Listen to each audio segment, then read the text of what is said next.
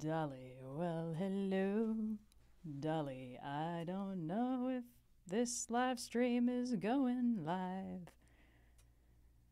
You're looking swell. Dolly, I can tell. Hmm. Well, I hope this is working. Ah, good. Someone's in chat. Hello. Yes, I'm very professional and I certainly do this for a living. oh, good. I'm glad everybody's appreciating the chaos. Uh, let me just, uh, real quick grab that, uh, tasty link and, uh, tweet it so people can join in should they so desire. Uh, let's see. Boop. Oh boy, there's everybody. Yeah, I don't know what I was expecting really. There's a few brief seconds after I start the stream when I'm never sure if it's actually working. And it's like in my head, it's just me in this empty room. But of course, the floodgates are about to open. Whew. Okay.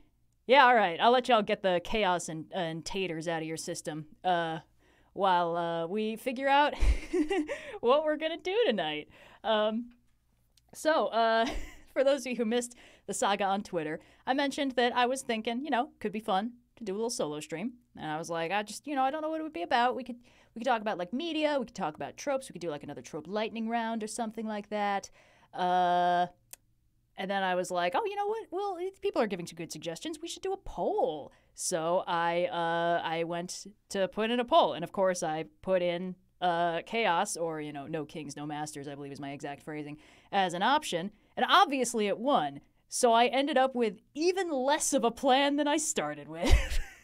so, good job, me. um, anyway, uh, I have, uh, to keep myself hydrated, I have experimentally created a large pot of some kind of like lemon ginger turmeric tea. I'm not gonna lie, it doesn't look like something that humans were meant to consume, uh, because the turmeric sort of makes it cloudy and yellow. Uh, but you know, it it's tea. I guess it's okay. Um. Oh yeah, that's not much better than I thought it would be. Anyway, so, uh, oh boy, yeah, this is a this is a lot. Uh, let's see what to do. Um. Well, traditionally, uh, when we're doing one of these sort of chaos nights, when I don't have anyone else to uh, rein me in, as it were, uh, I just sort of end up bouncing off the chat uh, with recommendations on what to talk about. And I kind of feel like that's how this was going to go anyway, let's be honest. Um, yes, chat, it does bear a, a striking resemblance to certain uh, fluids that are generally meant to go out of the body rather than into it, but it doesn't taste uh, anything similar, so we should be okay. Uh, okay, the first thing I'm seeing in chat is I have not yet seen She Hulk. Uh, I have seen some people really like She Hulk, which I think is encouraging. Um, I, uh, I mean, I'm one of those people who, when I saw the trailer and I saw the VFX, I was like, oh, it's nice to know that Marvel and Disney still isn't paying their VFX animators as much as they should be or giving them enough time to make the effects look good, and then everyone's blaming the VFX artists rather than the studios. That's nice. Uh, that was kind of all I needed. But you know, I'm I'm really if it's good, that would be fantastic because I think uh, She-Hulk has the potential to be a very interesting character, and that would be neat. Oh boy. Um. Let's see. Talk about how awesome Gargoyles was. Oh, be still my heart. Is it Christmas already? Uh. Oh, sorry. I'm just just seeing a few things. Oh my God, yes. Okay, sorry. Uh, before we talk about whatever that thing I just said was, I have seen RRR. A friend of mine recommended it for a movie night, and it was fantastic. Oh my God. It uh, permanently raised the bar in my head for what action movies can and should look like. So I don't know if that's like a worthwhile commendation, but it's just so fun. Um, definitely do recommend. It's very funny because uh, when we started watching the movie, it has these two like big disclaimers, uh, and one of them is like. While this is set in a historical time period, it is not intending to make any sort of statements towards any people or groups, living or dead. And we were like, "Oh, that's a that's a pretty hefty disclaimer." Wonder why they did that. And then the next one was absolutely no animals were harmed in the making of this movie. And they listed like several species of animals. And we were like, that's also oddly specific. And uh, not to spoil, but the movie more than demonstrates why those two disclaimers were considered to be uh, necessary. Um, as I understand it, all the animals in that movie are like VFX, uh, which is quite impressive. Uh, because honestly, they, they look quite good. There's like a couple places where if you're looking for it, you're like, okay, that that feels a little weird. My brain doesn't quite believe that's in the in the scene with them, but otherwise, it's fine. Um, and the story is very fun. So yeah, to my knowledge, it's on Netflix. Uh, so should you still have that, definitely worth checking it out. Uh, it's uh, it's very ridiculous. okay. Um. Uh, It's got like cartoonishly evil British colonizers in it. So as soon as they started talking, we were like, "Oh, so that's why. That's why we needed the disclaimer." Fantastic. Uh, what was the other thing I said I was going to talk about? Uh, it. Uh, sorry guys. Uh, Oh, gargoyles. That's right. Um, well, that one's just self-indulgent. You know, if if, uh, if people have other things they'd rather I, I talk about, uh, we can certainly do that. But uh, for those of you who are not aware of uh, D- Disney's Gargoyles, a cartoon from the '90s uh, by Disney, though you might not guess that from all the everything.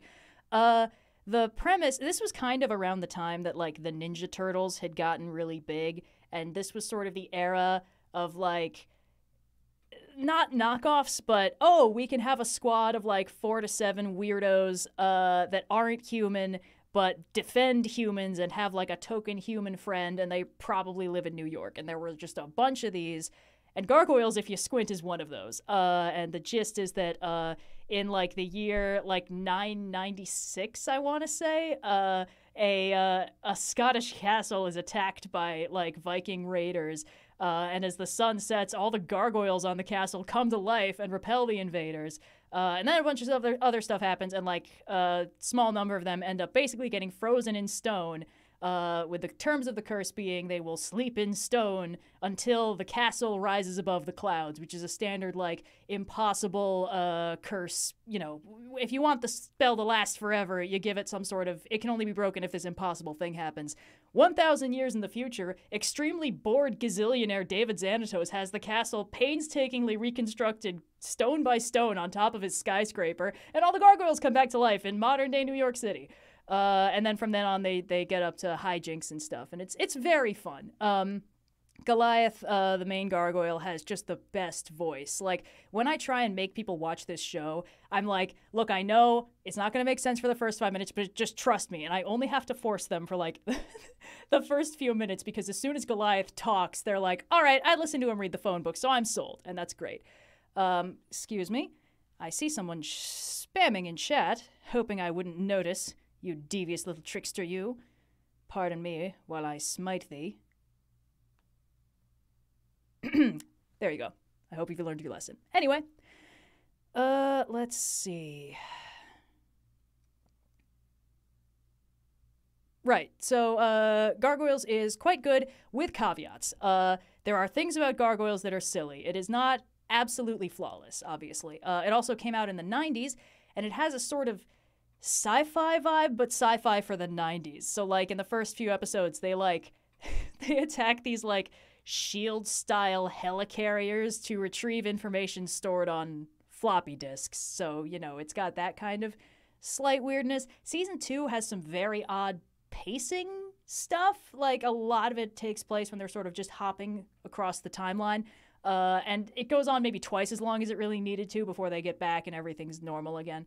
Uh, and it's one of those shows with a final season that you probably just shouldn't watch. um, so, anyway, but uh, it, it is very cool. Uh, there's a lot of interesting Shakespearean references in it. Uh, the actual historical Macbeth is like a recurring character. Uh, he, he was rendered immortal in the backstory of the show. It's fine, whatever. He's cool. He's got a great accent. It's very fun to listen to. Um, Oberon and Titania and Puck are all recurring secondary sort of antagonists. Anyway, it's cool. Um, let's see. Oh, yes, and a ton of Star Trek TNG actors are in Gargoyles, and they all give such better performances than they do in TNG.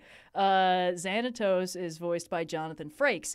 Riker, uh, and gives more emotion in every single one of his lines as Xanatos than he ever does for like the first four seasons of TNG. And Marina Sirtis plays uh, Demona, possibly the most interesting character and villain in the show.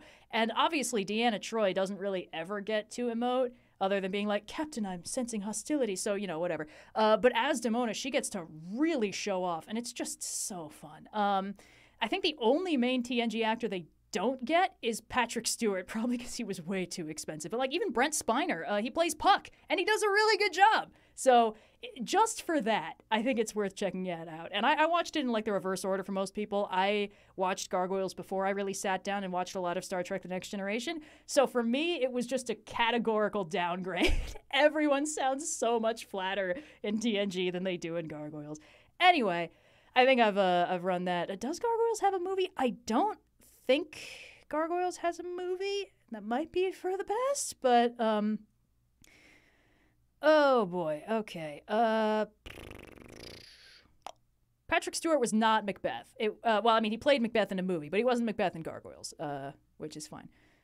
Please discuss reboot or Steven Universe. Guys, it's cruel. It is cruel to ask me to discuss reboot because I will but nobody will be able to stop me because the problem is when I get too in the zone, I stop being able to read the chat. And thus I will not be able to see your lamentations, your pleas for mercy. Uh, let's see. Uh, well, okay, I guess I can talk about reboot. I mean, it would be it would be helpful to have like specifics on what you want me to talk about with regards to reboot. There's a lot there. Um, uh, but I could talk about Sandman first because I saw a couple of you bringing that up. I think we talked about it when Blue and I streamed the other day. Uh, but I really liked the Netflix Sandman show, um, which is interesting because I uh, read the Sandman comics a while back and I thought they were very interesting uh, and I got a lot out of them. But I had this problem with them that I've I've discussed before, which is that a lot of Neil Gaiman stories sort of don't quite grab me on a character level. Um, excuse me. And it's no like shade to the man. He's a great writer. He has a lot of very fascinating ideas. I love the way he conceives of gods and world build stuff and just draws all these things together. Uh, but in my experience, a lot of his stories sort of have the characters as like these very just sort of emotionless, flat POV figures for the audience to observe this interesting world through. Uh, and the most interesting characters tend to be secondary or tertiary. Um, so like Odin and Loki are the most interesting parts of American Gods, not Shadow Moon, the nominal protagonist, stuff like that. And one thing I hoped that they would do with Sandman is what they did with Good Omens, which is that they uh, basically let the actors really spice up the characters and sort of give them personalities and character traits that I could actually get invested in. Because uh, I really liked what they did with Good, Good Omens, which for a collaboration between two authors I really loved, I couldn't really get into before the show version. Like I'd read it, but I didn't really get it. And then with this, I was like, oh, I get it. Um, and they did that with Sandman, and I thought that was very cool. But I went into Sandman with from the perspective of I've read all of the comics like so many times. I'm curious to see what they've changed and what they've improved. Austin, the DM of Rolling with Difficulty, has also seen Sandman, and he was not as impressed uh, because of various pacing issues. Characters would be introduced and then go nowhere. Like things that were objectively comedic concepts would be dropped and then sort of never pay off, which is all stuff from the comics that I had just sort of, you know, written off as like, well, yes, that's just how it goes. If anything, they dramatically improved it by stitching it all together much better. Uh, so it was very cool. Like I, I'm not sure I can promise that if you haven't read the comic, you'll love the show. Uh, but if you have read the comic, I think the show is just very interesting to watch, pretty much no matter what. Um, how to explain? I saw a couple people be like, "The fuck is up with Sandman?" So, how to explain this? Um, the core conceit of the universe of Sandman is that there are these seven beings that are beyond gods. They are basically concepts and they have existed for as long as there have been thinking living beings in the universe, and they will exist until there are no more thinking living beings in the universe. And each of them sort of governs a realm or a concept. Like they, they're a personification of the concept, and they also govern a, a realm that's sort of physical and sort of metaphorical that maps to that concept. So, they are the Endless. They all have names that start with D. Uh, the main one that we focus on in Sandman is Dream, Dream of the Endless. He is also called Morpheus. That's his name. He is Dream. He is Morpheus, whatever. Uh, there are others. Uh, there's Destiny, Death, Desire, Despair, Delirium, Dream, and Destruction. Um, and they have a very complicated family dynamic and relationship and stuff. Uh, now, the key problem that a lot of people have with Sandman is that the main character is this like semi omnipotent, immortal, omniscient super being with basically no weaknesses. and after the first arc of the comics, when he's kind of depowered and vulnerable, he's pretty much indestructible and super badass for the entire rest of the arc right up until the final arc, which is not what you would be told to do in a writing class. Doesn't mean it's wrong, does mean it's tricky. Uh, and so most of the later stories in Sandman sort of focus on characters that aren't Morpheus, uh, that like, you know, they go on adventures or they have weird things in their dreams, and Morpheus almost shows up as like a glorified cameo, like right at the end. Uh, and the show does a lot of heavy lifting to uh, make that not as much of a thing, like letting the characters interact and have dynamics before that, which is just I in my opinion unconditional improvement. Just like absolutely so much more fun to watch when you actually sort of feel like the characters care about each other and matter more than just like in this one moment on the page. Uh, I feel like Sandman is one of those adaptations that, again, I said this on the stream the other day. I don't want to like retread too much, but Sandman is one of those stories that treats the original version like a first draft. And then when they're approaching it for the adaptation, are like, okay, what can we tighten up? What can we fix? What can we change with the times? You know, it's been like 35 years. We can make this a little bit better, you know, stuff like that. Um, let me have some of this gross turmeric tea real quick. Ah, thank you. um, uh, one funny thing about Sandman is it's technically in the DC universe, uh, although they they filed off all the serial numbers for the Sandman show, and I honestly I like that. Uh, Mo- Neil Gaiman's work really kind of works best when it feels like urban fantasy, and the problem is when you layer urban fantasy on top of the DC universe, where like aliens exist and Batman's just hanging around. It makes it a little bit less like, oh, how cool, another world layered directly on top of our own because you kind of have to suspend your disbelief and be like, and also Batman's there. Um, so, like, the first arc of the comic that was adapted into the first several episodes of the show, uh, the villain is John Dee, Dr. Destiny. Like, th- that episode of Justice League I keep using as an example where all the Leaguers are trapped in their nightmares by this bad guy. That's the guy. Like, that's the main bad guy from. the first arc of Sandman. Uh, but they filed off all those serial numbers. Now he's just John Dee, which I think is ultimately a good change. It allows him to have a personality more than just he's evil, so obviously he's going to be evil. Um, and in like in the first arc of the comic, I think there's even a bit where like he he meets the Martian Manhunter, and it's sort of the first time we see that Morpheus's form is extremely flexible, and he sort of appears as different things to different people. Because of course, Martian Manhunter's an alien. Their culture has a completely different version of Dream of the Endless. Uh, so he appears as this like silhouetted Martian-shaped being, just surrounded by fire, uh, which is kind of a dick move because you know Martians very fire averse. Anyway lots of cool stuff that I'm not sorry they cut from the show. I think it works a lot better on its own. And, and the comic dropped a lot of the DC stuff as quickly as possible and sort of tried to make it its own thing as much as possible, which I think was the good call. And the show, as part of that, uh, swapped out the character of John Constantine for a different Constantine. There is, of course, a large Constantine family in the comics. Um, In the comics, Dream at one point in like the 1700s encountered Joanna Constantine, a distant ancestress of the John Constantine of DC Comics, and then he runs into John Constantine in the present and he helps him get his sand back, etc., etc. So in the show, as part of the filing off the DC serial numbers, they swapped off John Constantine for another Joanna Constantine.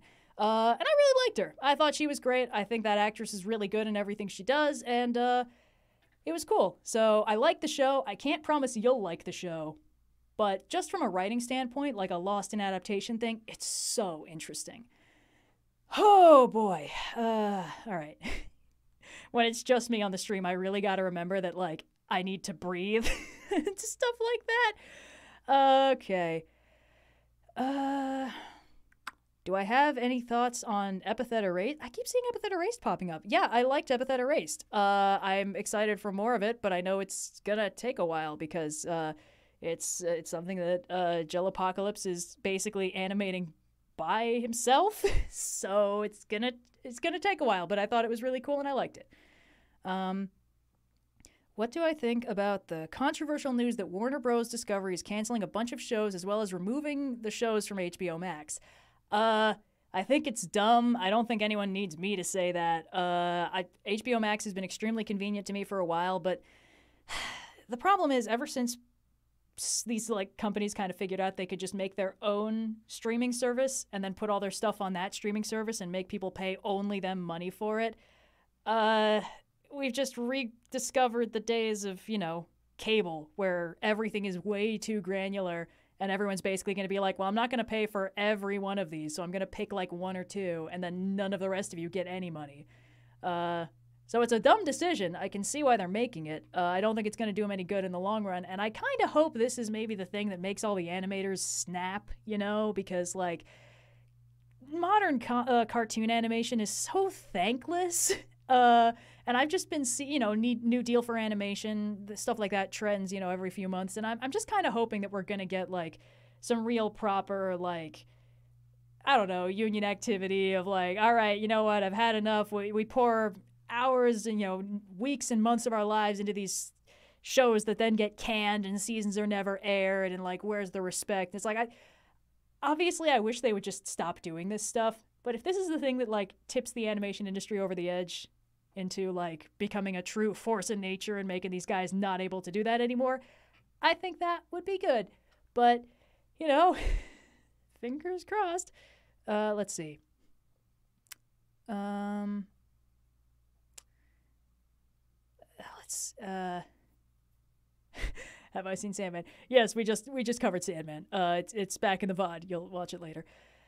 Uh, when is OSP coming out with their streaming service? You know, I know some YouTube channels that have tried that, uh, and there's a reason we don't want to do that. I like being on YouTube, and I like being able to bounce between different channels. You know, more discovery and stuff like that. Um, Iron Widow keeps popping up. Um, I really liked it. I read it a while back, um, and it's fun. Uh, for those of you who haven't, it's uh, sort of well, it's described as uh, Pacific Rim meets The Handmaid's Tale. Uh, giant robots versus sort of robot aliens, sort of.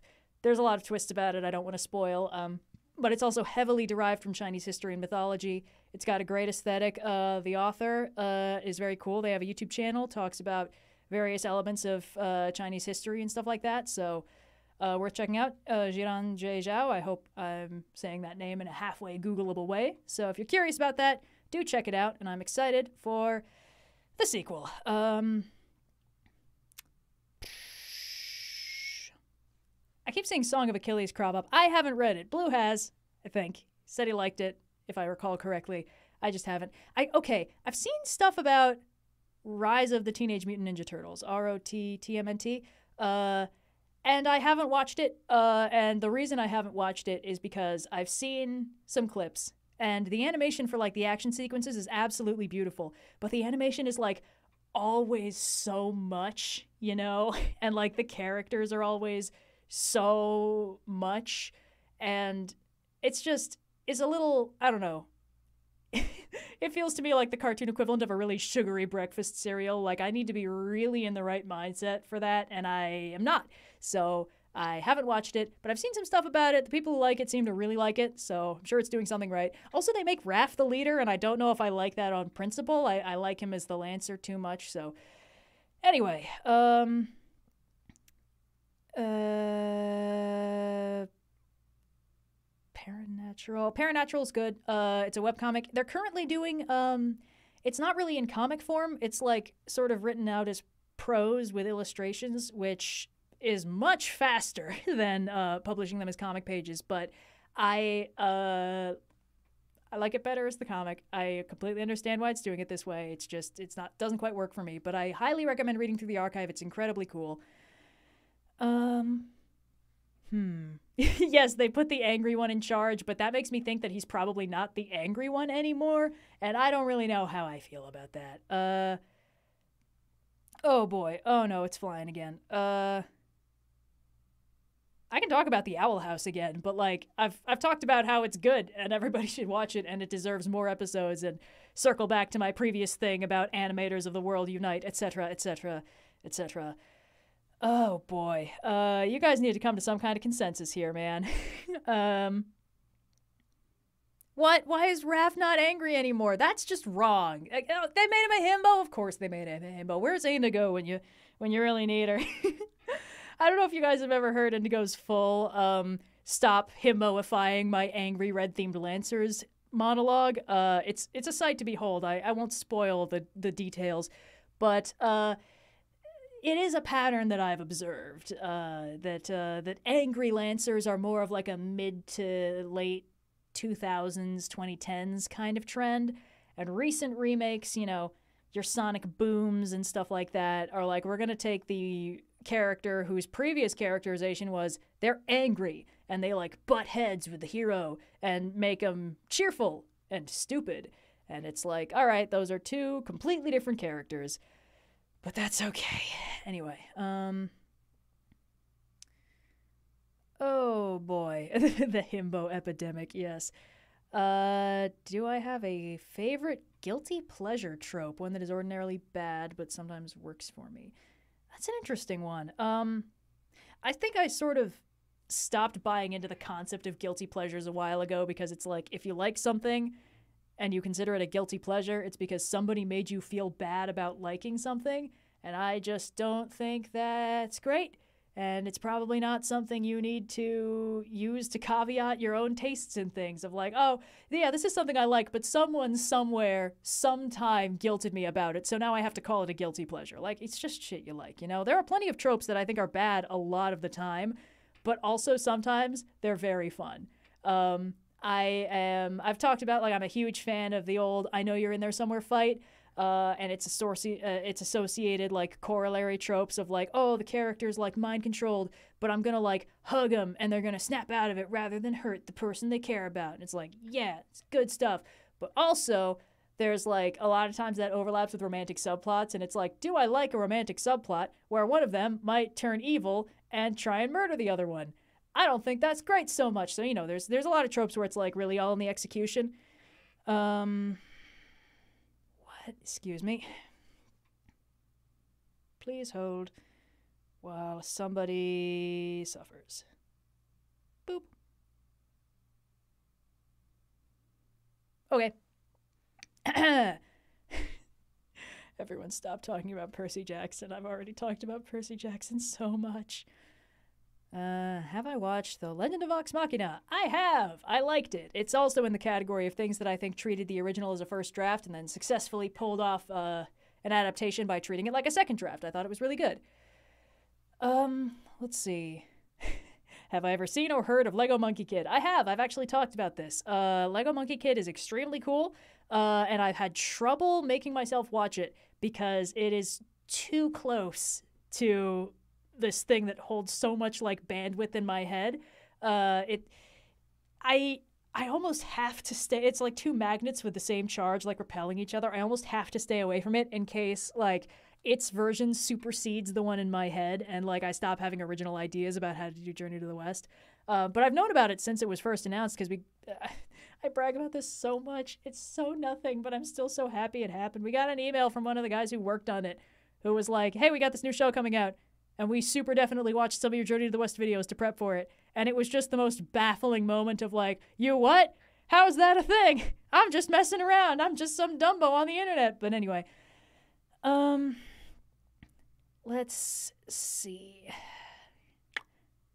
Muppet Treasure Island.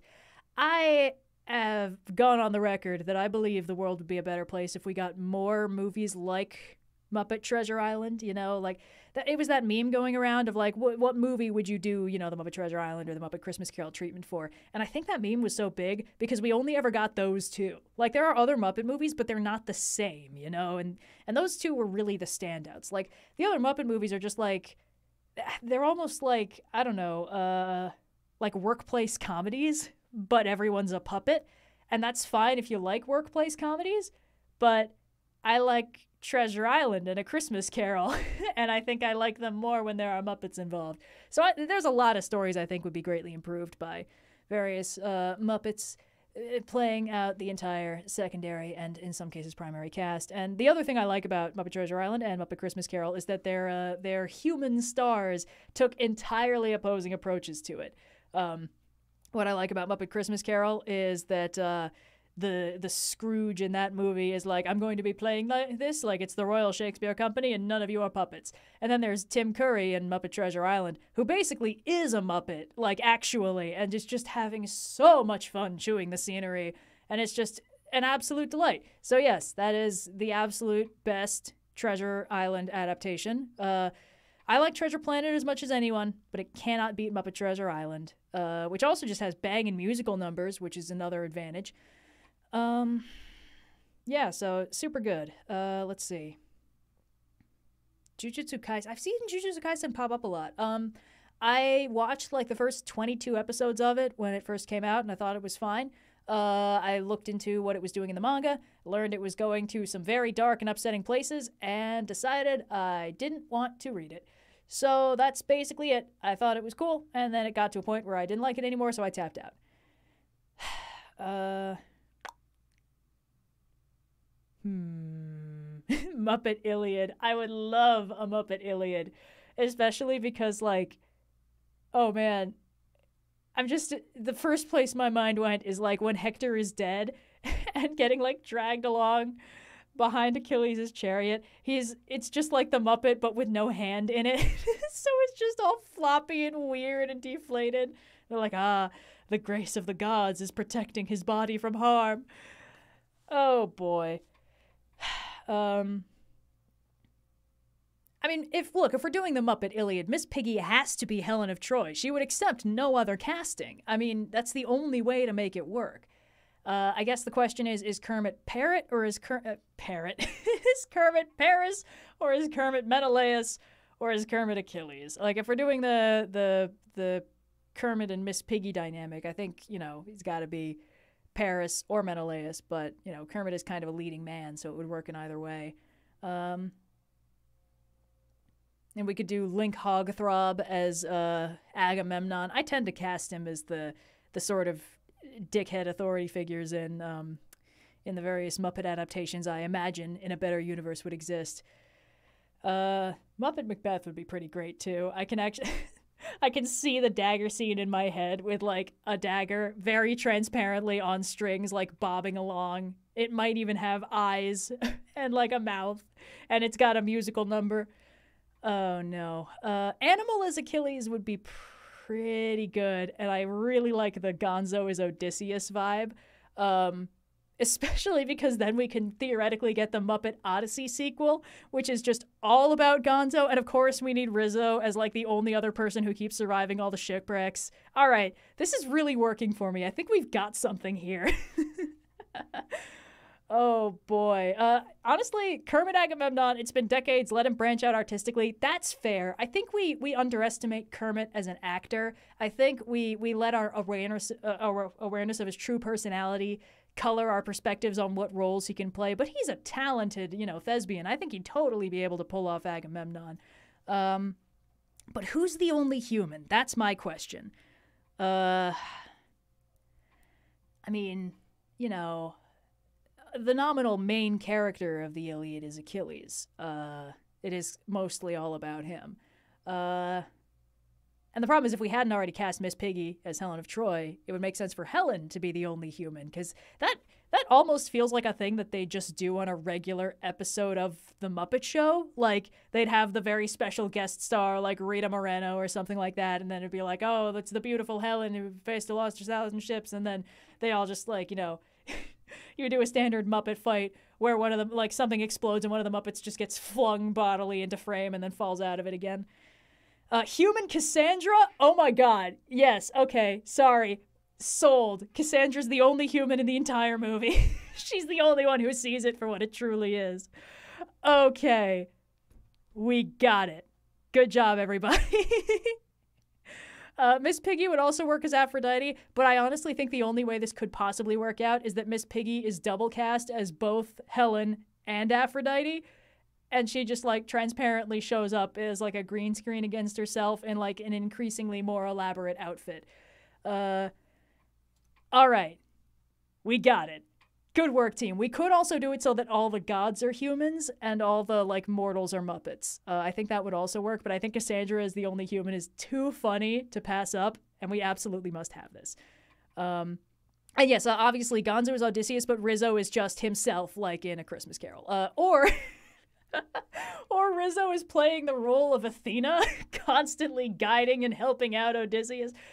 Oh, there's too many options. Um, Oh no. Uh, the Gods as Muppets is also kind of funny. I feel like we wouldn't want to miss that opportunity. Um, let's see. Uh, Muppet Alien Muppet Thing. I feel like I've already seen those discussed. Uh, anyway. Uh, let's see. Oh, Rizzo as uh, the guy who took out Ares, Diomedes. Rizzo as Diomedes. I think that would be pretty good. Um, Oh boy. All right, we got to move on from this Muppet thing, or that's going to be the only thing I talk about. um, Sam the Eagle as Zeus is really inspired casting, but we gotta move on, guys. we can't stay on this forever. Uh, oh my god, I, I keep forgetting the Dark Crystal Age of Resistance happened. I watched that entire show, and then I heard they were canceling it after one season, and I was like, oh, okay. And then I just mentally purged it from my memory banks. Um, I think because it it was kind of like promising the same thing that um, uh, Age of Calamity was, which is this is going to be the story where all the good guys like lose and die. And then that leads into the story we're familiar with where it starts from the position of all the good guys are dead except for like two of them total. And now we're going to unpack how how that happens so you know one of those um Star Wars prequel style tragedies that where it's like you know from the beginning they're all going to die. And like how's that going to happen? Um and of course, Age of Calamity was like, swerve, this was an alternate timeline the whole time, and everyone's going to be alive. And it's like, oh, well, that's uh, good for them, I guess. Cool. Uh, and then with Age of, uh, with Age of Resistance, it was like, oh, yeah, yeah, we, we had a season, and they had like a, like a temporary like a victory that obviously wasn't going to last but like oh they're all amped and it's good has triumphed and then they just canceled the show so it's like all right Good work, team. I guess we've successfully prevented the timeline where the Dark Crystal movie is ever made. uh, anyway. And it's funny because when I watched the show, um, this is here's the thing. I have only respect for Jim Henson's Muppets. I, I have only respect for the Creature Shop and all that stuff. I think Dark Crystal is an incredibly ambitious and very beautiful movie, but I also think that sometimes the fact that they're puppets is a little bit silly. Um, and when I watched Age of Resistance, I was like, oh man, you know, this is really impressive. But like, man, I whenever I remember that they're puppets, I'm like, oh yep, that's a puppet. These are two puppets having a sword fight. And then I went back and watched like a few clips from the original Dark Crystal, and I was like, ooh, these puppets look worse than the ones I just saw. so Again, no shade. I mean, the technology's evolved so much since then, but I felt bad being like, oh no, oh no, the effects. Oi. Okay. Um. Ah, see a comment about Moby Dick.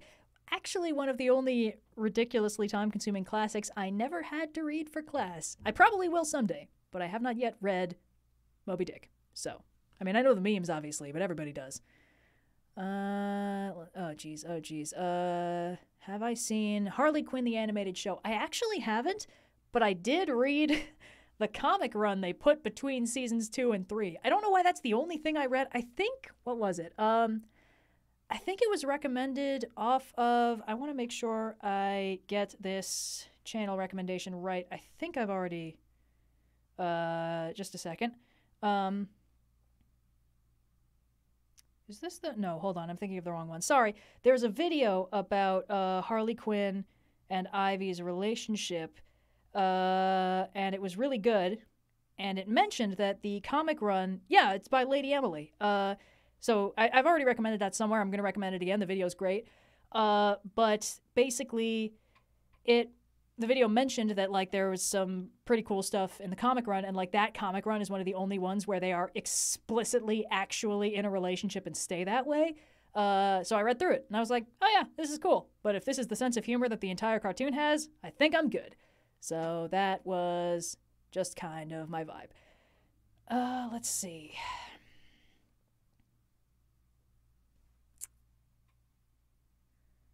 We are starting to. I'm starting to see some repetition, uh, and some very good Muppet pitches in the comments. um,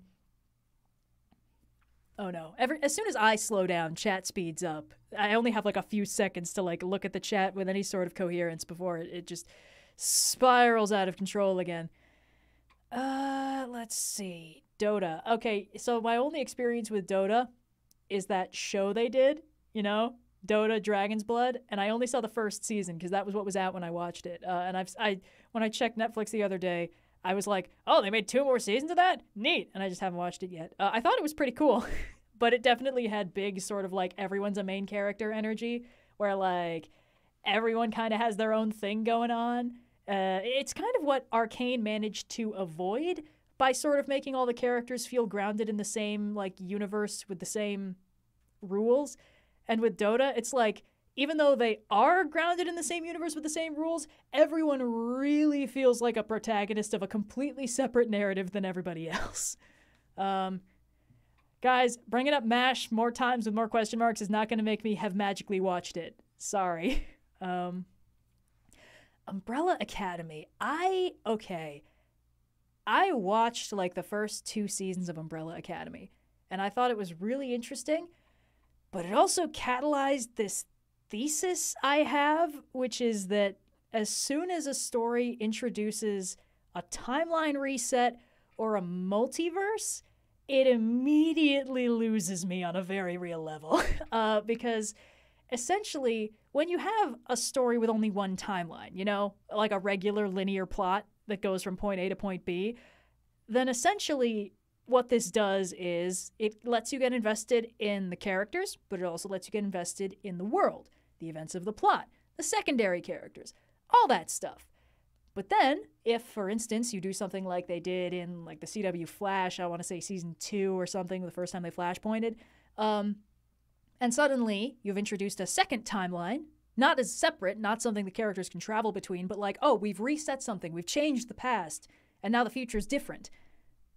Uh, well, now the audience can't really get invested in anything outside the one character or set of characters that can travel in time, and thus aren't changed when the time stream shifts or whatever. So now the entire world is sort of fluid and flexible and every secondary character everyone who's not in the in group of people who get to you know stay the same they're not you can't get invested because they can change out from under you at literally any time and that makes it very difficult to stay invested in the story because that kind of means you need to be invested in only the characters that are preserved from loop to loop the problem I had with Umbrella Academy is that all the main characters are assholes and like they are really slow to improve. so I wasn't really able to get invested in them within the first couple seasons and now that they're resetting stuff again, I'm like all right, well, call me when you get that sorted out, I guess. But until then, I'm just going to be over here, you know, reading stories that don't do this every season finale. Um, so that's, I mean, what that really means is that I am not the target audience for that. If I'm, if you don't enjoy that sort of season finale reset, time loop, what's the universe look like this time thing, then I cannot see how you could enjoy Umbrella Academy. Uh, it is similar to the All a Dream problem. It is, uh, it's also the biggest problem I had with the back half of Bioshock Infinite once it became very clear that, like, none of these timelines matter at all. We're just going to go from here to another one uh, it just sort of it it dramatically diminishes audience investment because it shrinks the space of things that an audience can care about from the entire cast and setting to like just the in group. And uh, if you're not really into the in group, you're uh, you're not going to really vibe with it. So that's a that's a sneak preview of a detailed diatribe I'm going to sit blue down for one of these weeks. Uh, we we've we had a discussion about this where it's like as soon as it introduces a multiverse, doesn't it like doesn't it really make it all kind of not good anymore? What's up with that? And so, um, yeah, that's another reason why I think everyone, uh, everything, everywhere, all at once is a really good movie because it's one of the only stories that like introduces the multiverse and then actively acknowledges like hey, this kind of makes it seem like it's impossible to get invested in anything that happens in the here and now because there's a universe right next door where it didn't happen. And that's the point. And then the movie was incredible and everybody should watch it. Okay, uh, let's see. Metal Gear. Um, just gonna drink some of this gross turmeric tea again. Okay, here we go. It is taking me so long to get through this tiny, like shot glass sized cup of tea. Oh, I'll get there eventually. Um, favorite Discworld book? Oh, you shouldn't have. Uh, it's Thud. Uh, but it takes a while to get there and why it's that good. Um, so this is a good opportunity for me to pitch why everybody should read a bunch of Discworld books. Uh, so, uh, as I've gone on record saying before, uh, if you are trying to start the Discworld series, you should start with Guards Guards. Um, it's really good, but the main thing about the Discworld series is there's like 40 books in it, and it's sort of subdivided into a lot of series uh, that mostly focus on specific characters within those series. Uh, and the first two Discworld books are The Color of Magic and The Light Fantastic, and they're fine, but don't read them first. um, they, I mean, when Terry Pratchett started the Discworld series, it was such it was a joke. It was uh, it was a send up of the fantasy tropes that were common at the time. Uh, so a lot of his early books are about like this is a wizard, but he's not like one of those cool wizards. He's like a loser wizard. Uh, or hey, wouldn't it be fun if we introduced the concept of an insurance salesman into this fantasy universe? Or, uh, you know, oh, we've got uh, we've got this guy, this barbarian hero, but he's been at it for so long that he's a really old man, but he's still a real badass because otherwise you don't live very long as an adventurer. That's funny, and it's like, yeah, it is funny, but you know, is it like sell an entire premise of a book funny? And I think the first series of books he kind of started doing, like some of the earliest characters he planted were the uh, the witches in Wyrd Sisters and the character of Death. He has an anthropomorphic personification of Death, who is great. Death is fantastic. Um, and Wyrd Sisters is early enough that when I reread it, I was like, this is a little weird. Death is even earlier. He shows up in a couple books that are so early that it's easy to sort of forget they were even there. One of them being Mort, uh, which is about Mort, the apprentice of Death uh, and Mort ends up developing a romance with Death's adoptive daughter, and they have a daughter, Susan, and Susan is the main character of several books down the line. And Susan is great, but don't start with her books because they require much more context than the others. And the witches are kind of the same thing. The first book they're in, Wyrd Sisters, is like a total it's like an inversion of Macbeth, basically. It's like the plot of Macbeth happens, but we're watching it from the perspective of the witches. Uh, which is cool. It's a cool concept, but it's kind of niche which is why you should start with Guards Guards. Guards Guards is really good, and it kicks off the Guards novels, which starts with sort of a little trilogy, um, and then just kind of keeps going. Uh, and it is a fantasy police procedural, which I adore. Uh, every book is basically a murder mystery or something similar. And it, it starts with, again, a fantasy joke, a joke of a trope from fantasy literature that was popular at the time, which is that city guards are useless. Like they're they are the cannon fodder that the heroes will like knock out and steal the uniforms of, or be locked up in jail and then steal the keys and then escape from, et cetera, et cetera. Um, you know, they're they're just basically faceless mooks.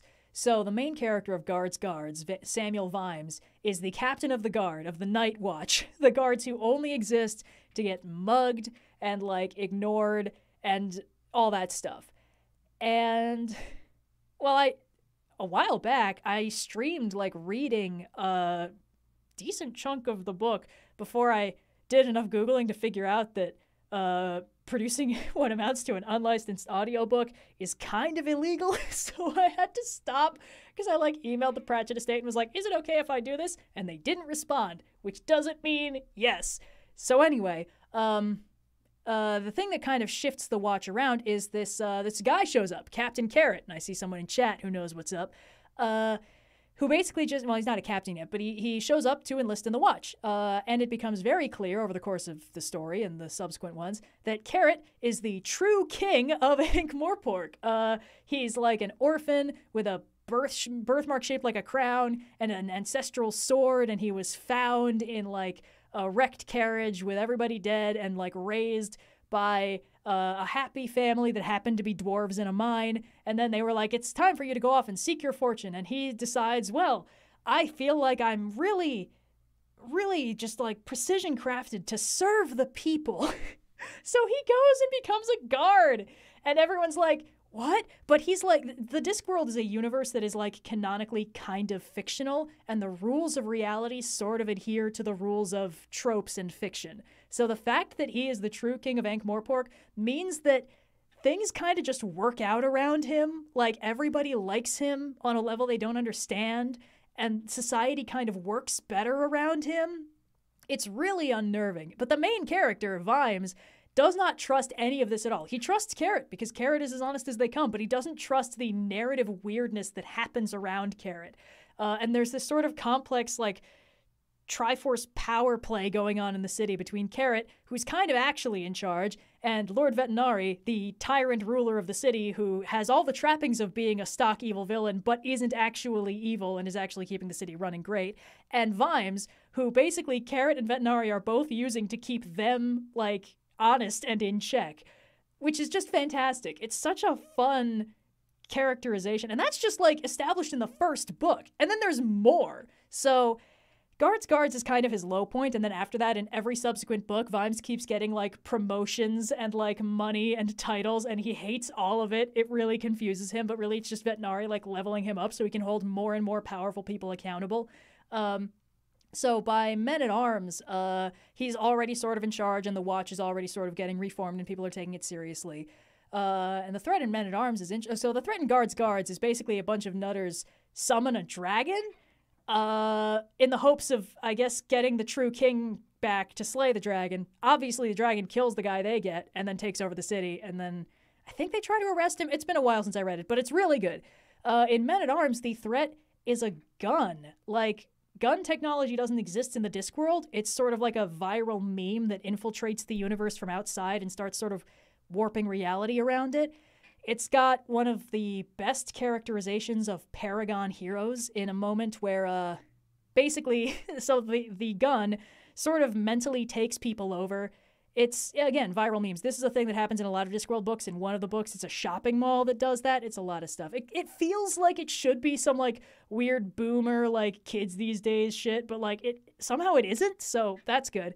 Uh, but basically, Captain Carrot is too pure of heart. He's just completely immune to the effect of the gun. And when the guy like you know he like picks it up and just like breaks it, I think, and is like, oh, it's weird. Okay. Anyway, um, in Feet of Clay uh, the it's a murder mystery that is also uh, one of the only fictional analogies for Jewish people I've ever seen that worked really well.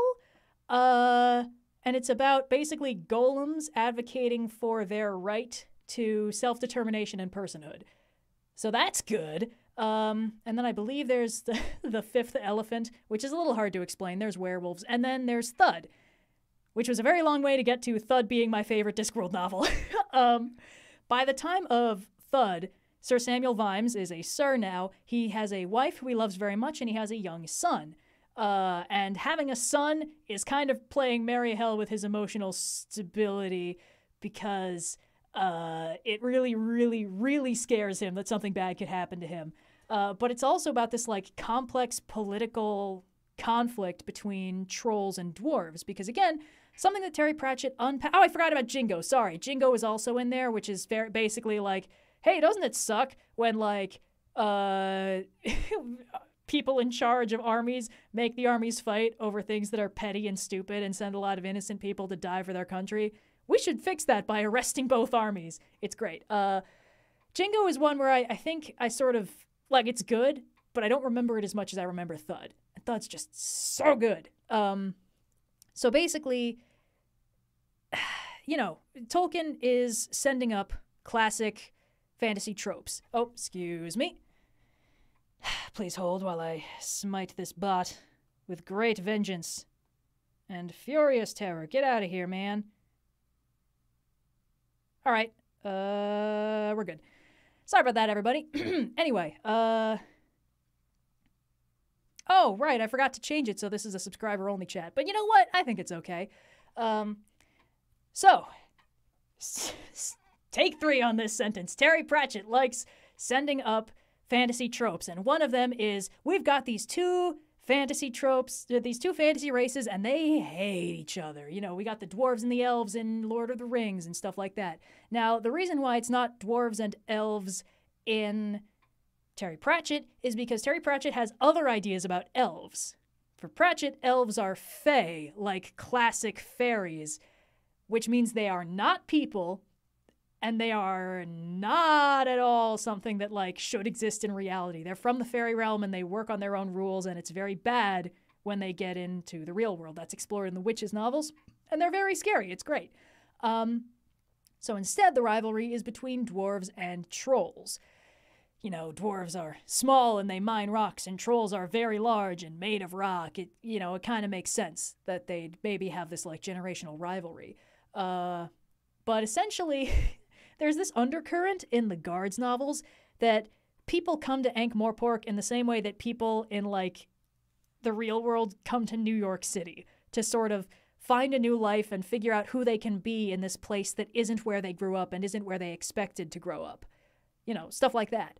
Uh, so you get these dwarves that come down from the mountain and they come to Ankh-Morpork, and suddenly there's no rules about who they have to be. the same thing happens with trolls. And as the guards have been expanding over the years, you know, they've gotten more people who work for them. There's a dwarf and a troll who've been working in the, there's a troll who's been working in the guards for ages, and there have been various dwarfs kind of joining up.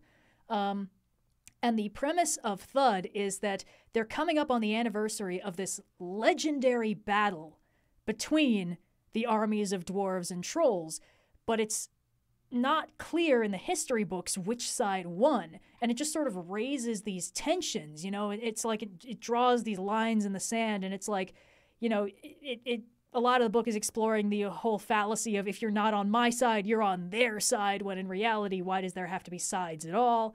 Um, and it's very cool. There's also uh, an absolutely terrifying, like, eldritch abomination curse in this book called The Summoning Dark, and it's terrifying, and I love it. And it's like the fourth extra dimensional Eldritch Abomination that tries to possess Vimes and utterly fails. This is my favorite kind of character archetype man who is literally too angry to get possessed. Oh boy. Um. Anyway, yes. Uh, so start with guards, guards. Work your way up to thud. Then you can read everything else. Have fun. Oh boy. um. Vimes does not make friends with the Summoning Dark exactly. Vimes gets a little mutual respect with the Summoning Dark. Vimes ends the book not really believing the Summoning Dark was ever a thing that actually existed and possessed him because he doesn't believe in any of that malarkey, but like it's very clear. It's super clear that it happened. Um, Oh boy. Okay. Uh, oh, I forgot about Snuff too. There, there were other guards novels after Thud, but I'll be honest, for me it peaked with Thud. um. Let's see. Hmm. The Tiffany Aching series. Uh, I was so into when I was like twelve and a little younger because I was Tiffany's age. and I related to her so hard. Um, and I had this thing where I, I reread them more recently, and the parts that I remember really hitting me did not quite hit me in the same way. I, I, I'm not really sure how to explain it. Like they're they're quite good, uh, and they're very interesting, but there was just this like there were a few moments that I remember being just world shatteringly powerful when I was little, and then I read through them again, and I was like, yeah, it's all right. So you know, sometimes the nostalgia holds up on the second reread, and sometimes you're not quite in the right place for it to hit you like it did before. But the Tiffany Aching books are very fun. Uh, they're sort of like an offshoot, kind of, of the Witches novels. They sort of, it's like they don't start off the same, but then they sort of intersect later on. Um, but yeah, they are fun and good. Thoughts on the World War Z book? Okay. I've read the book like three times because here's the thing I think you all know, I've talked about this before. I hate zombies so much. They scare the crap out of me. They are like the one apocalypse where I'm just like, well, there's no coming back from that. Everything's boned. wrap it up, folks. So I just don't like zombies. I hate them a lot. And the thing about World War Z, the book, is that the first third is horrible if you hate zombies. It's terrible. It's terrifying. It's terrifyingly grounded because it's written by somebody who hates zombies. They scare the crap out of him. He wrote it specifically to work through that as like, okay, what if we have like classic Romero zombies? What if we have like the, no cheats, no workarounds? These are the worst of the worst. How would we actually handle that? And he world built a very interesting answer. And honestly, all things considered, in terms of methods of therapy, pretty innovative. I approve. But the first third is the everything is going to shit part of the book. And it is really tough to get through. Like I, I like made the mistake of like reading it like at night at times when I was a lot more prone to nightmares and I would just be like buzzing with energy into the wee hours because I was like, I don't even want to walk down the dark hallway to get to the bathroom right now. You know, that level of fear.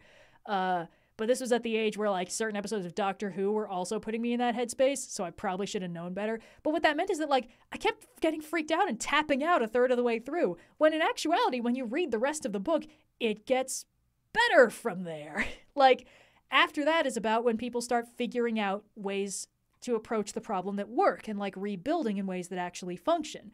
Um, and once I pushed through that, I was like, oh, this is this is nice actually, but it's it's a tall order to get through. Um, but I got to the level of like, I'm okay with this, where I broke a rule I have unofficially. I I am not a fan fiction person uh, so much. I I maybe just missed the window of when I could have gotten really into it as a concept. But in general, I tend to like taking a story at face value as a primary source and then, oh, excuse me, perish. Uh, and then sort of not really, you know, thinking about it outside of that.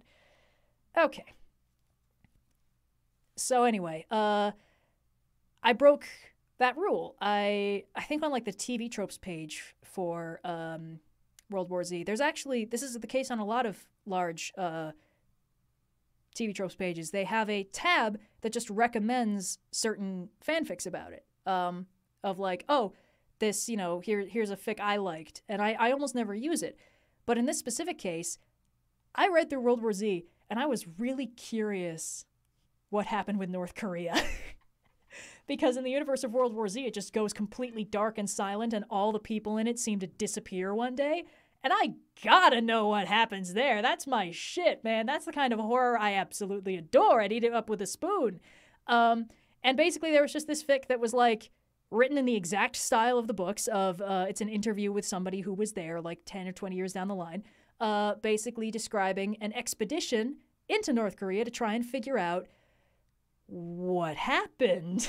And uh, it answers just enough questions to not answer anywhere near all the questions but it's so scary. Um, and basically it just involves like they find these routes into these sealed underground bunkers where it seems like all the people basically went and sealed the doors behind them. And like four out of five of them, nothing seems to be amiss. Like, you know, they don't open the doors, obviously. But the fifth one, there's like moisture, there's water behind the sealed door, which means somewhere down there in the darkness, a pump failed.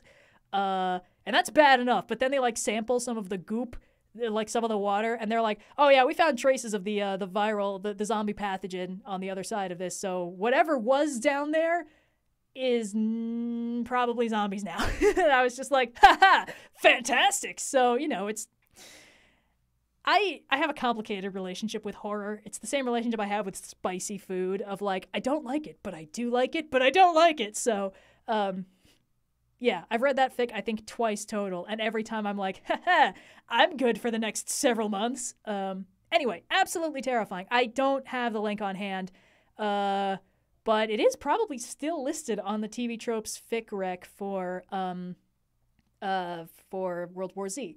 So definitely do recommend that uh, if you like being absolutely terrified of zombies. Huzzah! Okay. Um, uh, so oh, sorry. Uh, the water is not a zombie. It indicates that whatever was alive down there has since been zombified, and it's possible that like maybe somebody who was already infected got in with the rest of them and then turned and you know how many people are down there and th- there's sort of like this existential question of like if somewhere down there a barrier fails how many people are going to how many zombies are going to spill out how many people in this country are down there still in an animated capacity that could royally screw us over anyway absolutely horrifying. I'm freaking myself out just talking about it. Um, oh boy. Uh, let's see. What's going on? Um, keep, people keep bringing up Reign of Fire. Don't know what that is. I'm sorry. Uh, oh no. Oh no. I stopped for too long and now it's, it's flying along again. Uh, I haven't played Horizon Forbidden West. I gotta say, I'm really intrigued by the lore of Horizon Zero Dawn. Uh, but what I heard about what they've done in Horizon Forbidden West made me less interested. Uh, mostly because I watched the zero punctuation about it, and then um, excuse me, an extra punctuation he did about it, and I was like, oh yeah, that doesn't sound like a writing decision I agree with, and that's a shame. Um, but I think the mystery behind Horizon Zero Dawn, the first one, is just fascinating because it's like, you know, obviously you get the trailer and you're like, what's up with all these like cavemen fighting robot dinosaurs? What kind of a setting is that? Uh, I don't know why that went kind of a little bit shaggy on that. Uh, and of course, as the game progresses, it's like, well, hold on. Not only are we cave people fighting robot dinosaurs, like there's ruins of like old Earth cities around here. So this is the future. I guess that explains the robot dinosaurs. But like, what's going on? Um, and uh, the thing I like the most about the lore of the game is there's that window of time where you know enough to understand that like something terrible happened in the past, but we're all still here. So they must have found a way to stop it, right? And the reveal is they absolutely didn't. they found contingencies to reseed the Earth with life and a biosphere after everything on the planet was consumed and destroyed, and then like reseed it with cloned humans after the fact. But that window where they're like, okay, well, we know how the story ends. We're all here. Humans are alive. There's like trees and shit. So clearly, things must have like worked out. And as we're getting through the audio logs, it's like, oh no, wait, but how are they going to salvage this? And the answer is, they didn't. Um, which is just terrifying and really sad. Uh, again, it's kind of in the same vein in my head as the zombie apocalypse, where it's like, oh, cool, an apocalypse with a 0% long term survival rate for humanity. Don't like that, thank you. So, uh, but I, I mean, you know, I'm a huge fan of the apocalypse log genre of tragedy, uh, which is, you know, when you like find a diary or a series of random documents and audio logs that uh, retell the final days of something. And I know exactly why I like this so much. And it's my dad, because when I was little, my dad read me The Hobbit, and then he read me The Lord of the Rings. And I my attention span has never been fantastic. I've never been able to myself read through The Lord of the Rings in any, you know, reasonable time. I usually just lose steam and stop. So the parts of Lord of the Rings that I really stuck with were the parts that scared the crap out of me. So I remember two key moments of me like lying in bed, suddenly kind of afraid to close my eyes. And one of them was just that little anecdote that, like, I want to say it's when they're in the caves and like Sam and Frodo notice that, like, after they stop walking, sometimes they'll hear the quote unquote echo continue for a while before stopping and that's because that's Gollum following them. And I was just like, oh no. Uh, and of course, the other one is the Mines of Moria. Drums in the deep, we cannot get out. That's terrifying. I loved it. It was great. So anytime a story does that now, I'm like, yes, give it to me. Give me all of it. So um, very fun. And that's why I love apocalypse log stories and why I'm always kind of bummed out when they don't quite hit that same level of just like, oh no. Um, oh boy, they're so good. Um, what? Oh, what version of Journey to the West did you read? I read the translation by Anthony C. Yu. It's in four volumes and it's quite good. So definitely recommend that. Um, let's see. SCP. Oh man. I for a while, I want to say like in late high school and early college, I'd like every six months or so go through a like a like a phase where I'd suddenly be seized with the urge to go on like r slash no sleep and like the SCP wiki and just read a bunch of little scary drabbles of like scary stuff that was scary. Um, and I fortunately seem to have outgrown that because, as mentioned, I'm bad with like inflicting scary things on myself that make my already tumultuous sleep schedule significantly worse. Uh, but I just, I just, you know, it was fun. It was like little bite-sized nuggets of horror. Um, and it's been a while since I went on the SCP wiki, but there was stuff on there that I really liked, and one of them was basically an apocalypse log. Shocker. Uh, I don't, obviously, I don't remember the number. Um, like a lot of the SCP thing is just kind of like, what if we took a cryptid and we like described it, said we had it in a box somewhere. That's fine. Um, but there was one that was like this this disc, and if you put it on a mirror, the mirror became a portal to what appeared to be an alternate timeline of Earth. And they kept sending through these like D class personnel uh, to explore it. And of course, it was all written as like audio log records and like this very sort of uh, clinical attitude towards what was going on, you know, sort of like clinically describing that as the camera pans past, there are seven shadowy figures visible in the elevator that the personnel recording doesn't seem able to see or react to. Just like that kind of shit is my absolute jam. I think the last few times I yeah, the Red Sea object, that sounds about right. Um and I think the last couple times like I went on the SCP wiki, I saw a lot more things that basically just looked like short stories written in the style of short stories and it's like that's fine, but for me that doesn't really hit that real horror like that perfect zone, you know. Um I don't think I ever really like figured out what the deal with the Red Sea object was supposed to be because it was like okay, there's like there's goop everywhere. All right, there's goop and there's like ghosts and shit, and then there's like weird giants, like sludge monsters. I guess I don't know.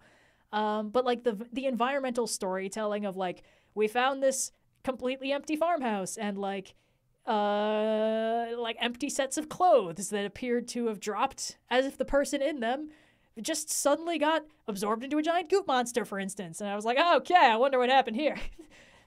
no points for guessing that giant goop monsters are involved. Anyway, so um, definitely very cool. Uh, I I know it's sort of changed since then. I I mean, I haven't really been in it in a while, so hasn't really bothered me. But you know, I I remember fondly the days of extremely clinically described, abjectly horrifying objects. Uh, so Let's see. Um, do do. Sorry, just taking my sweet time looking at chat, pouring myself a second tiny cup full of slightly gross, cloudy yellow tea. Uh, oh, yes, and for those in chat who aren't aware, SCP is uh, short for Secure, Contain, Protect, and it's uh, the conceit is that it is a like an online repository of documentation about a secret organization that secures, contains, and protects the world from dangerous objects or entities. It's you know it it basically is a an open source creative writing project that people have a lot of fun with. It's kind of the vibe. Um, Can you stop talking about scary stuff, please? It is scary. I would love to. I'm freaking myself out. So let's talk about something else. I did like the Infinite IKEA. Um,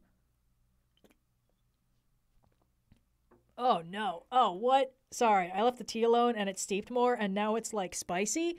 I guess that's the ginger. Um, but yes, it's very similar to creepy pasta, but it's got more like rigid tone constraints, which is pretty cool.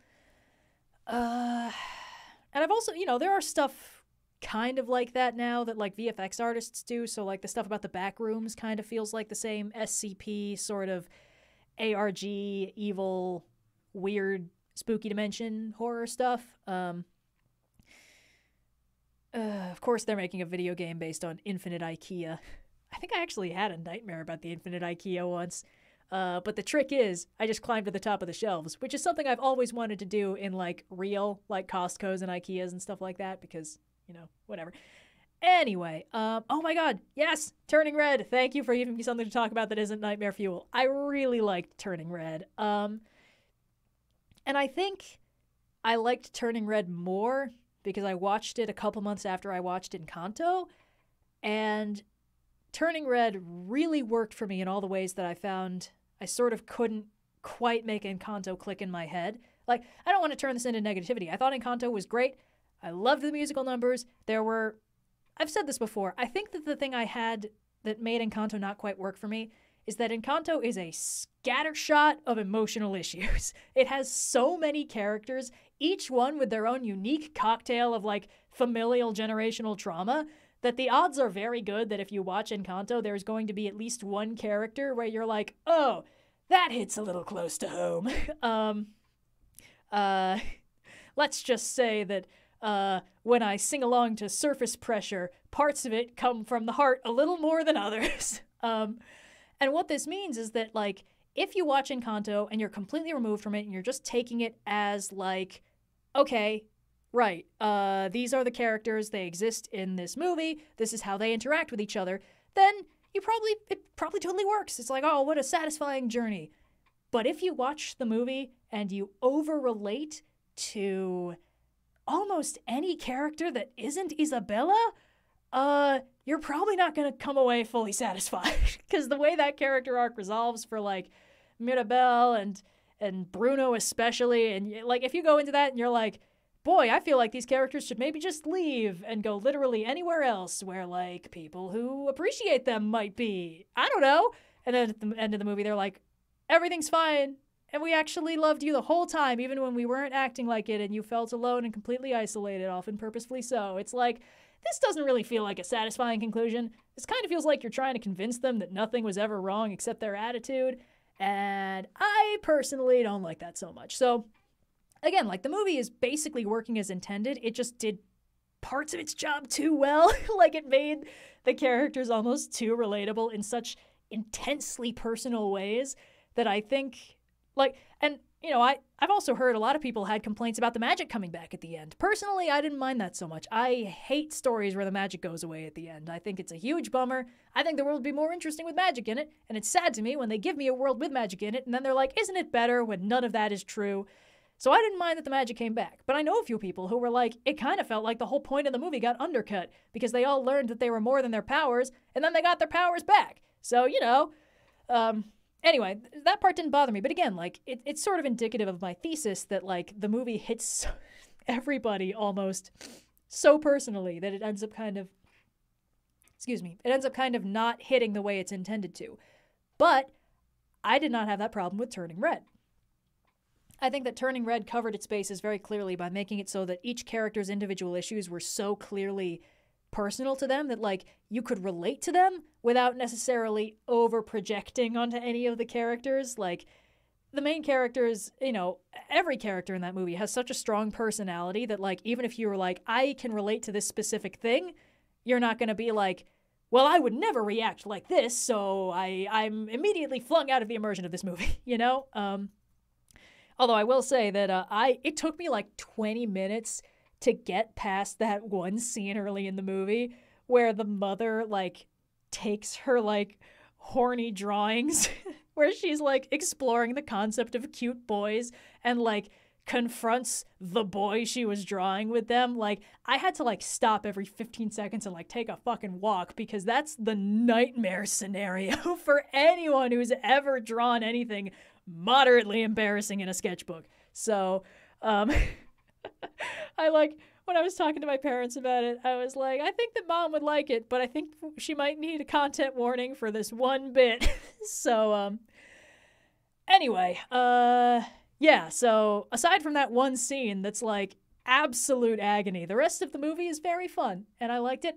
And I liked that uh she kept her like red panda powers at the end of the movie. I would have been kind of bummed if once again the magic goes away. Would have been sad. Um Anyway, I liked it. But yes, I, I did cringe so hard that my face imploded. So, you know, very unfortunate. Oh boy. Uh but yes, the, uh, the the stuff about like the overprotective mother and the the the absolutely no boundaries. I was like, this is like too real, but in such a cartoonishly exaggerated way that it doesn't feel uncomfortably real. It just feels uncomfortable, you know. Um, Anyway, uh, let's see. Lightyear. I okay. I was gonna watch Lightyear. I was very excited for Lightyear. And then I heard that it was only okay, and I heard like the stuff they did with it, and I was like, that sounds like it's gonna make me sad. And I haven't watched it yet. I do want to. I think it would be interesting. Um, but I think mostly what I saw is that uh, didn't really. Okay, don't. Sorry. Person in chat telling everyone in chat to type something that isn't even like a media recommendation, it's just a meme or something. Like, it's bad enough that people spam organically. But come on, guys. It's only funny when I tell people to all type something in chat. And it's only funny when there are other people on the stream to suffer with me. Anyway, I haven't watched Lightyear yet. I do intend to, but I no longer have high expectations going into it. But it is kind of cool that Chris Evans is getting to voice act more because he's just like a good voice actor. Like, he's good at it. and it's so funny because I watched through a bunch of uh, What If, remember when that was going out? Um, and, you know, the very first episode is the whole like, what if we got, you know, Captain Britain instead of Captain America? And it's just immediately obvious that Chris Evans is acting everybody else under the table because he has actual voiceover experience. He's not just a, a screen actor who's like suddenly put in a recording booth and told, like, hey, you know that thing that you normally do with your entire body? Uh, do that with just your voice for like the next 30 minutes. Have fun.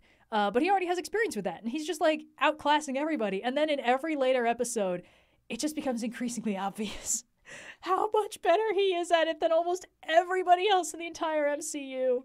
So, yeah, I'm I'm I'm just glad they're letting him do it more because he's good at it, like genuinely good at it. Not even just good at it by like typically screen actor standards. So, what? The guy who's Wait, hold on. I'm sorry. The guy who voiced Steve was not Chris Evans? Well, he is still really good, uh, but that's a bummer. uh, I really thought I'd clocked him on that. Hold on. Uh, please hold while I uh, attempt to Google this. Uh, what if episode one, IMDb? Come on. Um, wow. Well, now I just questioning everything I know about reality. Uh, Oh geez, why did they keep they keep restructuring IMDb and I don't like it. Uh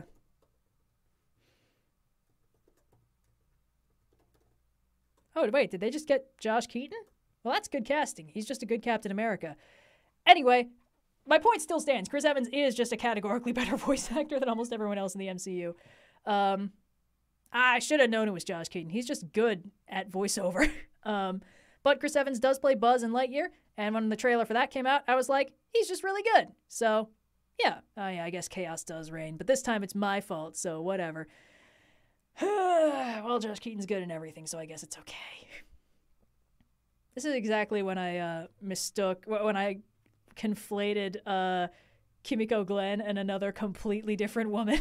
so that's my fault. Uh, anyway. Ooh, I get to recommend Hilda to more people. Thank you, the one person in chat who brought that up. Um, Hilda is really, really cute. It's also on Netflix, so very accessible. Uh, it's heavily based on like Icelandic and Scandinavian folklore, kind of. Um, well, parts of it are very overtly based on, especially Icelandic folklore. There's like a whole episode where the premise is wrestling ghosts, and it's just straight out of the saga of Grettir, so very good. Uh, it is like the coziest show I've seen in a very long time. The aesthetic I ended up sort of describing it with is that it feels like like Studio Ghibli meets like Calvin and Hobbes kind of in that it's got this incredibly cozy, soft, whimsical, mysterious, dangerous but in a very wild and natural way vibe. And then the main character is an adorably precocious, cartoony small child with an animal sidekick. Um, and it all kind of comes together to feel just incredibly cozy and homey, and all the environments just really feel very like comfortable and and and homey. I don't know. It's really cool. The color palette's very interesting. It's almost like it's like it's designed so that if you're a certain kind of colorblind, it won't register differently at all. Like all the greens are very muted, uh, but in a way that really works. It's extremely cute, uh, but it also has some very interesting overall themes of like man versus nature and stuff like that. Um, yeah, uh, I definitely recommend it. It got, I want to say, two seasons in a movie, uh, and it's good. It's good, and I recommend it. Um, let's see. Haven't played Disco Elysium. Haven't watched Primal, but I know about it. Uh, of course, have I watched Teen Titans? Of course, I've watched Teen Titans. what kind of mid 2000s edge lord would I have been if I didn't super over relate to Robin and Raven? Come on. Uh, like most people, I have obviously not watched Teen Titans Go because I like Teen Titans and thus cannot uh, appreciate what it's become. But that's okay. The original series is still there, so everything's fine. Um, I. Here's the funny thing I have read through a lot of the comics, the, I want to say like Silver Age I'm not as exactly sure. Uh, but like the run of Teen Titans that loosely got adapted into like basically all the adaptations. So you know, uh, when you got uh, Judas Contract, when you got uh, I guess even the Brother Blood stuff, technically speaking, uh, Trigon, Terror of Trigon, um, all that stuff happened in a very specific era in the comics, uh, which is where, among other things, uh, Dick Grayson changed from being Robin to being Nightwing uh, like that happened in one of the arcs, and he had this great outfit as his first Nightwing appearance. Uh, it's affectionately referred to by the fans, I understand, as a disco wing because it really looks like he's getting ready to hit the dance floor. It's just truly spectacular. Um, but uh, it's just it's a very different tone than the cartoon, obviously, but it's not like.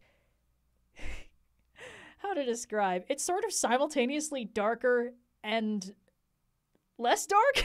um, they're dark in different ways. So like the cartoon was sort of like, what if we took Robin, who is allegedly Dick Grayson, and made him basically mini Batman? So he's kind of got the personality that like Damian got later on, uh, of like. I'm like very serious and badass and and like super stubborn and stuff, but also I'm like a kid, you know. Um, which is not the personality Dick Grayson ever has in the comics. I mean, he sometimes does, but it's never like good. so, uh, he tends to be more of kind of like an even keeled paragon leader in the comics, and everyone else is where they hide the angst. Mostly like Raven and like Kid Flash have like an on again, off again relationship that never works out kind of situation. It's it's a whole thing. Um, but so basically, the cartoon version is unrecognizable from the comic version, but I like them both because my brain doesn't register that they're trying to be the same thing. Uh, and uh, I, I say this is funny because uh, this is the problem my dad had with the cartoon because he grew up reading a lot of those like classic Teen Titans comics and he really liked them. And then they're like, we're doing a cartoon version. And he's like, great. And then he watches it and he's like, oh no. so for me, I was like, I like both of these things, but I wasn't expecting this to be this thing that I liked. Uh, so it worked out for me fine. Um, and I was kind of pleasantly surprised by how they handled some of the really big, intense arcs from the comics. Uh, you know, like whoever made the cartoon definitely liked the comics a lot because they did a lot of like like niche stuff. And it's clear that every time they got another season, they were like, oh, we get to do another one of the iconic arcs. So it's like, okay, first, we're going to just kind of have Slade be like evil. We're getting like one season, it's whatever. And then after that, it's like, oh, shoot, okay, uh, let's do the Judas contract. Woo, let's make Tara more sympathetic than she is in the comics because that's, boy, that's not hard. The bar is really low. Um, and then like, oh, we're going to we, we got a third season. Let's I think that one was Bl- Brother Blood, right? Which is a weird one to adapt. He he doesn't kid friendlyify easily. And then it's like, "Oh, we got the fourth season. Perfect. We can do Terror of Trigon and call it a day." And then afterwards it's like, "Oh, we got a fifth season? I guess we can do Titans East or something," which is fine, you know. That that show I didn't mind that it got a final season cuz that like wasn't really as good as the rest because it's like it wasn't terrible, didn't break anything I liked, you know, whatever. Um. Anyway, uh, yeah. So I I gotta try rewatching that show honestly because I do remember really liking it the first like couple times I got through it, and of course it is a great example. I use it all the time in various trope talks. I uh, I had a moment. I, am filling out the details for a, an upcoming trope talk. No spoilers, but uh, I was like, oh, I need a I need a good example of like how it's so much more impactful when like a character sort of knows they're doomed and like sees it coming but can't really do anything to stop it because of like a prophecy. And i just for like three days i was like i just don't know what to do. And i was like raven and the terror of trigon what am i fucking doing? Just edited that in and everything was fine. Anyway uh oop let's see uh Sorry, comment from uh, our bud Ludo History, by the way. Welcome to the chat. Sorry I didn't say hi earlier. Uh, see, you just hit on my problem with most film adaptations of comics. Why do so many just try and tell the comics, but in movie form? TV is better at this because serialization. That is absolutely true. I've talked about this before. Again, I feel bad that Indigo's not on this call uh, because it is not a call. Um, but basically, serialized media can translate into other serialized media without too much difficulty. So, like, a manga can be translated into an anime without too much complexities. Uh, a comic can be translated into a show. But if you try and translate a comic into a movie, they are very different shapes. Uh, you need to do a lot of work to make one fit into the other. Um, and sometimes there is like a, a nugget at the heart of the comic arc that you can make into the plot of a movie. But sometimes there isn't. And the main difficulty is that movies are sort of designed to stand alone. Like by their nature, you walk in, you know, the lights dim, you have your snacks, you're in your own little world with the movie until it's over. And you know, sometimes you'll like you'll like walk out of the theater and feel like a completely different person. Because it's got a beginning and an end, and in the middle is where all the good stuff happens.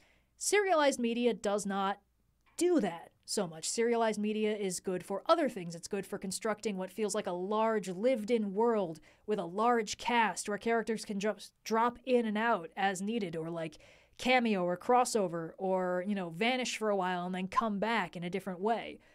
You don't have that kind of time frame when you're dealing with a movie, and you don't have that kind of open ending. Um, so the fact that we have movies that are essentially trying to serialize is kind of showing the cracks in this fundamental translation where you can make movies that are sequels to each other, but they kind of still need to have a beginning, middle, and end. Um, you know, even you know, if we look at like the the original Star Wars trilogy, like the first one works as a standalone. Like, sure, they didn't defeat the entire empire, but like they could have. They blew up the big thing. Maybe the Emperor was on it. We don't know. It would have been fine. Um, and the second movie has a beginning, middle, and end. And the end is still kind of open ended. It's a little bittersweet. It's a little bit weird. Oh, we kind of just got our asses kicked and our friend's been captured. What are we going to do?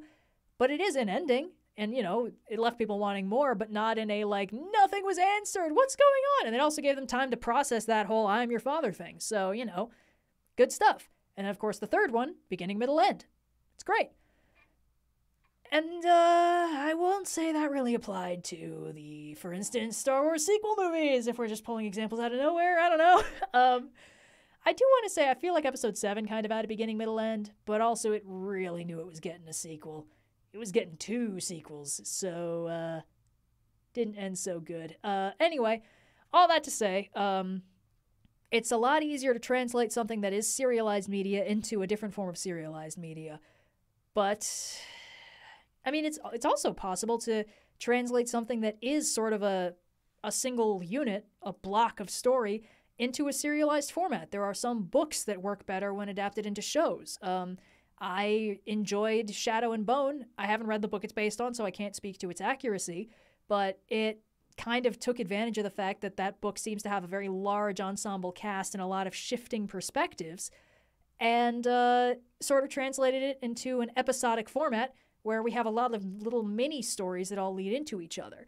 Uh, and you know, you like you can translate a book into a movie, not necessarily well, but like it's an easier hoist than translating an entire like like multi-year comic run into a movie, for instance. Uh, oh, uh, and um, the person in chat bringing up the Batman Beyond movie that really only works if you are familiar with Batman Beyond. Uh, because it's a tie-in movie, and uh, tie-in movies to series are often in this odd, unique space where, like, sometimes they're basically just feature-length episodes of the show, you know, uh, and I think those tend to be the best uh, that tie-in movies can be because they don't feel like they're story breaking. Um, this leads to, I think, actually, possibly one of my hottest take opinions, which is that I think sometimes non canon filler anime movies are more fun than the actual show. I mean, here's what you all need to understand, okay? The first anime that I ever seriously watched was Inuyasha. It was the it was the first one I saw, and it very much warped my perspective on what was normal for anime.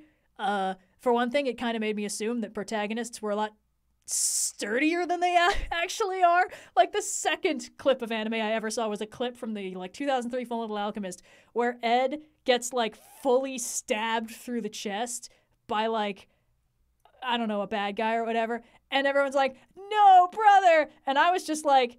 That happens to Inuyasha every three episodes. Why is everyone freaking out? And then I was like, oh, right. He's like super tough. He's like Wolverine. Okay, my bad. Sorry. Uh, take it from the top, everybody. Oh, no, he's stabbed. Um, but the thing about that is that there are four tie in Inuyasha movies, and I like every single one of them. I'm not going to claim they're good, but they do feel like feature length episodes of the show.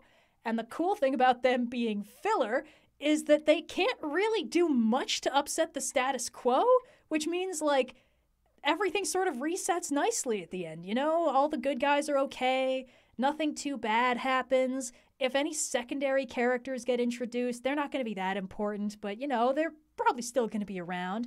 Um, I don't even remember them that much. I just remember really liking them, especially the third one. Uh, I think the other thing is that every movie basically just like palette swaps a bad guy from the show and is like, it's my new original character, do not steal. So in the first one, it's like the bad guys are a bunch of moth demons, and there's like a moth demon in the show. He's like a filler bad guy, and now it's like there's more of them. And also we we cloned Kikyo again. She's evil now, which is something that I think they do that in like every movie. I don't know, man. It's weird. Uh what the fuck's the second one? I think that's the one where Princess Kaguya is the main villain, which was kind of wild actually. Uh cuz it's just like accurate sort of to the myth. I mean, she's evil, but then it's revealed that she's like actually a demon that ate Princess Kaguya and assumed her form, which is like, heck yeah, get it, girl. Um, but yeah, there's just uh, from what I recall in the actual myth, there's like the bit where she's like, retrieve me like the robe of the fire rat, which is just like canonically what Inuyasha wears. So like literally the inciting incident of the movie is that like a couple bad guys like mug him and steal his sleeve and he's like what the fuck is happening? And I didn't understand the mythology like context at the time. I was just like, wow, that's wild. And then I read through it and I was like, huh, it's just literally the thing. Okay, cool. Um, and the third one's great. It's got an evil sword, really fucked up. It's like classic superpowered evil side stuff, but with all that good, I know you're in there somewhere. Fight Contact, I love. Um, anyway, I'm not trying to sell you guys on these movies. I don't think they're probably actually good, but I had a great time watching them. At the same time, I had a great time watching the show. And this did not happen with almost every other tie in anime filler movie I've ever watched. In fact, they are notoriously terrible uh, and generally quite bad, even if the original show is good. So, like, there's a Full Metal Alchemist Brotherhood tie in movie, Conqueror Shamballa or whatever. I think that's right. Or was that the was that the original tie? Whatever. There's a Full Metal Alchemist Brotherhood tie-in movie that's really bad, and it's like surprising how bad it is considering how good Brotherhood is. Uh, and that was kind of when I was like, oh, it really doesn't matter if the original's good. A lot of these movies are hot garbage. That's weird. Um, but then like there's a there's a Cowboy Bebop tie-in movie, which I think might have actually been like what I saw before I saw the show. And I'll be honest, I was one of those people who didn't really get Cowboy Bebop. Like I I watched the whole thing. I think I technically watched the whole thing twice, and at no point did I ever understand what I was supposed to like about it. Uh, the voice acting was surprisingly good for such an early dub. Uh, and some of the fight choreography was good, and that's all I got, man. That's all I got out of it. Uh, but the movie had to have like a three act structure and like a beginning, middle, end, and a solid bad guy. So I liked it more. anyway, was it Sacred Star of Milos? I think Conqueror Shamballa is the 2003 one, which also wasn't great. But uh, yeah, the Sacred Star of Milos one, I think, is the one. And it's like the Brotherhood tie in movie, like breaks the laws of alchemy in the universe like they're normally so good about that, but then they're like, oh, this character is going to actually successfully pull off human transmutation. and it's like, hold the fucking up a second, please. Did we just contradict the entire premise of the entire show? for this new character in the movie? What? I think there are also werewolves. I don't even remember at this point. It wasn't good though. um, and they introduced like a 3D alchemy circle, which is a kind of a cool concept, but they like power it by this one dead lady's blood and like the circle is like the size of a city and it's just one dead lady and I was like, I don't think she has that much blood in her, man. I don't I don't know what to tell you. It was just wild. Uh but all that means is that anime tie-in filler movies don't have to be good, and that's not a take. But the fact that they can be good, that's a take. And I think the spiciest take I can provide is not the Inuyasha example, because as mentioned, I like the actual show. So it's not weird to me that I would enjoy a full-length version of an episode of the show. I like the Bleach tie in movie, and I don't like Bleach. I liked the show that Bleach said it was gonna be in the first season, and then it wasn't that show. I tried, I really did, but I caught myself doing mental math to figure out how many more episodes I would have to slog through before they actually beat the bad guy and got back to the plot, and that was when I stopped watching the show. But there's a movie, and the good thing about the tie in filler anime movie is because it's only a movie, it has to have pacing.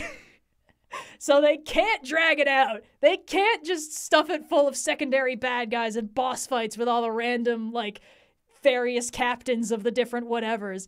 And, like, I thought it was cool. It was like a speed run of the first season again because the premise of the movie, I think it's called Memories of Nobody. Um, the premise of the movie is that like this bad guy like kidnaps Rukia and erases everyone's memories of her except for Ichigo. Uh, so nobody else in the Soul Society remembers that Rukia exists, and nobody in the Soul Society remembers that Ichigo exists because they like they only met him through her. Uh, so he basically speed runs the Soul Society rescue arc to go and save Rukia when like he has to fight his way through all these guys who he's been on the same side as for like years at this point. But he's also like, I don't have time for this, man. I gotta go save Rukia. And they're like, Who's Rukia? Why would you say that name? And he's like, Okay, we got to bye. and just fucks off. And it's great.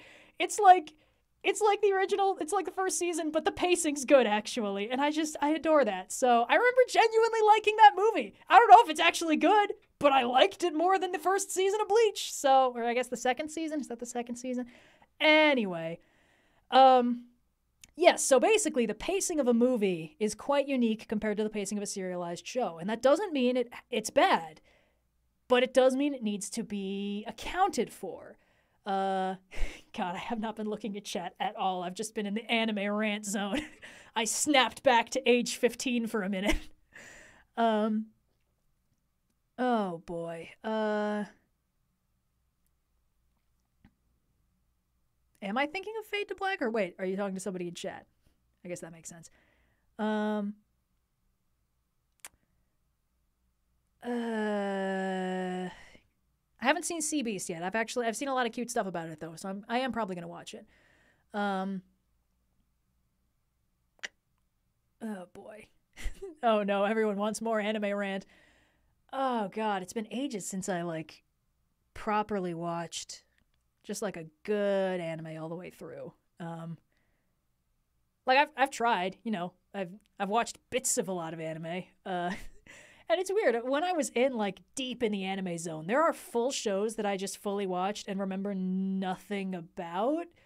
Uh, like I think at one point I watched all of Code Geass and all of Soul Eater, and I could barely tell you the names of the main characters let alone like the good moments or like the plot. Uh, I watched a bunch of Demon Slayer and then I read the entire rest of Demon Slayer and it was cool and we're good. And I was watching, I was keeping up with Hero Academia for a while and then I read ahead in the manga and then I sort of stopped and now I kind of know what's going on and I'm just sort of waiting for it to wrap up so I can get through the whole thing at a time. But like, it's not quite the same thing. It's just like really get. Oh yeah, Yu Yu Hakusho. That that's definitely that's an anime I could rant about. Uh, because like, I do like it, but it's almost in the same category as Bleach for me, where it's like the reason I liked it was the thing it promised to be in the first season, and then it kind of stopped being that, except in the filler arcs. Um, it uh, it had a really good like sort of ensemble cast dynamic, and it had a very fun like four man band and all that stuff. And it also has a couple tie in movies. But the weird thing about the tie in movie is that the voice cast is completely different. Like a different dubbing company got the rights for it, so it's a completely different dub cast than the entire rest of the show, and it's so disorienting. um, oh boy. Uh, let's see. Yeah, I don't know. Uh, I mean, also like the other thing is, I feel like probably the pacing on Yu Yu Hakusho would be better reading the manga because some of it is like, did this have to be an entire episode? I feel like nothing happened, or like something happens every like three episodes, in the dark tournament arc, like early on, the pacing is incredibly brisk. It's like, okay, our main character's dead. He's got to redeem himself, so he comes back. Let's go, let's go, let's go. He's got to work through these new guys that are going to be his best friends. Then he's got to fight his way through this castle full of bad guys. Let's go. And then after that, it's like, uh, I mean, we got like 50 guys for you to fight, but we also got like 150 episodes to fill. So, like, you can, I don't know, let's like hang out in the hotel for this episode or I don't know, fucking work on like an ultimate attack or something, or like hang out with your mentor. I guess that would be cool. Um, and uh, it's good. I mean, it it's got a lot of good moments in it, but pacing wise, it's a little bit inexcusable. And I feel bad for the poor kids that like had to watch it like one episode a week, where it's like you're just hoping this is an episode where somebody throws a punch. I mean you know, it's, it's like watching the original Dragon Ball dub, the original Frieza fight, where it's like, all right, the mangaka hasn't published to the next chapter yet, so it looks like we're going to be staring at each other for another five minutes. it's just like, all right, you tell it, buddy. Um, sorry. The fucking, I, all right. I think everyone needs to be aware of the comment from Yo Yo Man 565 saying, Yeah, Kuwabara's got to fight this guy with yo yos for two episodes and not even one. First of all, I love that your username is Yo Yo Man 565 to point out the fucking yo yo thing. Second, I remember that fight and it still pisses me off. Oh, why do I like this show? anyway, um, I did, okay, I did read through all of Berserk, I think.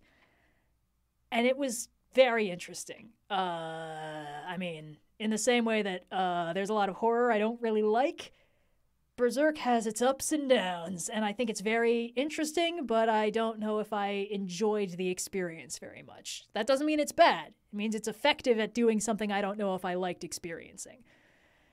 Um. Oh boy, let's see. Uh. Oh yes, Daniel Greene is doing a video series uh, reviewing Berserk. I haven't watched it because I've already read Berserk, but uh, Daniel Greene is cool, so check those out. Um,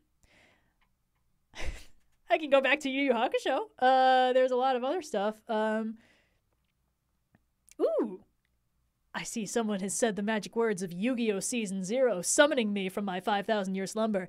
Um, so the thing about Yu-Gi-Oh is I sort of realized like 5 years down the line that I'm just not the target audience for Yu-Gi-Oh because I'm one of those people who think it would have been better if it wasn't about card games.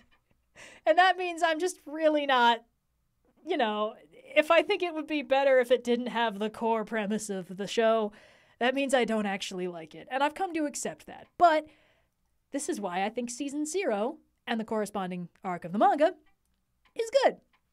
Now, for those of you who haven't heard the the sordid tale, uh, when Yu-Gi-Oh started out, it was sort of a game of the week horror manga. Uh, like genuinely, it was a horror story. Uh, the main character, Yugimoto, was very, very meek and kind of soft and and easily bullied and very lonely, except for his best friend Anzu, who would go to bat for him no matter what. But I guess she didn't count. It's fine uh, and he reassembled an ancient Egyptian puzzle and made a wish on it for friends and was possessed by a spirit of darkness that would take him over and wreak vengeance on people that it considered to be evildoers. So that's good, but it did also get him friends, so I guess it counts. And like that's the premise of like the first couple volumes is this kid blacks out and when he wakes up his latest school bully is like in the hospital or permanently insane or maybe even dead and he's just like okay. Um, So that's wild. Uh, but also, uh, the creator of the manga just really liked designing games. Like he just designed a little like, hey, what if we like played this game or that game or whatever, and then like would design the corresponding like shadow game version where they play it like a saw trap. Uh, and uh, those chapters in the manga are one thing, and then there's chapters in uh, there are episodes of season zero, which was a an anime that was not related to the Duel Monsters anime that we all saw in like, you know, middle school or whatever. Uh, basically, it was a completely different anime with a completely different animation style done by a totally different studio, and it covered those chapters of the manga that never got turned into the Duel Monsters anime. Um, and it was pretty wild. It uh it still toned things down from the manga. Like in the manga it would be like oh, uh, you're going to lose this game, and then you are going to plummet 50 feet into this river. And then in the anime, they'd be like, it's okay. He only hallucinated he was being eaten by trash worms. Uh, he's actually just uh, permanently insane, I guess, or something like that. Uh, or like, there's, I think the most overt, like, we're going to tile this down so our protagonist didn't just murder someone in cold blood, is there's like, uh, quite good episode where like a bad guy like takes everybody hostage in this burger joint, including oh no, Anzu, she's been taken hostage. She was working at that burger joint. Uh, and uh, Yugi gets taken over by his dark side and uh, like challenges the guy to a game. And the game is we each pick a finger and then we try and kill the other person with that finger. Notably, the other guy has a gun and is like, okay, easy. Uh, but uh, then uh, Yugi is like, "Here, uh, I've given you some like like really intense vodka that you're pouring, and uh, here, uh, let me light your cigarette for you." And the finger he chooses to use is his thumb, and he like turns the lighter on and then drops it onto the guy's hand that wh- where he's pouring the vodka. So basically, if he like moves or fires the gun and like jolts the lighter off, he's just gonna fully set himself on fire. And then Yugi's like, "All right, we're leaving." And then the guy like does anyway or fires the gun and the spark from the gun sets him off? Or no i think what it might be is that he's genuinely like oh it's easy i'll just put this down and then i'll like take the lighter off and yugi's like haha penalty game time and the guy just catches fire. So and then they just fucking leave and they're like wow it's crazy how that guy just burned to death. And then in the anime they're like oh wow he's only imagining that he's on fire. That's much better. So you know it's better. He's not dead, I guess. So woo. Um. Anyway, it's absolutely wild and really dark. And then like the manga dials it down significantly later on, but not as much as the anime would make you think it did. Um. Like one thing that I I don't really approve of in the Duel Monsters anime is that uh they keep nerfing my boy Joey, my best boy Joey Wheeler, also known as Jonouchi Katsuya in the original.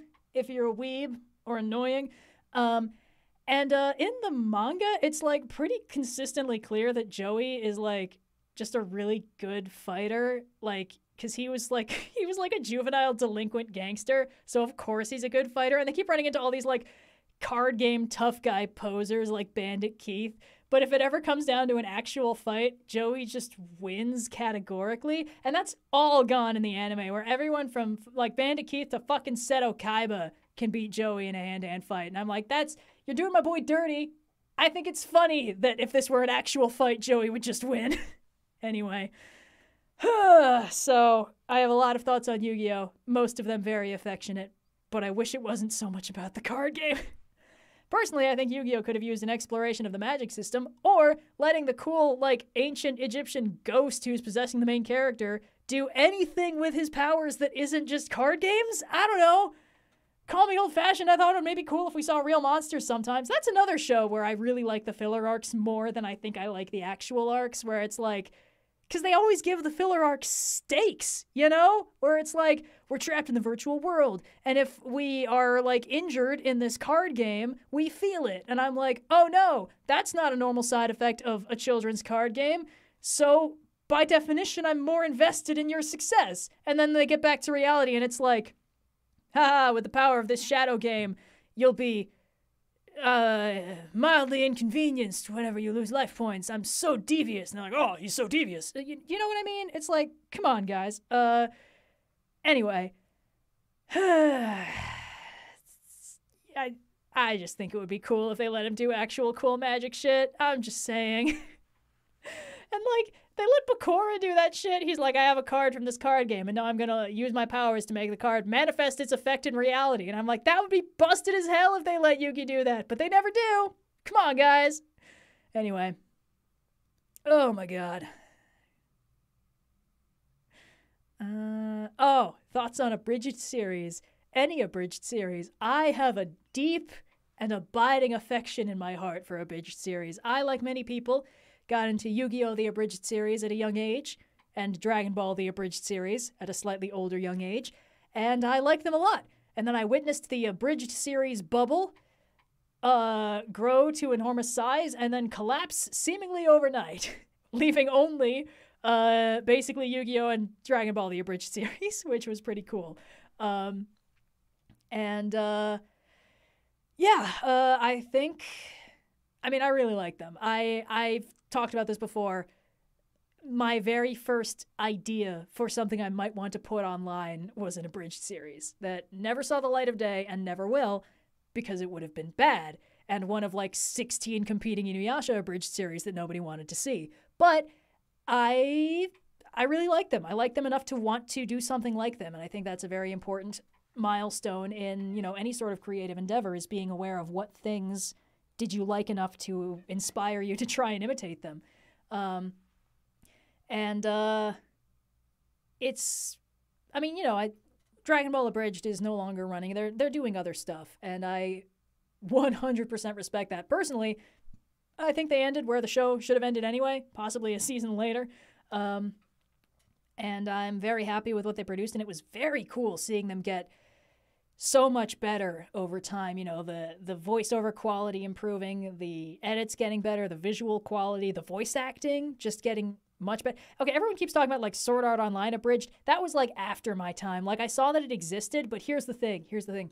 I don't like Sword Art Online. I don't care about it.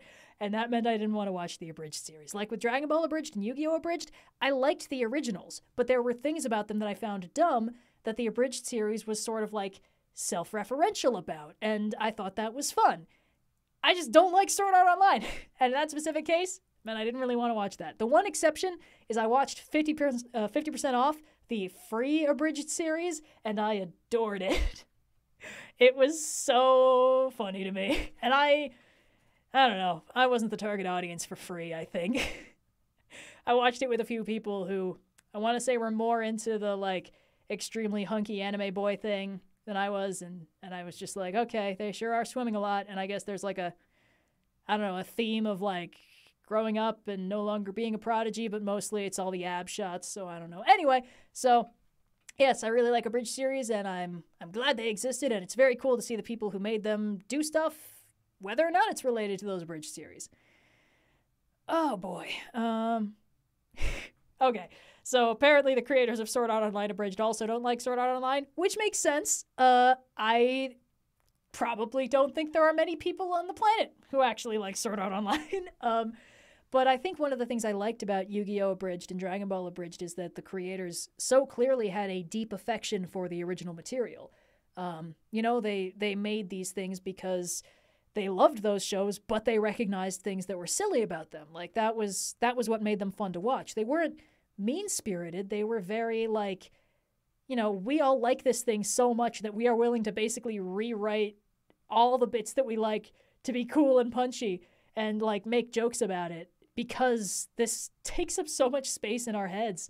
Um, but I also saw my share of like a bridge series that would like start and then like stop after a few episodes because it would just be like, hey, we have a bunch of jokes at the expense of this show, and once we run out of them, there's no more material. Um, which is why, like, you know, Yu Gi Oh! Bridge works because it's like, yes, we're playing a children's card game for the fate of the world. Haha. It is funny and it is kind of funny every time we do it, but there are other jokes, you know? There's other stuff that they can make fun of.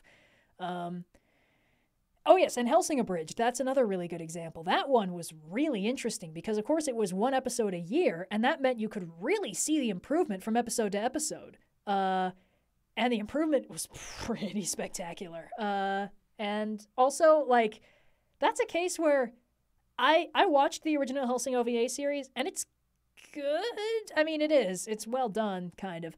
Uh, but it's a case where I I almost feel like the abridged series treats itself more like a second draft after the first couple episodes than it does like a parody. You know, it is a parody, but it also basically just retells the story in a funnier, less incredibly dark and unpleasant way that cuts out a few plot holes that didn't make much sense. Like I I know that, you know, the creators of a Abridged series do not like people to say, hey, this is better than the original, because it's like the abridged series would not exist without the original. It exists to sort of mirror and mock the original. It's like a court jester, you know, it wouldn't have any material if the king and queen weren't there. So I understand that, but I, I enjoyed the experience of watching through Hellsing Ultimate Abridged more than I enjoyed watching through the Hellsing Ultimate OVAs. Uh, so yeah, that's that's kind of I, I guess that's that's my thesis on Abridged series. I like them, but that's mostly because the good ones are the ones that survived. Um. Okay. Uh, let's see. Seven Deadly Sins. Um, I watched through a bunch of Seven Deadly Sins, and I I don't mean this in a mean way, but I sort of had this this epiphany while I was watching it. Around like the fifth time the main character like got cartoonishly pervy on the main lady's boobs and I was like, "Hey, I just realized I don't ever like it when a show does this, and if I don't like it, I don't need to keep watching." and I fully stopped watching. Um and I'll tell you the only other show that made me come to that exact same conclusion and it was High School of the Dead, which is notorious in anime watching circles for many things, but most notably that one scene that I think everyone has at this point seen Gift, where a bullet travels across a battlefield, leading to as many gratuitous boob jiggle physics and panty shots as it's possible for a single bullet trajectory to lead to. And here's the thing High School of the Dead is a zombie apocalypse. As mentioned, I hate zombie apocalypses, and the zombie apocalypse part of the story is played incredibly straight. It's deeply haunting and gross, very upsetting. Uh, and also, the camera will not stop zooming in up the skirts and on the chests of all the female protagonists. And I, like, I am so used to mentally blocking that stuff out that I was, like, doing it without even noticing, like, I was like, oh man, it's so horrifying how like their zombie gym teacher ate their friend's face or whatever. And then like the camera would be fully up someone's butt. And I'm like, all right, get out of the way. Where's the helicopter we're waiting for? Um, and I think around the time that I realized I was going to stop watching is when they're like, they've, they've managed to make it to the roof of the school and it looks like they're going to get out. They're like, like waiting for the rescue chopper and then they see the rescue chopper go down and explode and the camera is fully up one of the female leads' butts the entire time. And I was like, I am trying to focus on their deep seated grief and terror now that their one escape route has been cut off. Can you please stop showing me her underwear? and around that time, I was like, I think I'm good actually. And I just fully stopped watching. So, um, yeah, I guess Seven Deadly Sins was me developing higher standards for myself than that. anyway, um,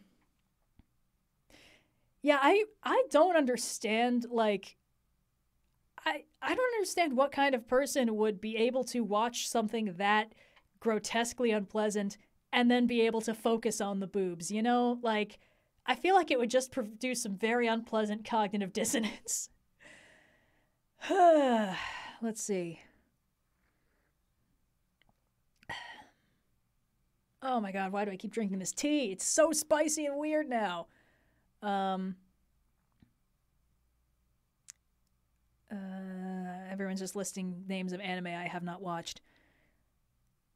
Uh, I have watched several of the Lupin the Third movies, and I really like them. But it's very funny how they're all clearly written by completely different people. Um, I uh, so the first one I watched was probably the last one I should have watched. Uh, Castle of Cagliostro, the one that was done by Studio Ghibli before it was Studio Ghibli. So it's got great animation, obviously, but it also apparently has a very weird tone by Lupin the Third standards in that it's a little more melancholy, and the main cast is a little bit more heroic than they are typically, and like they kind of don't do the the goofy gadgets stuff so much. Um, and I didn't really understand what people meant by that until I watched like literally any other Lupin the Third movie, and I was like, oh no, no, I get it. Okay. Um, so I think the the two others I'd seen was there's one where it's like the bad guy thing they're trying to stop is a full on Grey Goo scenario. It's like a nanite apocalypse, like legitimately, and they just play that part completely straight. So I don't know what was up with that. Um, and then the other one I watched is the recent one, the 3D animated one that's uh, basically just like Indiana Jones, the first one, but like it's Lupin the Third this time. And instead of the arc, it's like a black hole gun that shoots black holes. Um, but the movie's good, and I liked it. Uh, I feel like I've watched other movies with Lupin the Third, but you know they're all kind of they sort of blur together. They're all sort of wacky heists with you know a colorful cast of characters. Like they're all good, I think. But, you know, after a while it's like, all right, that's wacky. Um let's see. Any of the Godzilla movies? I hope you mean the live action ones. Uh, because yes, I've watched the original one, which is terrifying and heartbreaking, and I've watched several of the extremely campy sequels. where they were like, sure, Godzilla's an incredibly poignant exploration of the scars on our collective consciousness left by nuclear war and stuff like that. But you know it would be fun if we saw him drop kick a giant monkey. Woo! So I love those movies. They're all so stupid. I've been watching a lot more like Mystery Science Theater 3000 recently. Uh, and just watching them like watch Gamera movies is like, boy, this really is what Godzilla wrought, huh? This this is what we got. Fantastic. Um uh I did watch Madoka. Um I actually recently rewatched a little bit of it because I was using it as, an, uh, it as an example in a trope talk that I again will not spoil. Uh, but it's I mean it's good. It's sad. It's very sad. Um, but it's a very effective little mini series that like starts and ends exactly where it needs to. I know they've done more stuff with it since then. I haven't watched it and I don't feel the need to. So we're good. Whew. Gonna have more of my gross spicy tea. Ooh, is that a Columbo I see? Is that an excuse for me to talk more about more Columbo, my boy Columbo? What is there to say about Columbo that I haven't already said in the Detectives Trope Talk? I really like it. It's funny. um, I don't know. Columbo's very fun. Uh, I think at this point I've sort of rewatched it enough that I'm like, I get it. Um, you know, like it's got the problem of all mysteries where like once you've watched it like twice, once where you don't know the solution and once where you do, it's like all right, I'm good. So I need to like let it sit. I need to let it lie fallow for like a year or so before I rewatch it and I'm like, "Oh, that was good. I remember." Um but yeah, if you are a fan of like it's not really a procedural. It's kind of very much its own thing. Um I guess if you really like the part of the like murder mystery where the detective is like explaining how they found out how the bad guy did it and the bad guy has their third act breakdown and you wish that was basically the entire length of the show, then you should watch Columbo because it starts with us seeing the murder and then we sort of follow around in the murderer's back pocket as Columbo slowly but surely picks them apart cuz like one thing I like about it is that it's pretty clear that like Columbo figures out what actually happened almost immediately with like preternatural speed and cunning. But he never says anything unless he's absolutely certain he can prove it. So I don't know. It's a lot of fun. Like it, sometimes I watch procedurals and it stresses me out when someone's like throwing out accusations that I know they can't back up, and now they've like added a ticking clock or whatever. Um, but I like that in Columbo, it's just like he will only say like you know and then you killed him if he's about to prove exactly how he can prove it in a court of law. So, definitely recommend. Uh, it, it's described by the creators, person in chat is correct, as a how catch 'em rather than a who done it. Uh, because we see who did it and how they did it and how exactly they covered it up. And then we get to see Columbo like spot the one or two things they missed and then go from there. okay. Um, whew, what tea, what tea am I drinking? It's like this lemon ginger turmeric stuff. Uh, it's not great, but I have a full pot of it and it scours the back of the throat pretty good. So, you know, whatever. Oh man, uh, is anyone here keeping up on A Court of Fae and Flowers, uh, the currently running Dimension 20 like miniseries? I have never in my life cared about a Jane Austen period romance, but I am so invested in watching this Goblin Captain and this Mermaid person kiss. so definitely check it out. Uh, it's just, I mean, it's like they're hybridizing Jane Austen or they're hybridizing D and D Fifth Edition with like. a game system specifically for Jane Austen period dramas. And it's got these very funny little points of like, oh, those don't work together very well. So, like, uh, Emily Axford's character has the spell Gift of Gab that allows her to take back the last thing she said, which in a period drama game is the most busted ability you can possibly have. So, it's a lot of fun. Uh, and also, I think it's like a masterclass on character driven game running. Uh, so, like, episode three just came out, and I have no idea what Aabria Iyengar's initial plan for this episode was, because everything that happens in it is a consequence of just the character driven, like, beginning phase where they're all, like, writing letters and spreading rumors. So that's wild. And uh, I think, like, if you're interested in games that aren't kind of stock D&D, albeit this is still a D&D game, and if you're interested in DMing styles from different DMs, just for like research purposes, it's a very fun watch, but also it's just like a fun watch. So everyone should check it out. Uh, oh boy. uh, let's see.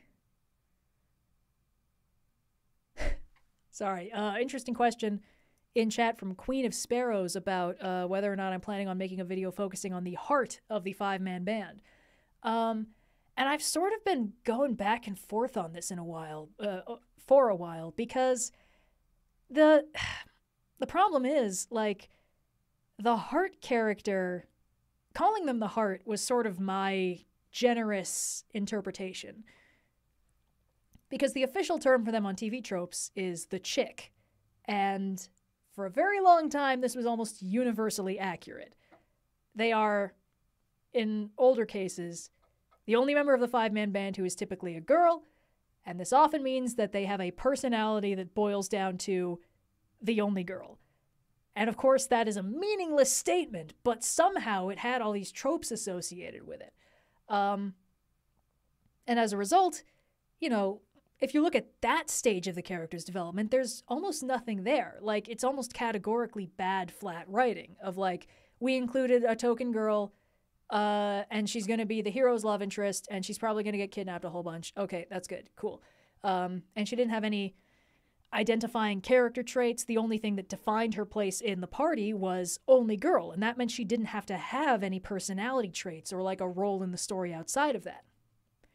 So, describing it as the heart instead, which is something that more recent stories have done in a bigger way and produced more interesting characters, sort of allows you to like narrow in on what actually defines the heart's role in the party. They tend to be the one who's like the most emotionally intelligent. They're the one who like mediates conflict between the other characters. The fact that these characters also are frequently the only girl can actually lead to some like unfortunate stereotypical overlaps of like oh, of course, the only girl has to also be the team mom to all these immature boys. And it's like, all right, whatever, man. You know, you could write literally anything else. Um, so essentially, this trope has something there, but it's new. It's like a little seedling growing out of the pile of shit that this trope used to be.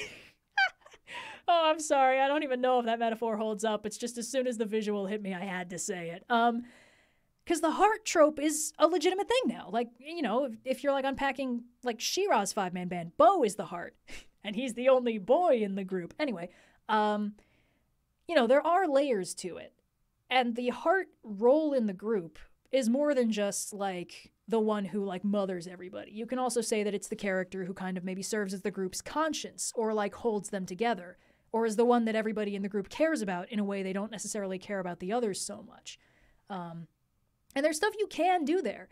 I'm just not sure if I can, in good conscience, make a trope talk about it that isn't mostly me saying, here's how this trope can work if you do it according to my 10 step program, you know, because I'm, I'm not trying to tell people the way they absolutely must write. You know, I, I'm trying to unpack ways that this character has been written.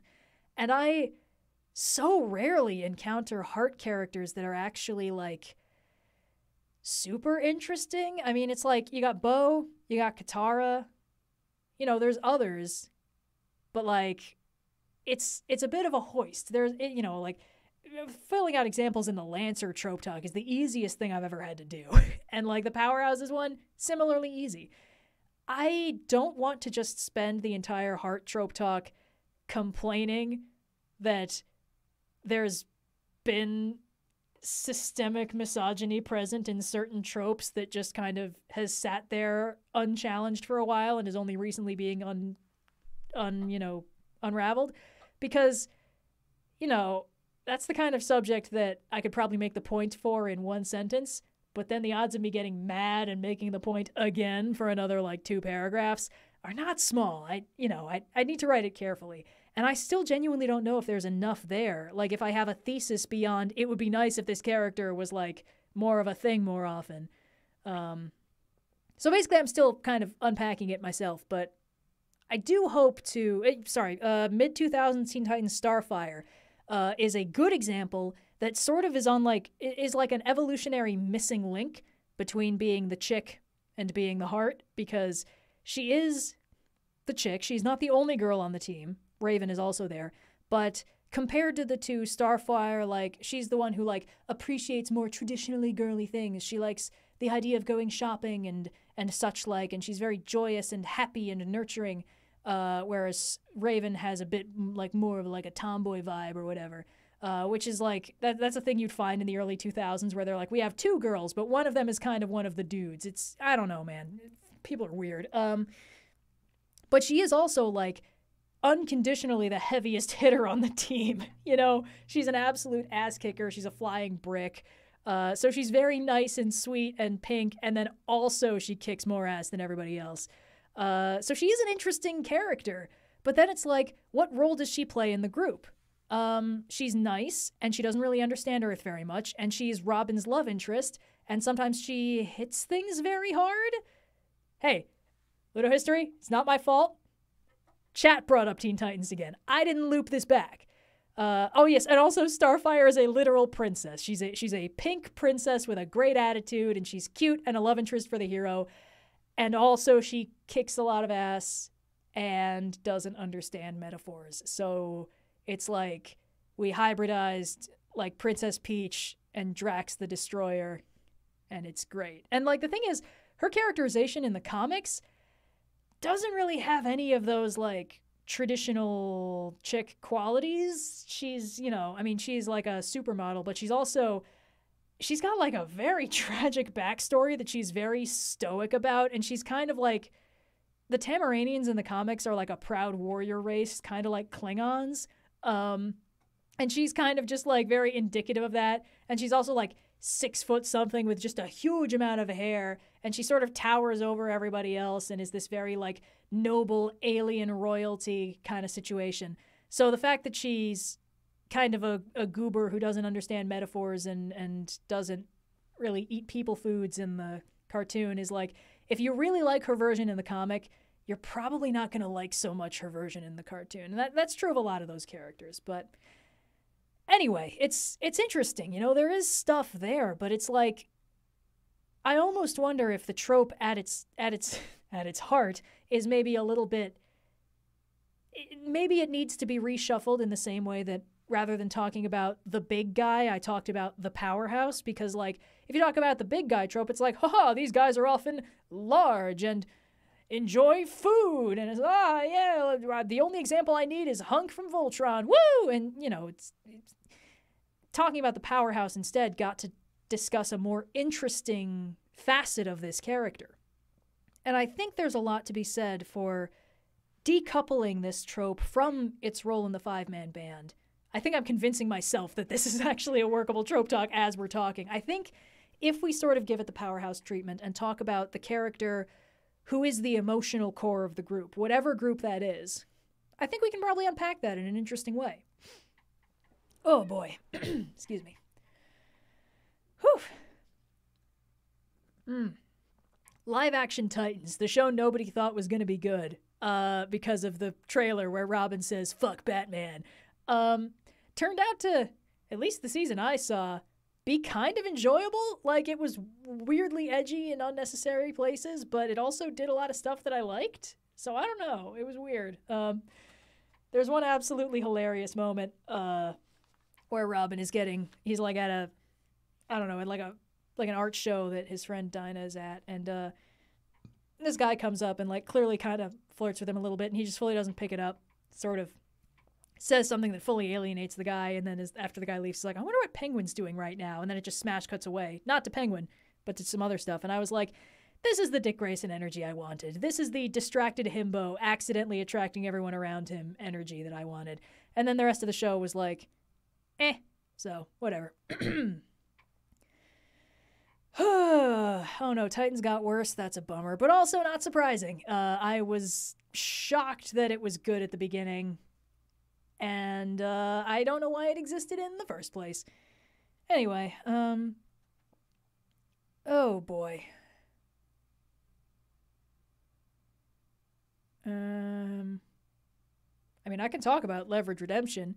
It's basically leverage, but more, and leverage is good, so it is also good. Uh, what I will say for Leverage Redemption is that when I watched through it, or at least the first season, I was like, heck yeah, that's as good as the original. And then I went back and I watched some bits of the original and I was like, ooh, it's actually kind of better than the original in places. So I, I think that's probably the highest praise I can give it. It felt so much like the original that I didn't notice the parts of it that were marked improvements. Uh, but there are marked technical improvements in parts of the characterization, some jokes that just like don't fly today that wouldn't get made.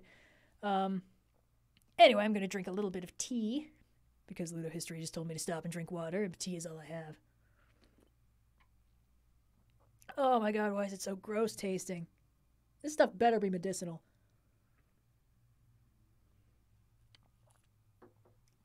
Ah, all right. Oh man, that's really bad. Uh, what's going on? Um, uh,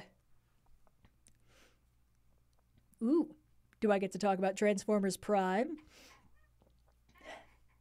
I do like Transformers Prime. Um, I was not like a big Transformers kid. Uh, okay, guys, look the the the tea that I have it's in one of those like it, it's loose leaf. It's in one of those loose leaf diffuser teapots. So it just keeps steeping, okay?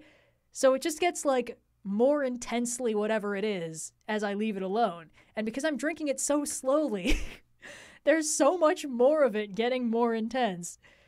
It's not my fault. That's what it's designed to do. The tea is working as it's supposed to. It's just bad. Anyway, Transformers Prime. I was never like a big Transformers kid. I definitely missed the boat on like G1 or whatever it's called. Uh, didn't read the comics. Uh, basically, did not watch any Transformers Prime until somebody on Twitter uh, recommended an episode. I think I did like an obvious.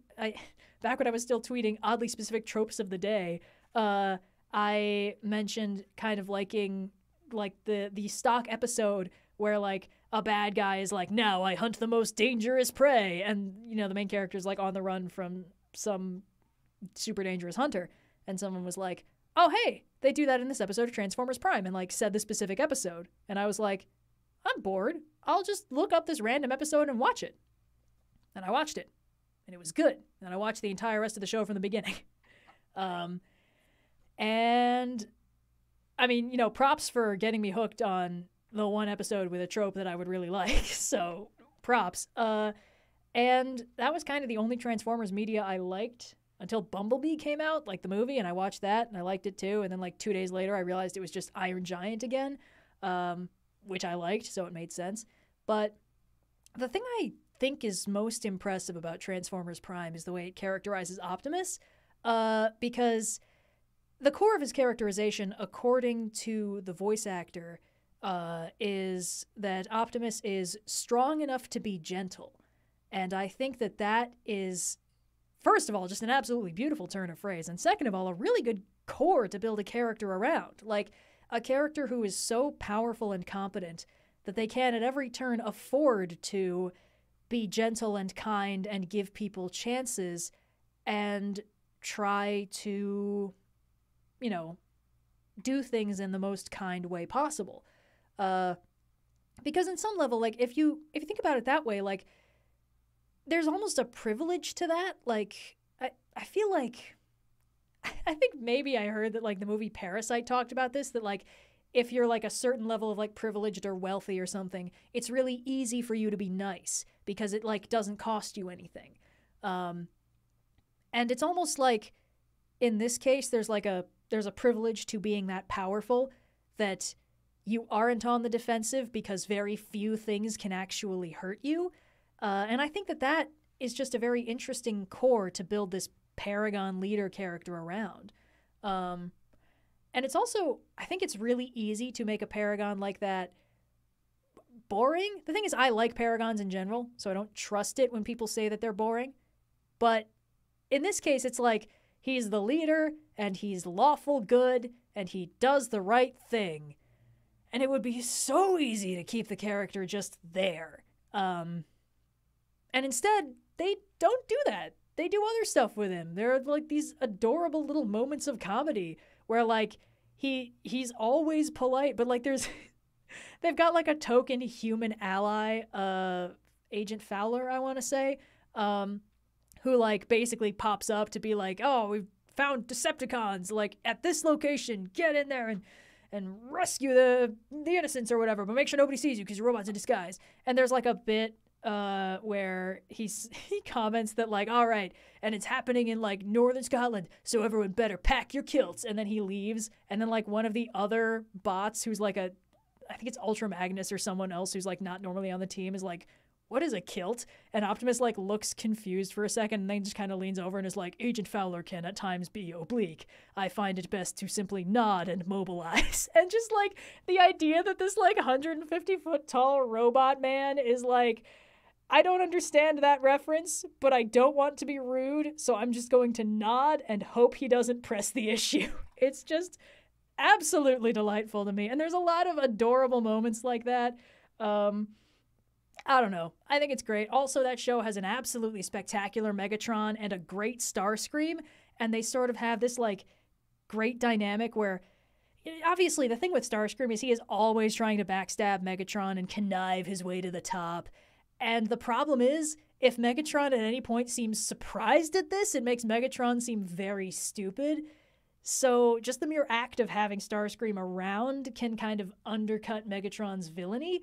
But in this case, it's like Megatron knows that Starscream is doing this and doesn't consider him a threat because he isn't. And like the few time, like the one time he actually goes far enough, the Megatron's like, okay, it's not funny anymore. He like kicks the shit out of him and fully throws him out of the Decepticons and like would have killed him if he hadn't turned into a jet and sped away.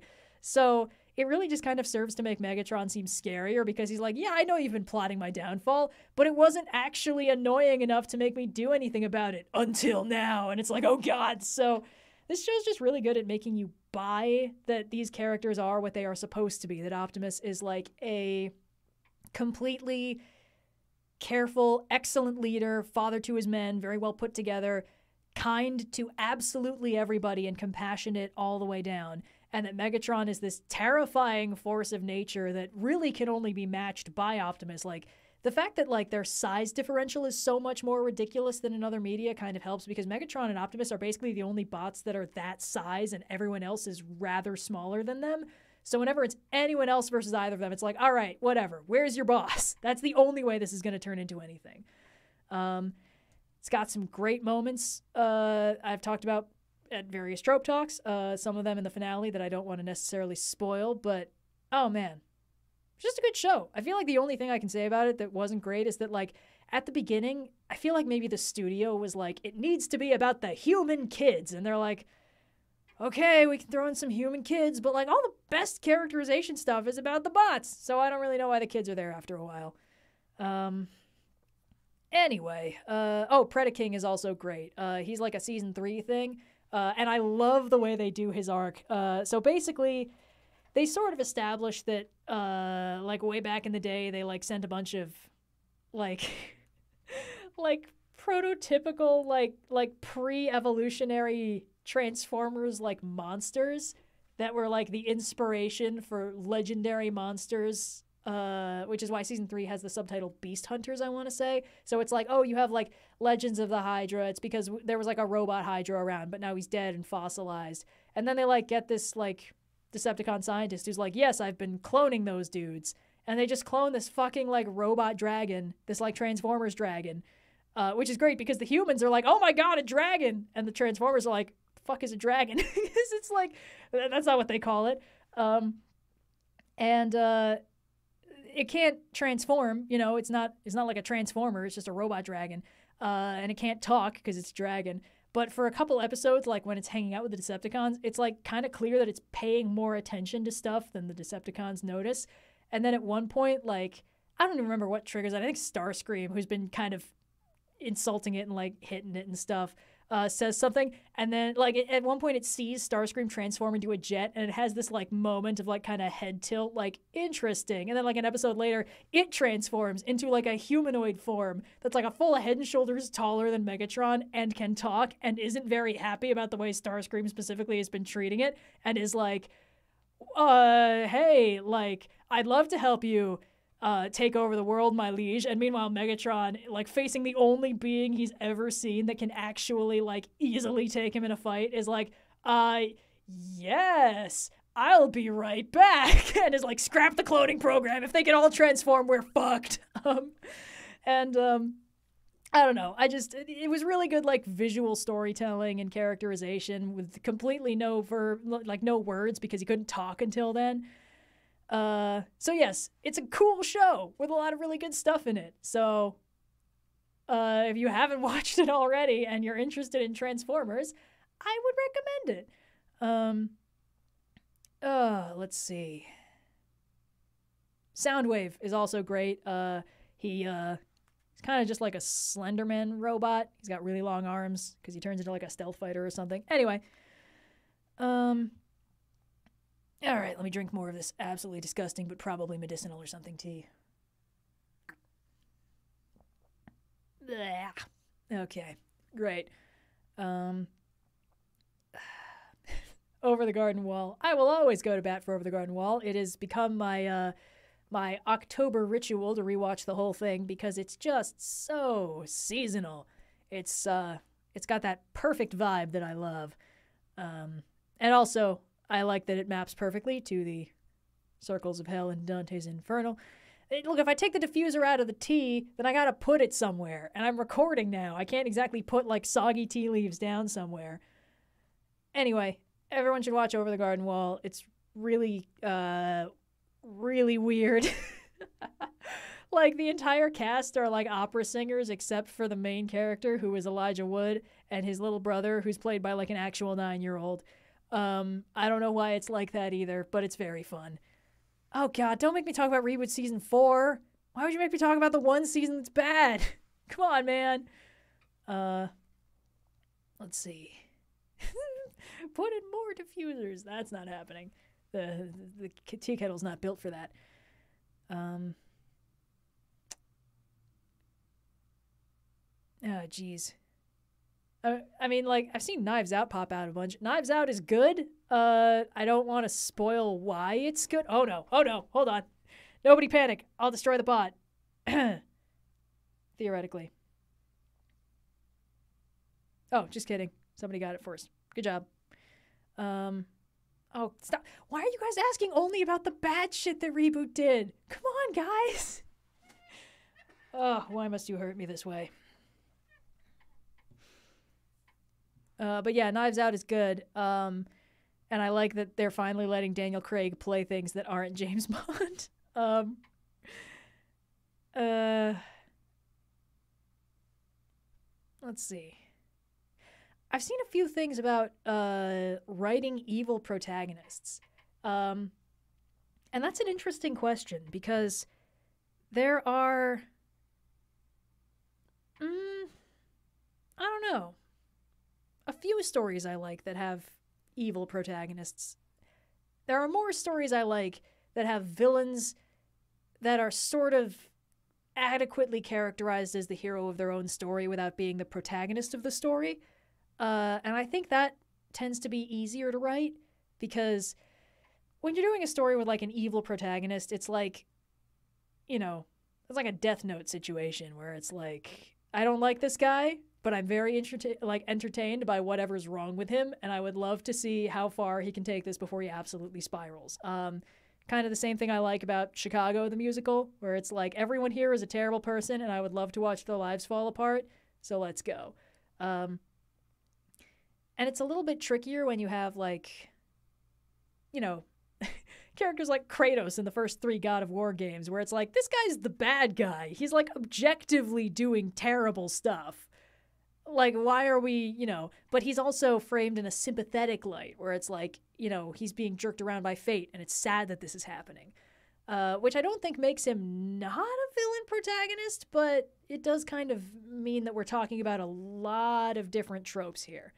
Uh, you know, a lot of stories with villain protagonists are stories where we're gonna watch them lose in the end. Uh, because honestly, stories with villain protagonists where they win in the end aren't generally very satisfying to watch. Like either they're not so villainous that like we're still kind of rooting for them to succeed, or you know they are villainous and they get everything they wanted, and then they're like, oh, but will I ever be truly happy on my throne of skulls? And it's like I don't fucking know. I guess we'll never know because in this story you won everything and you're fine.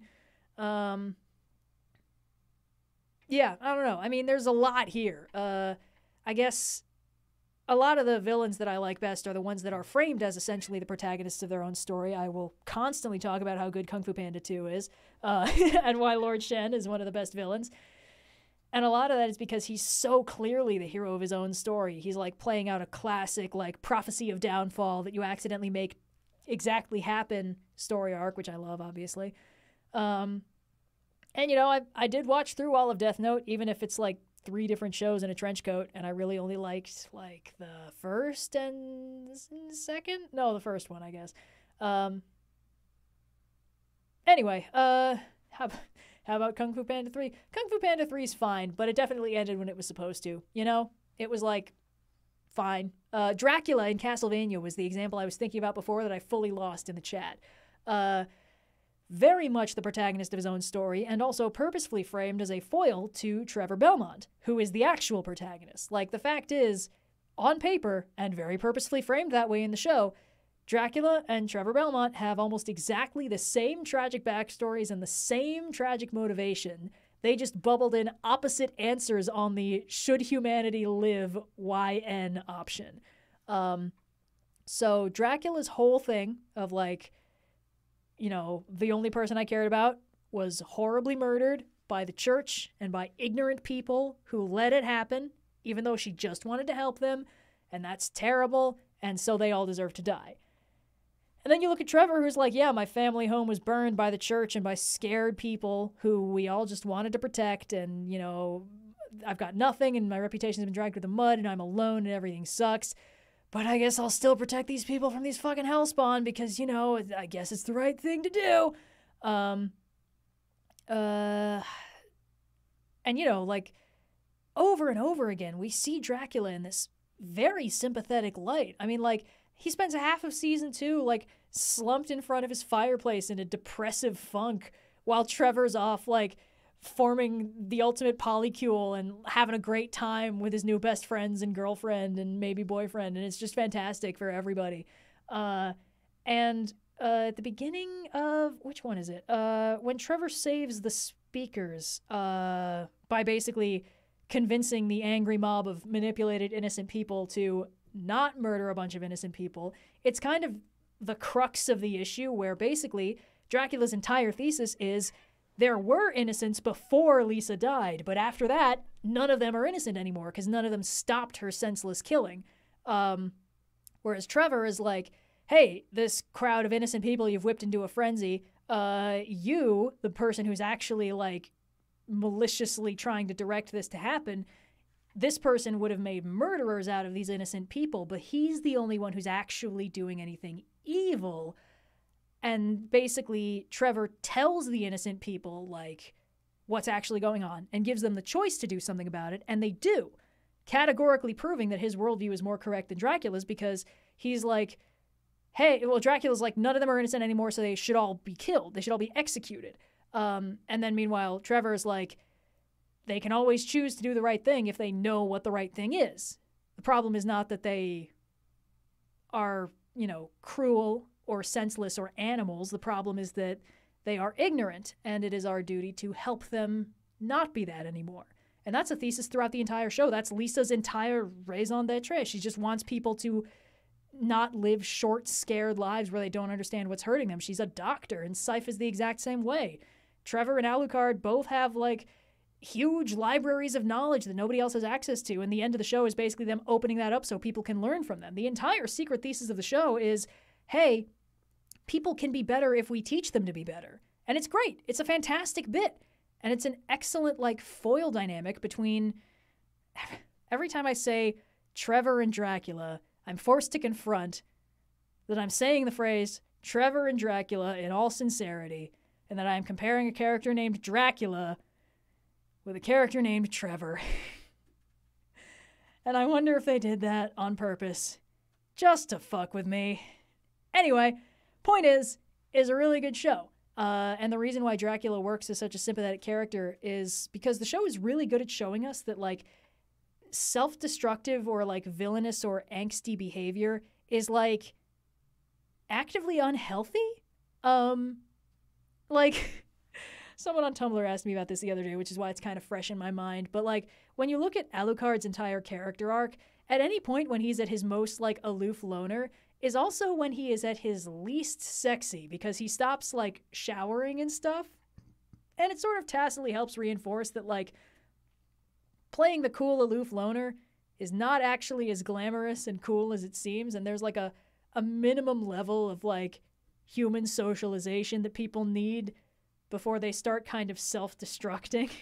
and I don't know. I, I think that the show takes such a candid approach to the mental health of so many characters that you wouldn't normally see that getting unpacked for. Like Dracula, who spends the entirety of season two in a depressive funk until Trevor shows up and he like reboots and is like, "Oh, I know how to handle this. Cool."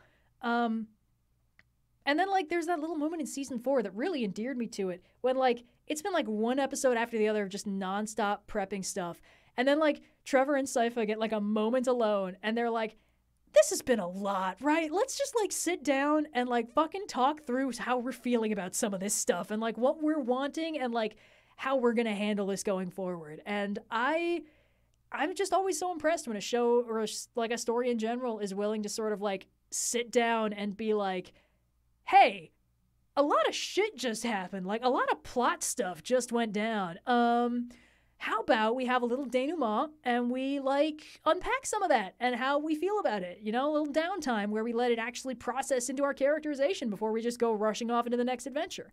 And um, it's so hard to do that it's so hard to pace that out because it's really scary to slow a story down and to focus entirely on the characters and to let the strength of the characters carry it. But when you pull it off, it's really good. And uh, Castlevania does that well. The show, anyway. Um, but yes, uh, Castlevania had no right being as good as it was, and every day I am thankful that it was that good. And I've been planning to do a full rewatch at some point when I really need to make video progress. Um, Oh boy, uh, what do I think of the recent seasons of Young Justice? Oh, buddy. I don't know if you, uh. Here's the thing I can't answer that specific question because I have not watched Young Justice since the very beginning of season three. And I'll tell you why, because uh, I've said this before at different occasions. I don't want to, like, retread exclusively old ground. Um, that was a very quick ban, by the way. Nice work. Uh,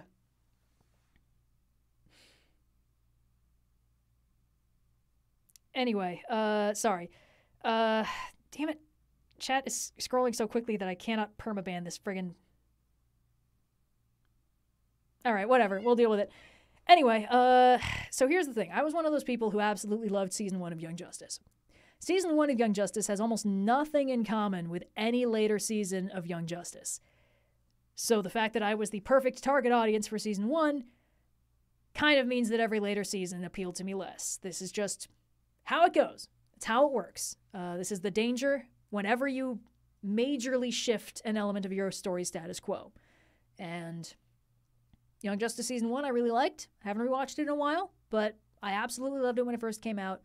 It was one of those shows where like I caught one episode randomly with no context, and it was the episode, what's it called? Uh, Homefront maybe, uh, where the like the cave gets invaded by like a like a brainwashed sort of like red tornado and siblings, and everyone except Robin and Artemis get captured, and it's just them doing like Die Hard in the cave and it's it's an episode where Artemis really comes into her own. I saw this with no context. I didn't know who any of these characters were, and I was so fascinated that I looked it up and I was like, "Oh my god, this show is so good!" Um, and then season two has a five-year time skip, breaks up basically every major character dynamic that they established in the first season.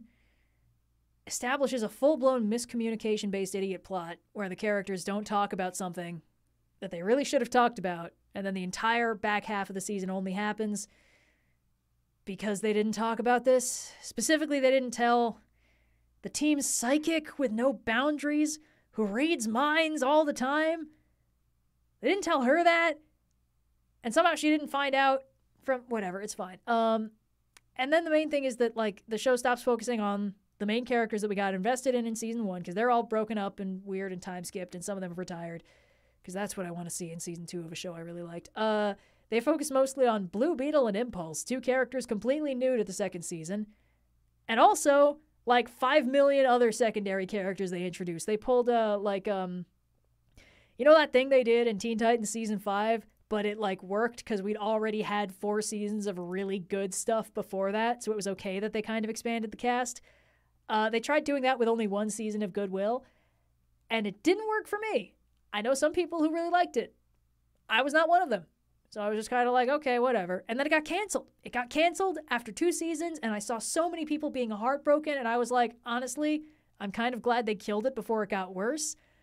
And then they resurrected it for season three, and it got worse. So, you know, whatever. Um, and I, I think, I think it was season three that came back, and everyone was so excited because it's like, oh, oh man, it's like it's on a different platform now. So uh, they can like do shit on there that they couldn't do when it was like on like serialized television, you know? Like they can they can swear and they can show blood and stuff. And I was like, I um did they want to do either of those things? Okay. And then I saw the first couple episodes and I was like, oh, they really, really wanted to do both of those things. They really wanted to swear and they really wanted to brutally murder people on screen. Cool. You know what? I didn't really want to see that, especially in the context of this fun kid superhero show, allegedly. So I think I'm good. And I just kind of checked out and stopped watching it. And uh, all I've seen is people who I'm pretty sure are just being tricked into continuing watching.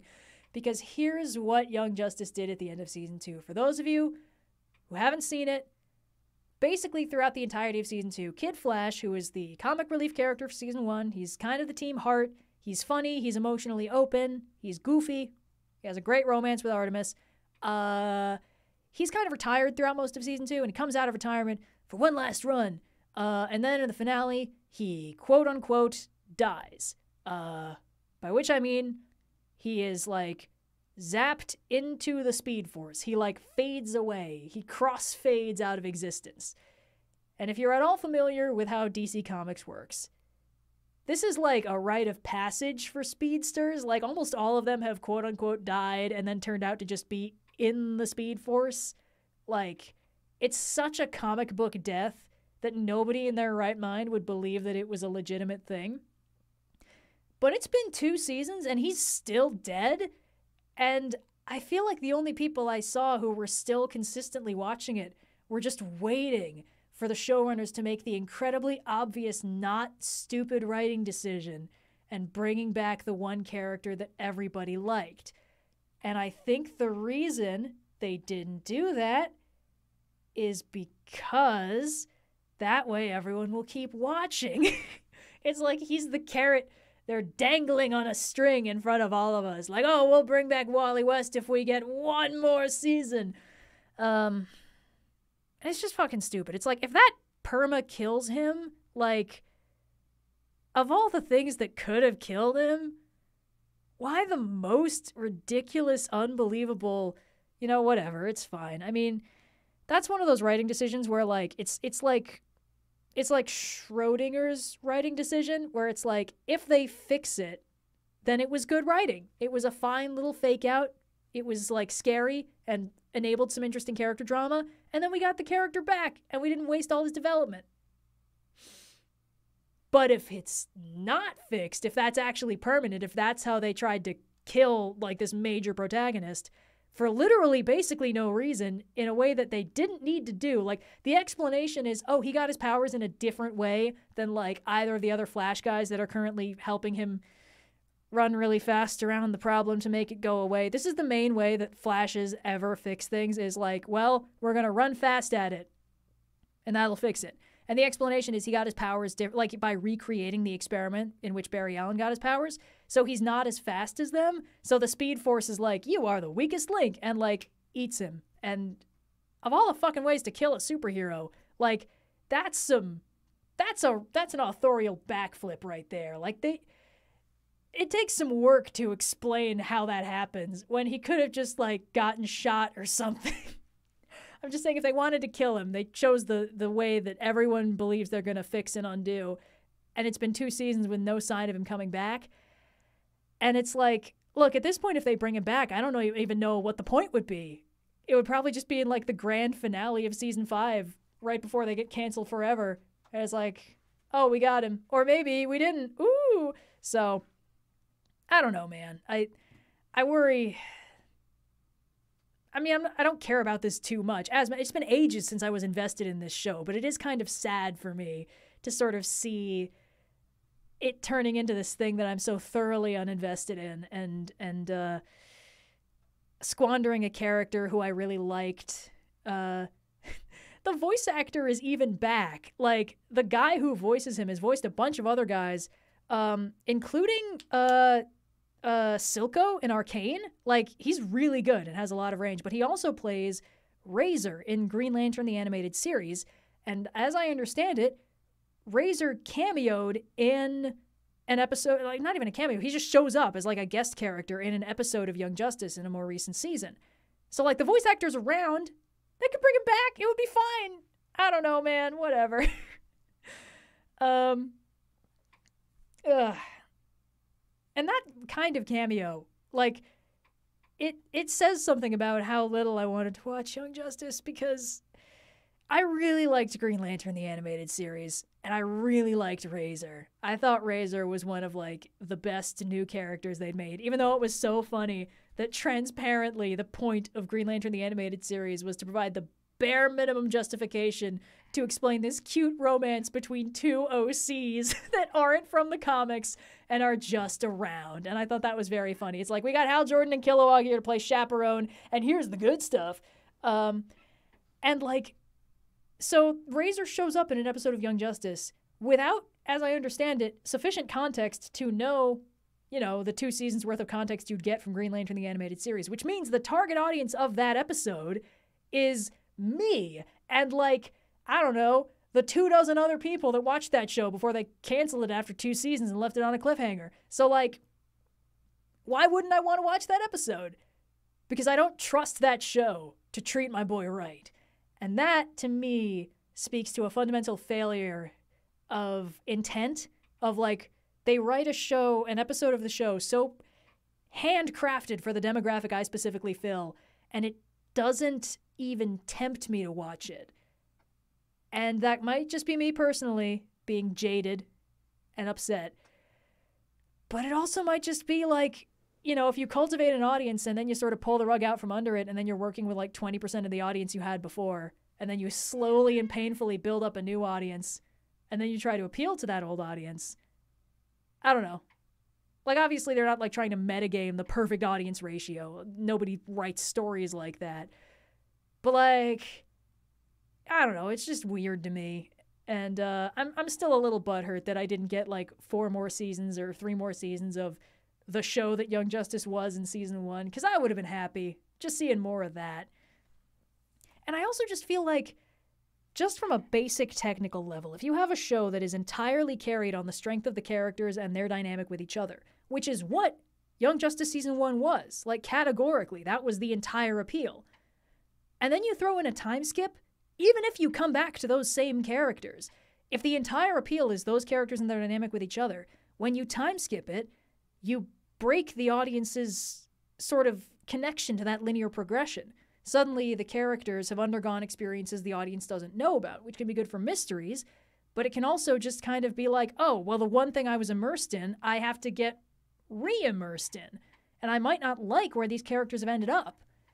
And that is a risk. That essentially risks, you know, carving a chunk off your audience every time. So, I don't know. I mean, I'm trying not to be too negative about stuff in general. But you did ask. You you pushed the button. And also, yes, as of today, I think they canceled Young Justice season five, which means Wally's dead forever. So, good work, team. Oh boy. Drink some more of this absolutely gross tea.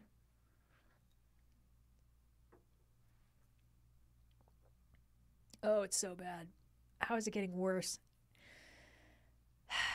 um, let's see. I haven't watched The Expanse. Sorry, I I've heard about it, but that's really all. Whew. Um. Hmm. I've also not seen Black Clover, and I barely know about it. Sorry. Why am I still drinking it? Because it's there, man. What else am I supposed to do with it? Uh, it's continuing to steep and cool. No, you don't understand. Like, the stuff in the pot is continuing to steep. The stuff in the cup is not connected to the, you know, the, the tea stuff and the strainer. So it shouldn't be getting worse. oh, boy. Um...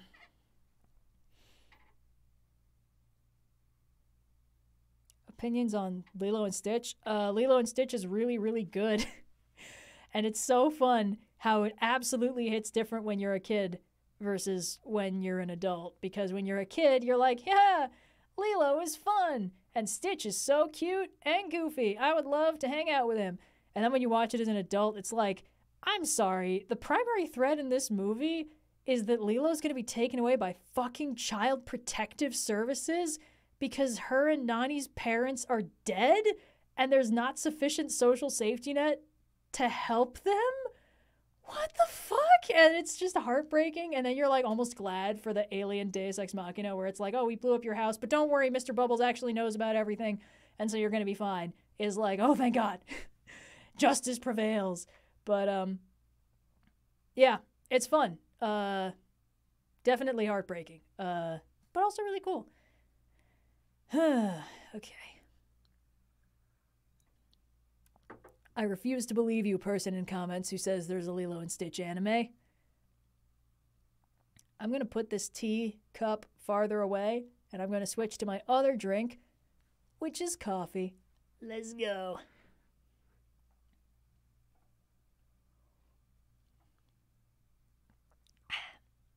Oh, yeah, that's a lot less gingery.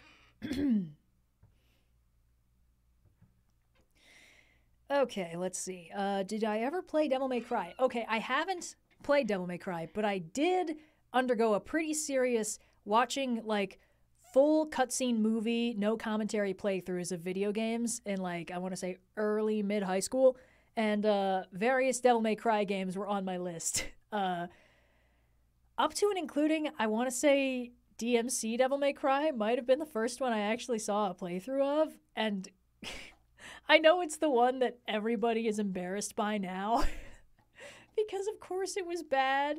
Um yeah, it's ginger tea. It's lemon, ginger and turmeric tea. So it looks like something that would come out of a, like a, an industrial waste pipe. Um and tastes I don't know like if you boiled potpourri, whatever. Anyway, Uh, so DMC Devil May Cry, which is the one where they make uh Dante like a a pouty high schooler, uh, you know, and then also completely changed their origins. Uh, I watched a full playthrough of that, and it was goofy and weird. Um, this was around the time when I was watching like cutscene movie playthroughs of all the Metal Gear games, so they all kind of blurred together in my head. Uh, don't think I actually liked any of them, but you know, it's whatever. uh, tasty as shit, but so strong. I will respectfully disagree with you on the first half of that assessment. It's um, I don't know. It's good for like sinus irrigation and uh, could probably do a number on certain vampires if you splashed it at them, but I would not uh, willingly drink more of this unless I really wasn't paying attention, which means the odds are good that I will before the end of this stream. Um, let's see. Uh, people have opinions on Devil May Cry that I don't know enough about Devil May Cry to have opinions on. Uh, let's see. Trope video on multiverses. Honestly, I might, but I might also get all that out of my system in a detailed diatribe on why I don't like multiverses and timeline resets. Kind of depends on which format I think will be able to do it justice better. Um, everyone's just sampling or giving me tea ideas. Uh, let's see. Let's get an update on that tea. Please hold while I pour myself another glass. Here we go. Oh, yeah, yellower than ever. Bad. Moving on. Uh, let's see. Portal and Portal 2 are good in very different ways. I actually really liked Portal 2 as like an expansion on Portal the first one. Um, because of course Portal was made from the cut corners of other games that Valve was making at the time. But then Portal was so big that like Portal 2 got an actual budget. And it was good. It was cool and I liked it. Uh,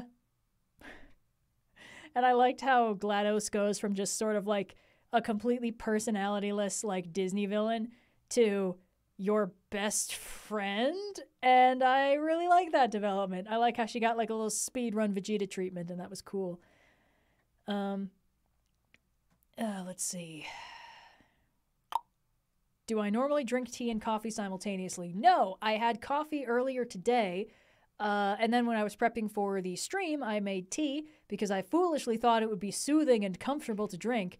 Uh, but I still had like half a mug of coffee sitting around because it's not as sweet as I normally make it. So like I don't mindlessly drink it. I like drink it and I'm like, oh, it's bitter, and then I put it away and then like forget about it for half an hour.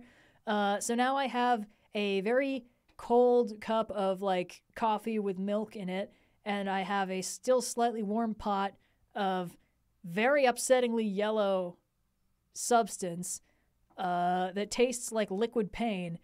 So, kind of a toss up which of those I'm going to be drinking at any given moment, honestly. Um, Tremors is a great movie. Is that you, Indigo, slipping in under another name? I've never seen Tremors. Is that is that the one where like the whole premise is basically, hey, what if like the Shai-Hulud from Dune were like a horror movie monster, or whatever? Is that is that the is that the vibe? I don't know why I'm asking like I know what this movie's about. Um, what if I mixed the tea and coffee? It would be the most revolting substance known to man. There's like milk in the coffee and like acidic substances in the tea. Okay, everybody knows what Tremors is. Fantastic. Uh is it Okay, everyone's saying it's fun or great. Does that mean it's good? Tremors is a comedy. Is it a comedy? I can't tell if they're fucking with me on this. Um, it has Kevin Bacon. Do you have the slightest idea how little that narrows it down? I'm not going to mix the drinks, and you all can't peer pressure me into this. It's not good, but it's incredibly fun. All right, that's that's pretty classic. I I want to. I haven't done a good bad movie night in a while. I've been sort of debating it. Oh wait, no. Uh, I rewatched Valerian and the City of a Thousand Planets the other day uh, for a guest podcast appearance that won't be out for like another month and a half. So I think it's okay if I if I talk about the movie. Um, that movie's bad. there we go. That's the that's the gist. No, I mean like I I was so disappointed by that movie. I wanted it to be good. I saw the trailer in theaters with my roommate and we were like, "Oh my god, like a like a sci-fi space opera with such stunning colorful visuals? Be still my heart. Could we finally be getting like a return to the sword and planet style of fantasy that we haven't seen since Star Wars spawned off a genre of its own?" And uh that's not what happened. Uh, what happened was the movie is really good until the main characters start talking. and that's a bad sign, isn't it? Uh, and it's it's so frustrating because the world is genuinely so fascinating and the first scene is incredibly good and the second scene is incredibly good. Like the first scene has no dialogue. It's only set to music and the music is ground control to Major Tom. And the scene is essentially a time lapse, like a montage of the formation of the Alpha Station, the eponymous city of 1,000 planets. Um, and it starts with like just two fairly contemporary Earth satellites, like a US one and a China one, linking up, and the astronauts float in from one to the other and they like hug each other. Link up more satellites, more satellites, alien first contact happens, links up the satellite. Over and over, we see humanity extending a hand, and the hand is clasped and shaken, and the satellite grows, and the, the cultures expand. And it's beautiful. And basically, the only dialogue we get is like a little narration from like a, a newscaster that's like, the Alpha Station's so huge, it's posing a threat to Earth. We're going to send it off into space. Bye. And then it goes into space, and everyone's cool with that. And then the second scene is like, it takes place on this like idyllic pearlescent abalone alien planet with big too good for this sinful world energy. Everyone is like constantly smiling beatifically and stretching and talking about their harmony with nature. You know how it is. You know this place is about to get burned to the ground and it's going to be super poignant. Um, and it does, obviously. My correctness need not go stated. But uh, it gets burned to the ground because these like burning chunks of a spaceship fall through the atmosphere. And it's clear that, like, at a scale these people can't even comprehend, a space battle is happening in orbit around their planet. Like, we have enough information to know, to guess what's going on. Um, and uh, the character we've nominally been following, this, like, princess, this beatifically smiling, happy pearl princess, uh, gets, like, stuck outside an accidentally sealed spaceship that the others take shelter in as a truly massive cruiser like crashes into the ocean and this shockwave of devastation ripples out from it. Uh, and she can't get in and her father can't open the door to let her in and she sort of accepts her fate like tearfully and like walks towards the explosion as we as we see her like her skin like blacken and then she explodes in this burst of light and then our main character wakes up and the movie starts sucking and it's like no those are great scenes. Those scenes are incredible. Those are like like like the, that's two award-winning sci-fi short films smacked together. And then suddenly the movie's bad. Like really bad. and I tried to figure out why it was so painful because those first two scenes are so good. Like how can somebody write uh, the, for those of you who just caught me mid rant, the movie I'm discussing is Valerian and the City of a Thousand Planets, a bad movie I recently rewatched. And ooh, baby, she no good at this point. Um, and I think part of what makes it terrible is the main two characters, uh, Valerian and Laureline, uh, their intro is like having to cram in so much information about them that their entire conversation is like camera A, camera B, like, as you know, Bob, like, we both know my military record is immaculate, nine years in the service. Also, the guy saying that, Valerian, is played by Dane DeHaan, who, despite being like 27 at the time, didn't really look like he was 27. So when he says like nine years of exemplary military service, I was like, in the fucking Boy Scouts? What are you talking about? Um, so that was kind of a problem.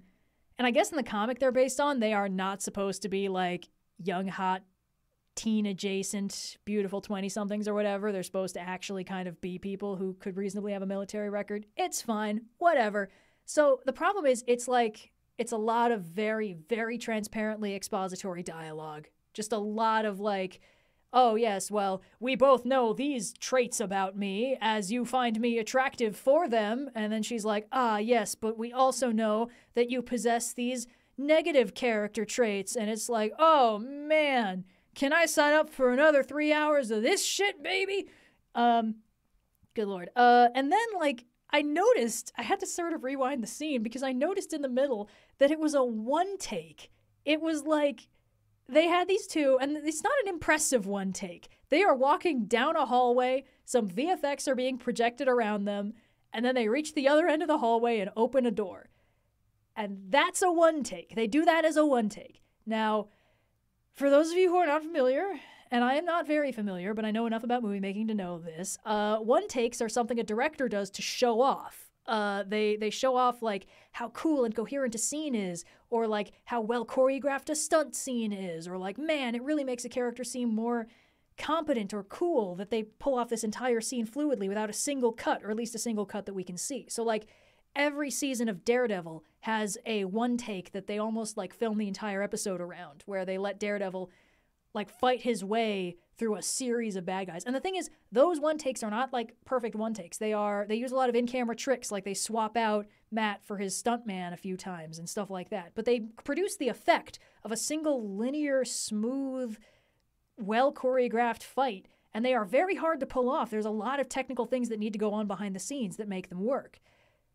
And they do that for the character's introduction in Valerian and the problem with the one takes is they are incredibly hard on the actors compared to almost any other kind of scene. Because the unit of like information an actor needs to memorize for any given scene is like their lines, the blocking, and then like between takes, it can be like, oh, refresh, you know, check out the script, or like the director might shuffle you over a little bit. You know, you have time to adjust. You can do another read, especially if it's like camera A, camera B stuff. It's like you can get like four or five different reads on a specific like sentence, and then they'll just cut in which one they like the best. But if the character is doing a one take, the actor needs to memorize and nail the entire blocking of what they're going to do, how they're going to move through the scene, and every line they are going to deliver. And that's harder. And if they don't have enough rehearsal or they aren't necessarily experienced enough, you can hear that they're focusing on hitting the right beats, that they're focusing on getting to the point in the blocking they need to get and getting the line out without stumbling. And that is to the detriment of their ability to actually perform as the character. And this is the intro of this character. Uh oh, stream lagging a little bit. You guys good? Hmm. Well, my Wi Fi's pretty solid, so there's not a whole lot I can do about that on my end. Uh, let me just make super sure nothing is wrong. Um,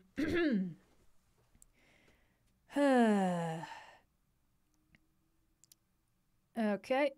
Most people are saying they are good. Networks online and secure and protected, but is it contained? Um Yeah, I mean we should be okay. Uh all right, sorry. Anyway, um so basically the fact that they make these characters basically introduce themselves, endear themselves to the audience in a one take means that we are getting probably their absolute weakest performance at the time where they are also having to sell like two straight minutes of exposition in which there is almost no hint of characterization. And it, I mean, it's just incredibly painful. And then, like, at every point after this, like, we get little hints of characterization. We get some cute moments, even, but they haven't made us understand or like these characters. It just kind of like washes over you like a wave, and then you forget about it. And it's like, oh, yeah, he's got like nine fucking years of military record. How the fuck does that work? Um, and I mean, that's far from the only problem in the movie, but it is pretty indicative of things to come. Um, and the thing is, like, on paper, a one take shouldn't be impossible to for the actors to nail because, as a few people in chat are commenting on, it's basically the equivalent of doing it as like a stage production, you know, where you have to memorize all of. Okay, the mem- the movie I'm discussing is Valerian and the City of a Thousand Planets. Uh, I'd put it up on the the projector, but I don't think we're going to be on this subject for much longer. Um. Anyway, uh. But yeah, so basically, it, it would be the equivalent of like performing it on stage, where you have to get all the blocking right and all the lines right anyway. But there's a few other factors. Among other things, you're moving around a camera crew and a microphone crew and a lot of other people running the technical side of things behind the scenes, and they need to be moving around as the camera moves in a way that they are never seen in shot. So it's significantly more complicated to arrange than a theater production, and the actors have a lot more to keep track of than if they were on theater, where they're like on a stage where they might have the opportunity to like improvise a little more or kind of wibble around or take another line a little bit differently at a different pace. It's a lot. Um, it was just a baffling directorial decision. Like, you do a one take to show off, but what they showed off was bad, and they probably shouldn't have done it like that. Uh, and there's also just a really funny bit right at the end of the movie where they're like, we're going to fix the thing. We have uh, MacGuffin A and MacGuffin B, and we've given MacGuffin A to these people who need both of them. And uh, now we are going to hand over MacGuffin B. And then Valerian all of a sudden is like, whoa, whoa, whoa, hold on, Laureline, we can't do that. I am I'm a soldier. I follow orders. I'm I'm super lawful good. We absolutely cannot do this. And for context, it is important that everybody know that not five minutes prior, he punched his highest commanding officer in the face for learning that the guy was like bad and like covered up a war crime. So it's just really fucking funny. It's like these characters aren't even consistent within the same scene. So the movie's really bad, which is baffling because the setting is incredibly well done and intricate. Um, also, the best character in the movie is the shapeshifter named Bubble, played by Rihanna, who is in the movie for basically like one 10 minute sequence. um, and I shit you not, she is killed uh, as soon as they transition into the next scene. She dies, uh, or she reveals. I believe the exact phrasing is she says something like, I must have been injured in the fight. And it's like, oh yeah, I guess you must have because you're dying now because the movie doesn't need you anymore. So you must have been stabbed in that last fight, even though we didn't see it happen. Uh, my personal theory is that she was just like, I gotta get out of this fucking movie. Oh, I must have been injured. Remember me? like shapeshift into like Nefertiti and then dissolves into sand. And then like as soon as she gets out of sight, is like, woof, okay, let's get out of here. So that's my theory. But um, again, it's baffling that a movie with so many good ideas in it can be so generally unpleasant. And like, it's not even good ideas poorly executed. All the world building is incredibly good. It's just the two main characters. It feels like like a game campaign setting, and we're following the two most boring. Like, I am a human fighter. I am also a human fighter, and just I don't know.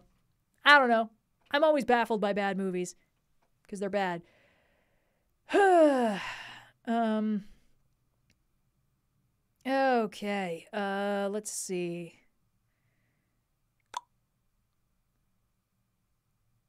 Sorry, I'm just keeping track of chat to see if there's anything interesting happening. Um,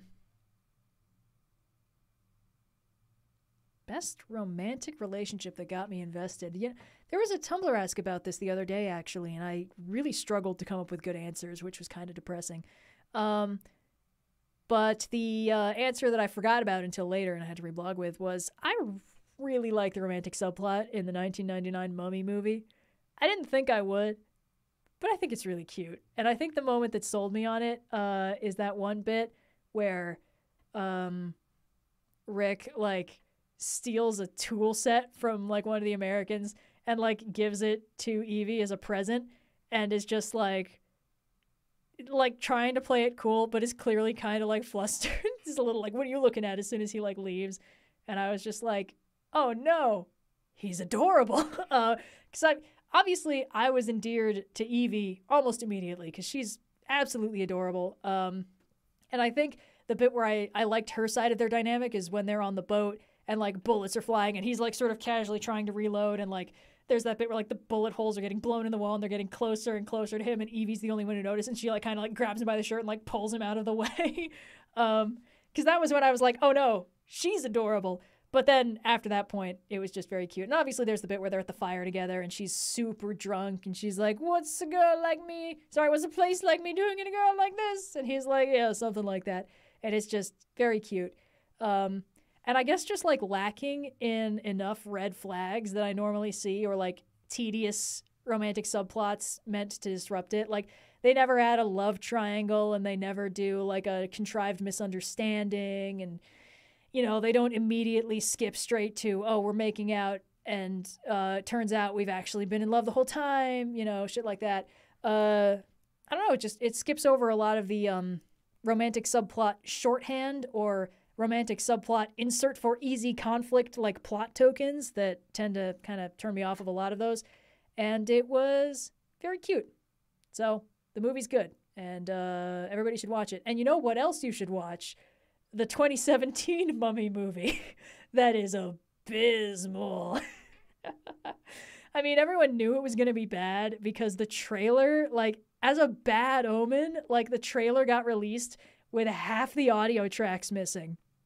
And it was so funny. Like, like half the soundtracks were missing, and you could really clearly tell where they, like, duplicated like they, they they took like the same scream sound effect and they stacked it twice in a row because they didn't have enough and normally it would be covered by like really bombastic music and it's just oh man like obviously that wouldn't be enough to make the movie bad but the movie was also bad so in hindsight just so funny um and i think i might have seen that movie before i saw the mummy 1999 you know the good one uh so i didn't recognize what parts of the movie were trying to be like cheeky references to the original. But the one thing I will say is that the protagonist of The Mummy 1999, who is Tom Cruise playing basically Tom Cruise, seems to be going for like kind of roguish Han Solo type with a heart of gold and just comes across as like an absolute dick. But I don't think we were supposed to think that. And uh, the problem is, if you have like a roguish, heroic protagonist, and you know he gets up to some shenanigans, there's a lot of entertainment to be derived from him kind of playing off the characters around him. But if he's just an asshole and nobody ever really calls him on it, that's not as fun to watch. So there's like a big miscommunication all around. Um, I did like the mummy in that movie; she was kind of cool. Uh, Russell Crowe was also funny. The other funny thing in that movie is there's a bit where Russell Crowe and Tom Cruise fight. Uh, sorry, Russell Crowe is playing Dr. Jekyll slash Mr. Hyde. Because remember, this was the stealth pilot for the Dark Universe that was going to get like a million sequels and totally eclipse the MCU. It was going to be great and fantastic. And then this movie was so bad, it killed it dead. Um, and they're like fighting. And he, Russell Crowe says, You are a younger man. Uh, and he's not. I think like Tom Cruise is maybe two years older than Russell Crowe. and it's like, gosh, I wonder which of these two actors had a hand in writing the script for this movie. anyway, uh, right. So, yes, The Mummy 1999 had a really cute romantic subplot. The Mummy 2017 did not, and uh, should not be watched because it's bad, but also should be watched because it's a very interesting case study in how to not adapt an absolutely beloved media franchise that was already an absolute winner back in the 90s. Anyway, um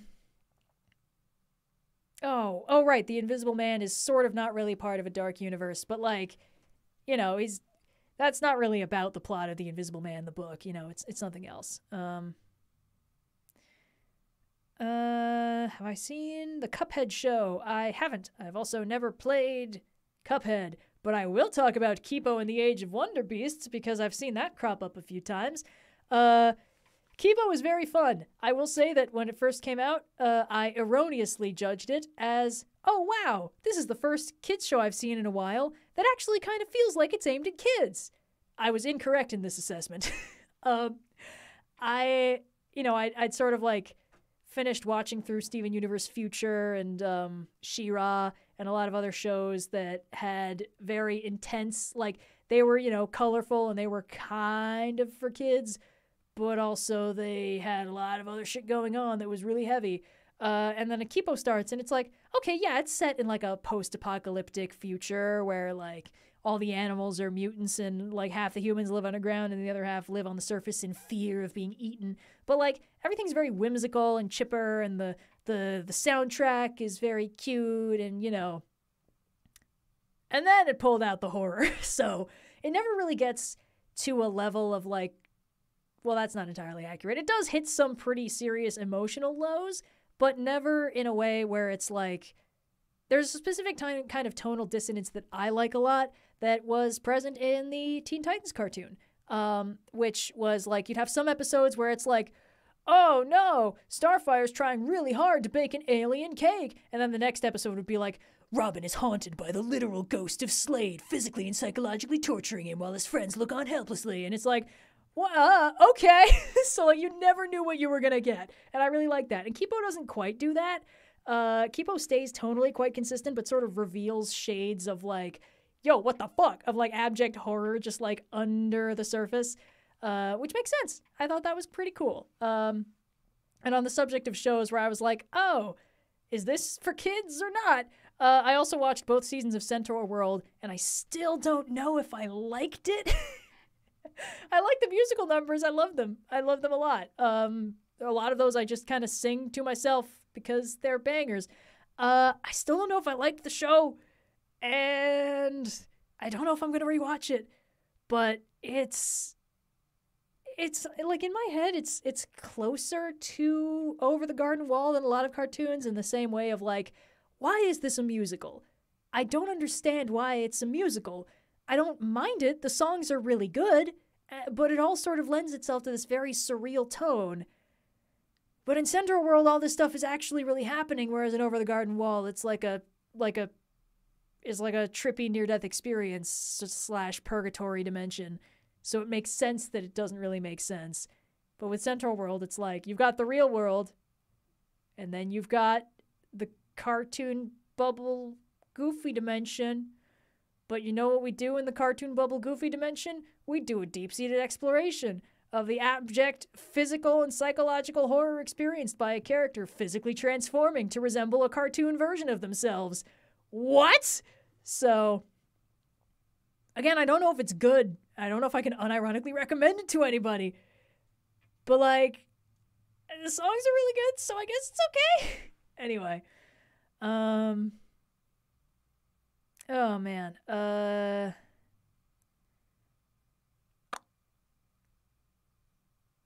it it kind of is similar to Infinity Train, but Infinity Train more blatantly went dark. Uh and I liked it. I liked it a lot. I mean, Infinity Train started off pretty unafraid to be like, yeah, things are pretty whimsical on this train. We've got corgis and puppies and like adorable little robots and life sucking cockroaches that will physically age you until you die. And it's like, oh, yeah, yeah, good shit. Love it.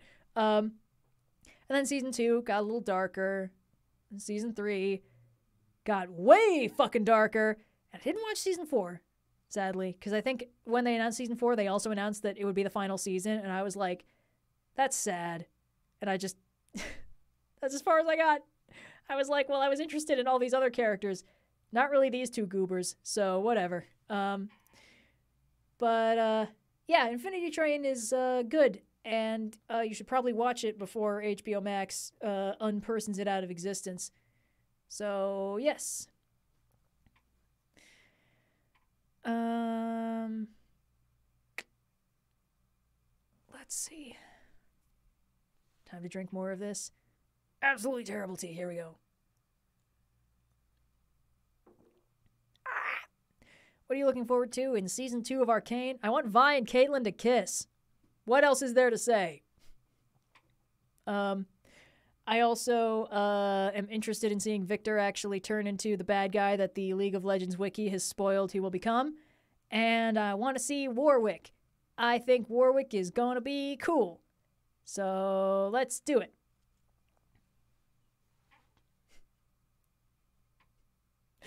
It would also be nice if Jinx got to be happy, but I'll be honest, I think that ship sailed at the end of season one, a little bit before maybe. I I will say the one thing that continually impresses me about Arcane is that they always avoid taking the easy way to let the characters have conflict with each other.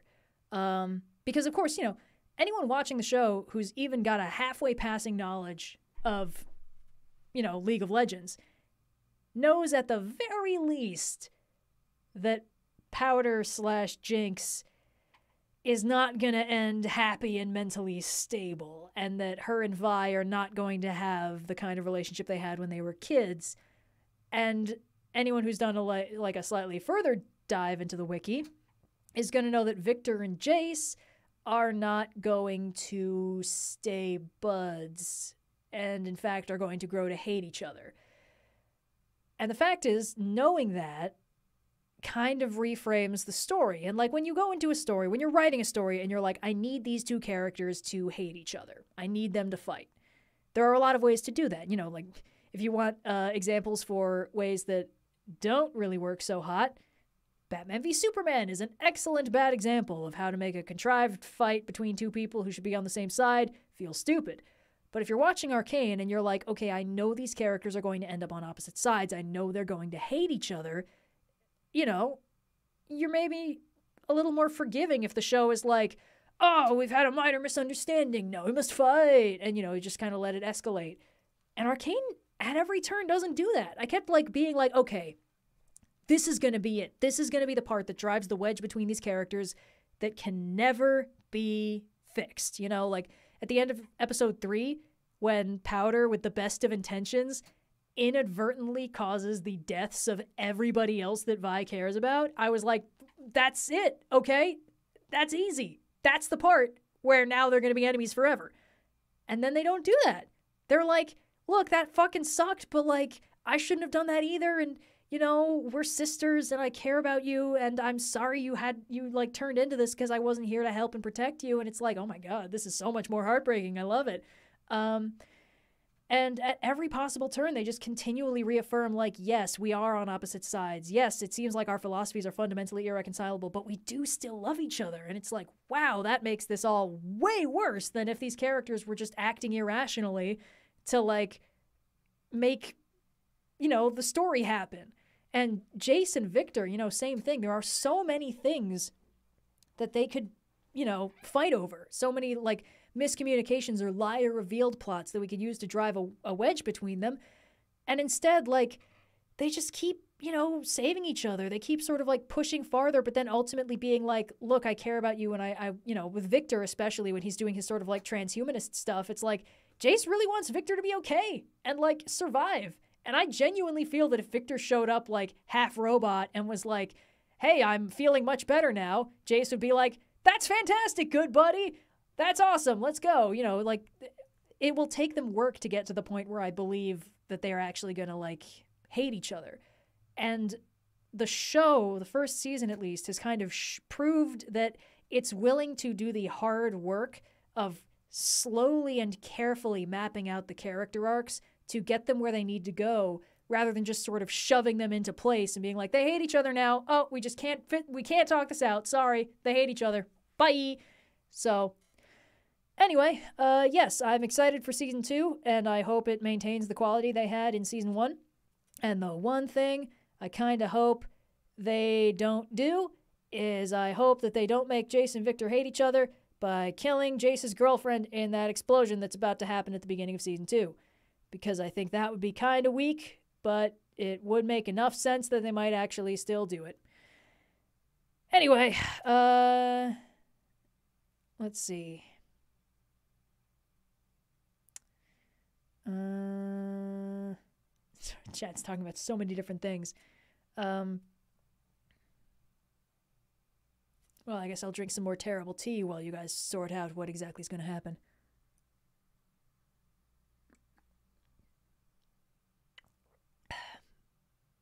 Ew. Uh, okay. Oh yeah, the thing about Sky was a bummer. I looked her up on the wiki and it's like, oh, she's not from the game. Oh yeah, she's doomed. But I do kind of hope she's part of the core. Um. Oh, let's see. well, of course I have to stay hydrated, Ludo History. You keep pointing it out. Um, what what is there to say about El Dorado? El Dorado's a good movie. Everybody fucking knows it. El Dorado slaps. Um. I've only ever watched four episodes of Stranger Things. I I don't know, man. I think it's like I've got nothing against the show. Well, okay, that's not true.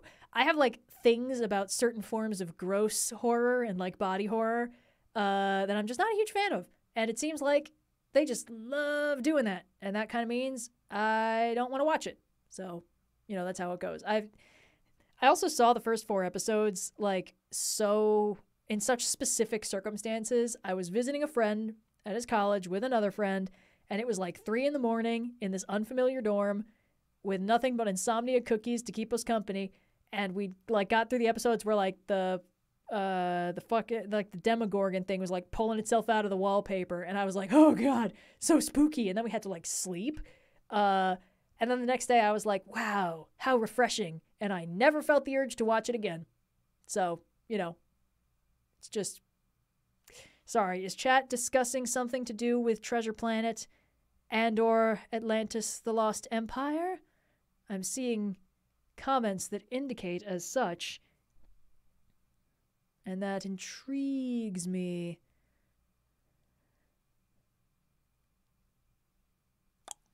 But in the meantime, I'll have more tea while chat catches up. God, this stuff is really vile. Uh, are we just talking about which of those movies is better? Why we gotta pit two bad bitches against each other? I mean, Treasure Planet and Atlantis The Lost Empire are both so good in such different ways. And I feel like each of them has like one thing that sort of stymied it on its way to victory. Like I know um you know, a lot of times like cult classics are movies that were just good, but like the time they were released didn't really work or something like that. But sometimes there's genuinely something where I'm like, oh no, no, I see why this like scuttled it a little bit. Um, and with Treasure Planet, it's the part that everybody forgets because it sucks. It's the annoying robot guy that shows up in Act 3. Nobody likes that fucking robot guy. He never shuts up. He's so annoying. And when he does shut up, it's like, oh, good, the movie's serious again. Fantastic. Um, why do we keep drinking the tea if it's so awful? Because it's there, man. It's the same reason people climb Everest. I'll conquer it one tiny thimbleful at a time. Um, and then Atlantis: The Lost Empire, uh, mostly solid. I'd say the one thing it's lacking is like a proper, like it's got an interesting villain. You know, Rourke uh, is very cool, but he's not exactly par for the course in a standard Disney movie. In fact, large swaths of this movie feel like they could have easily been like an Indiana Jones style adventure flick. Like it didn't have to be animated. And I think the fact is, it was sort of being aimed at an audience of people that were expecting a Disney movie. And instead, they got a good movie that was completely different than what they were used to from the Disney formula. Not because it had anything wrong with it, but because it was a completely different set of tropes.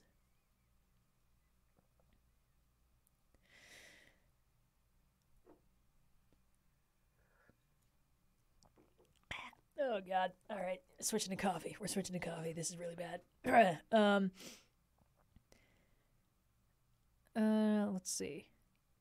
I mean, you know, Atlantis had just such fantastic uh character dynamics, but also like a shockingly high body count. Uh, and not a body count that it's easy to sort of forget about or skip over. Like like in Mulan, where it's like, oh, she triggers an avalanche and it like buries a bunch of Huns. But I think if you're a little kid and you watch that, you're not gonna assume that the Huns are dead because you maybe don't understand what an avalanche is and how heavy snow can get.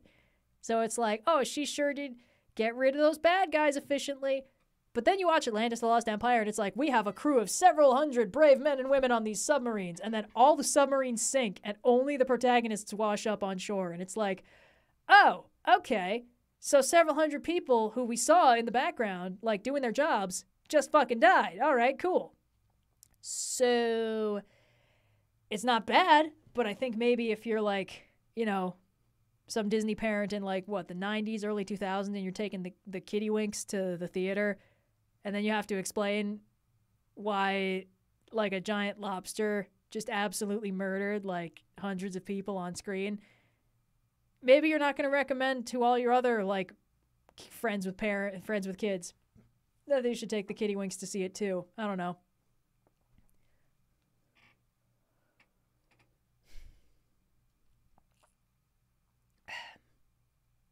Coffee's pretty good though.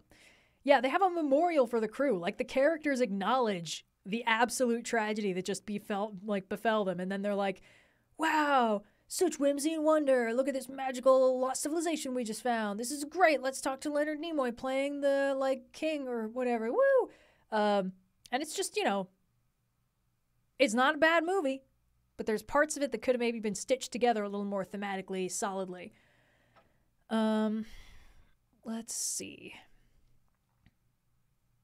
Prince of Egypt, kind of the same boat. Uh, another cult classic that uh, maybe if you're not as familiar with what's going on, is a little bit weird. Um, another movie where for me, I watched it under such specific circumstances that it's forever indelibly connected in my head with that. Uh, the first time I watched Prince of Egypt was 5 a.m. the morning after I had broken my clavicle. and I was like, tucked up in like a reclining chair at my cousin's house because that was the least painful way for me to like sleep. Uh, and I had woken up, like hopped up on endorphins, and nobody else in the house was awake, obviously. And I didn't want to bother anyone. And I'd like, I had like an iPad to entertain myself with, and I was like, "Ooh, Prince of Egypt." so, um, and obviously I knew the story of Prince of Egypt because half my family is Jewish. We talk about it every Passover. so like I knew what happened. Um, but it was interesting to see it as a movie, and I liked the musical numbers, and uh, it certainly wasn't painkillers because I hadn't taken any, but like something about that, like fresh, just broke a bone buzz, really made that movie hit different. so, um, good stuff. Anyway, um, you first saw Atlantis while sleeping on a submarine. I think that would have given me nightmares. Um, oh man, okay. Sinbad is an interesting movie I see frequently like categorized with these others. And the thing is, I've seen Sinbad and I remember fuck all about it. I remember Eris because her design is great. But does anyone remember the name of any of the characters that aren't presumably Sinbad? and I'm just inferring that's his name because it's the title of the movie. it's like they're finding like a like a book and he's got like a like a bestie who's like, "Don't execute Sinbad. Execute me in his place if he's not back in a week." Yeah, so I don't know. And I remember there was kind of like a spunky lady who had like generic romantic tension with probably Sinbad. Uh, and that's all I got. Did they also sail a boat on sand? That might be the only other thing I remember. Um, is no one named Sinbad in that movie? oh my god, no, what? no! the one part of my cold read and I fucked it up. That's so funny. How did I break my clavicle? I went skiing uh, for the first time. And uh, to date, the last time, it was uh, not not great. Um, I learned in the ER that uh, it seems like something about like the temperatures that like weekend had sort of put a little thin crust of ice on the ski slopes at sort of unpredictable intervals because they were getting a lot of broken bones in there. Um, and a funny thing I learned about breaking your clavicle is there's not a lot they can do for a broken clavicle. Like if it's really messed up, they could probably go in there with like a little bit of surgery and like, you know, pin it in place. But mine was just kind of like I mean, it wasn't great, but they were like, that'll basically straighten itself out on its own. So just like, you know, it's a completely internal fracture. So just, you know, they, they gave me like a, it wasn't a splint because there was nothing really to splint. Uh, but it was like a, like a wrap that went around my waist and then sort of held my arm close to my stomach because, uh, the way that I learned a lot about how the muscles and bones of your shoulder are put together from that. Um, basically, uh, your clavicle functioning is required for you to move your arm out to the side. So you can move it from the elbow just fine, and you can even move it forward and back a little bit. But in order to sort of lever it out straight to the side, it requires musculature to be anchored there. And I remember that was almost the first thing I noticed when it uh, when it was broken because I, well, okay, the process was interesting because I sort of kind of cartwheeled head over heels and just kind of went loose as I was falling. Uh, and when I kind of stopped moving and sort of settled down, uh, the first thing I noticed was that I was feeling dizzy and nauseous, and I had just finished a first aid class. So I had learned the symptoms of a concussion. And I was like, oh no, I really hope this isn't a concussion. And then I was like, oh no, this probably has more to do with the fact that I can't move my right arm. okay. Um, and then we sort of figured it out. It's like, okay, yeah, yeah, great, great. It's just a broken bone. Um, which was funny because, of course, I was visiting my cousins. So we kind of had to call my parents. And I was like, okay, hey, dad. So please tell mom not to freak out. I am in the hospital. I broke my clavicle. We're getting it sorted. Everything's okay. I feel all right. And like in the background, I could hear my mom being like, "What's going? Oh no, no!" it's just like, "No, it's, it's fine. It's fine. Tell her it's okay." Um, but uh, yeah, I mean, you know, it, it it was very interesting. I'd never broken a bone before. Uh, the healing process was extremely cool. Uh, and I felt bad because like I this was senior year of college when uh, you only had to take like a minimum of like four classes. And we also only had a minimum of three years of gym class. And almost everybody didn't take gym class senior year, but I did. I liked gym class. So when I came back, I sort of like talked to the teacher for like that six week uh, period, which I think was like, it, it was like, I don't even remember. It was like weights or something. It was access to an actual stocked gym. And I was like, hey, yeah, so you know, over winter break I broke my broke my clavicle, but like I figure I can like still use the rowing machine or something. And he was like, what are you talking about? Take the period off. You broke a bone. And I was like, all right, man, if you're sure. And then I just went and played video games for like the entire rest of the quarter. Um, so that was pretty cool. Uh, what were we talking about? Sinbad. um, anyway, uh. Oh, this was in high school, uh, senior year. High, I might have said college, but I meant high school. Sorry. Um, yeah, so three years of you know standard gym class, and then fourth year you could take it if you wanted to. Uh, and I was like, I've never minded a gym class, and I would rather not have to stack more homework when I could be playing video games in the senior lounge instead. So uh, yeah. Anyway, um, let's see. uh broke a clavicle. Well, I thought maybe I could use the rowing machine one handed. I don't think I'd ever actually used the rowing machine. I just saw it mostly engaged like the legs and core. Um, oh, yeah, yeah. Sorry, Ludo. I, I meant high school, but you know, once you're out of school, it all kind of blurs together. Uh, yes, we had a senior lounge. Sadly, I believe it's since been demolished, but oh, it was exquisite. It was an absolute wretched hive. Uh, like three of the least trustworthy couches one could ever imagine. People had like brought in game systems and like TVs and just set them up there. Um, oh boy. Anyway, very fun. Um, uh, are there any pieces you've appreciated for their Jewish representation? You know, I will say that anytime a piece of media acknowledges that Kitty Pryde is Jewish and that Magneto is Jewish, I appreciate it. And what I want is a story that lets those two hang out. X Men Evolution was good about that. They had like a like a Christmas episode, uh, and they went out of their way to show like Kitty at home with her parents lighting a menorah, and I thought that was really cute. Um, and uh, yeah, you wouldn't think it would be a tall ask to keep those canon, but uh, well, you know, Wanda and Pietro Maximoff are canonically the children of Erik Lehnsherr, and the MCU went out of their way to show that uh, Wanda had like a cross on her wall for some fucking reason.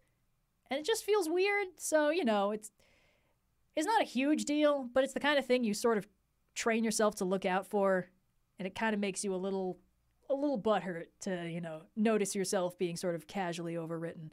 Um uh, but yeah, the uh the thing like the Kitty Pryde and Magneto thing. Here's the thing: I have so many like I want these characters to hang out interactions that have happened some places, but I want them to happen more. And one of them is Kitty and Magneto hanging out because Magneto grew up at a very different time to be Jewish in the States than Kitty did, and that could be kind of interesting, like a generational discussion. And I want them both to hang out with Captain America, who, lest we forget, fought Hydra and the Nazis and has very strong opinions about that sort of thing. Like they've done that crossover before. There's a there's an episode of X Men Evolution where uh, we basically flash back to Wolverine helping Captain America liberate the camp that Magneto was in, uh, which is dope, like pretty fucking wild, actually. Um, and just the kind of thing that I think is easy to gloss over the farther into the future we get, because of course, like when Captain America started, the U.S. wasn't even in World War II yet. Uh, and he's basically been running continuously for like the past 80 years. So the timeline has been shifting forward every few decades, um, which is quite interesting. Uh, I don't know. There's other things I've seen. I also saw like uh, I don't know what comic it's from. I only saw a few pages from it, but basically like I think it's uh, Iceman Bobby. Uh, for those of you who don't know, it's been canon in the comics for a while that Bobby is gay. Uh, although I think they've changed the way that that got revealed because I know in at least one comic the way they revealed it is that Jean Grey, who is of course a telepath, like knows he's gay and assumes he knows too and like tells him. Uh anyway, I think they've changed that because they were like, is this bad? This might be bad. Um anyway, uh but basically you know, there's a lot of allegorical stuff with the X Men, there's a lot of things that they, as a marginalized supernatural group, can stand in for. And basically, it's just this great little bit where Bobby is kind of having like his little like crisis of, oh, there's something wrong with me. And Magneto's like descending on the mansion, like, and now, Charles, you will see there is nothing uh, you possess that I, oh shit, is that a crying child? And like goes down and like immediately talks it through with him. And I was like, yes, yes. I love it when Magneto is just kind of like the bitchy uncle who like starts fights at the family reunions, but ultimately cares deeply about everybody present. Um, ugh. I would like you to talk about Warrior Cats, please. I wish I could, but I fully missed the boat on Warrior Cats. Sorry. Uh, anyway. please don't kill your voice. I can hear that it's getting pretty tired. Ah, buddy, I could do this all day. Here we go. Let's get more coffee in me. Who's Kitty Pryde? Uh, she's the X Men who can like phase through shit. Uh, she's great. And she's like best friends with Nightcrawler, and their friendship is absolutely adorable, and it's the best part of X Men Evolution. And I love that they never get implied to be in a romantic subplot. I think that that's good. Um,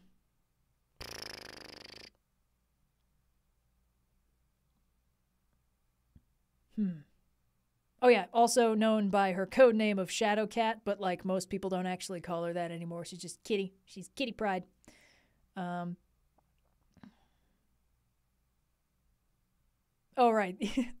so the X Men movies. I forgot about Have You Tried Not Being a Mutant? But honestly, like considering it was the early 2000s, which by today's standards were still shockingly homophobic, like kind of impressive that they actually went there. Um, even if they did kind of straight wash Bobby. Anyway, um. Ooh, my thoughts on Moon Knight. Oh, be still my heart. I really enjoyed Moon Knight. Um, I didn't think I was gonna because I was really wary about. Here's the thing: dissociative identity disorder uh, is like one of the most misunderstood and maligned mental health issues ever. Because I think a lot of writers like heard about it or like read the first two lines on Wikipedia and were like, "Oh, this is the perfect way to justify a really interesting bad guy. Who doesn't know they're a bad guy? Unprecedented. Nobody's ever thought of this before, and they went with that. So as a result, like it almost all comes from movies like Split or you know really weird interpretations of Jekyll and Hyde. Um, and I was kind of worried. You know, I was a little worried what they were going to do with a protagonist with it. And I was really pleasantly surprised. And I, uh, I kept watching with it, and uh, it was good. Although I will say that Moon Knight, I mean, it peaks in episode five. Like, we all, you know, like all the all the oh the gods or whatever. Like, oh, there's an evil plot to resurrect an evil god, and we're gonna have to fight her in a kaiju battle. Is like that's just you know that's whatever. That's that's there because the MCU needs a giant fight at the end. You know, it's the it's the evil robot Jeff Bridges effect. But the real finale is episode five, when uh, Moon Knight sort of internally works out his shit, and it's great. And I thought it was really good. Um, Moon Knight and Hawkeye are like the only Marvel miniseries I've watched, and I really liked Hawkeye. In terms of things we're talking about in season two, I want uh, Kate and Yelena to like room together. That's all I want. I want Kate to be figuring out how to provide for herself after an entire lifetime of being like a spoiled rich kid. And I want them to be the most chaotic roommates ever. And I will accept it if they also smooch, but it's not required for my enjoyment of the show. Um, yeah, so that's that's the vibe. Hmm. I haven't seen Loki. Unfortunately, um, I was too invested in the original Loki, the one that they unceremoniously murdered and then replaced with a version that had no character development. And again, it's the multiverse problem. I kind of don't care about the rebooted version, so. uh,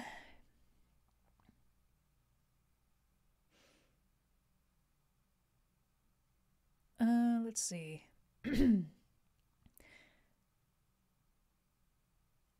Oh, I forgot. Yeah, I also watched WandaVision. Sorry. Uh, and I I really liked WandaVision. I thought it was good. Um, it's an interesting case where like I basically never watched any sitcoms, like especially not the kinds that those were specifically parodying.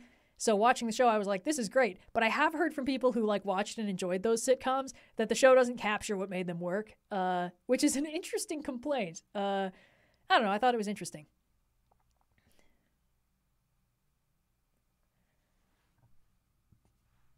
You know, I I keep seeing the question pop up of like favorite ace rep. And I genuinely might just not be looking in the right places, but I'm still in the headspace of like, I don't know, do you want me to choose between Jughead or that guy from uh, Bojack Horseman? Because I know there's more, but I don't really know who they are. Uh, or like, you know, there's like ace rep in podcasts and, and like self published things and web comics, certainly. Um, and there's characters that I think are Ace or the equivalent, like like you know Peridot from Steven Universe. The way she's like, I never want to fuse, and that's okay, is like, well, that's not exactly the same thing, but it's like clearly allegorically the same thing. Um, Luffy is a good example. Luffy definitely counts. Data would count, except that they make him bone in episode two enthusiastically. so he's definitely in the headspace of like he should be ace and the reason he's not is an authorial oversight. But that doesn't mean i get to necessarily call him my favorite ace rep you know? Um oh and lilith from the owl house. I do like her. I think her arc has been absolutely fascinating. And what i really like about the owl house is that not a single character has been like you don't deserve redemption. They're all just really like kind and accepting and generous of her and like okay as long as you stop being actively like a problem we're going to welcome you back with open arms. And i think that um it's an approach to redemption arcs that i don't often see where it usually feels like at least one character needs to like quote unquote hold them accountable uh, or something like that. And in this case i just kind of like how it's like yeah you fucked up bad and you've been trying to fix it in like worse ways but now that you're on the mend we're all cool actually. Uh, and I like that a lot. I really do. The Owl House is very good. Okay. Uh, I think we're gonna say maybe 10 more minutes. I mean, I'd say five, but that would still take us over the four hour mark, so, you know, may as well. Um, but yes, that way I will be able to down the rest of this absolutely revolting tea and, uh, I don't know, transcend to a higher plane of existence or something. I don't know what this stuff is going to do to me.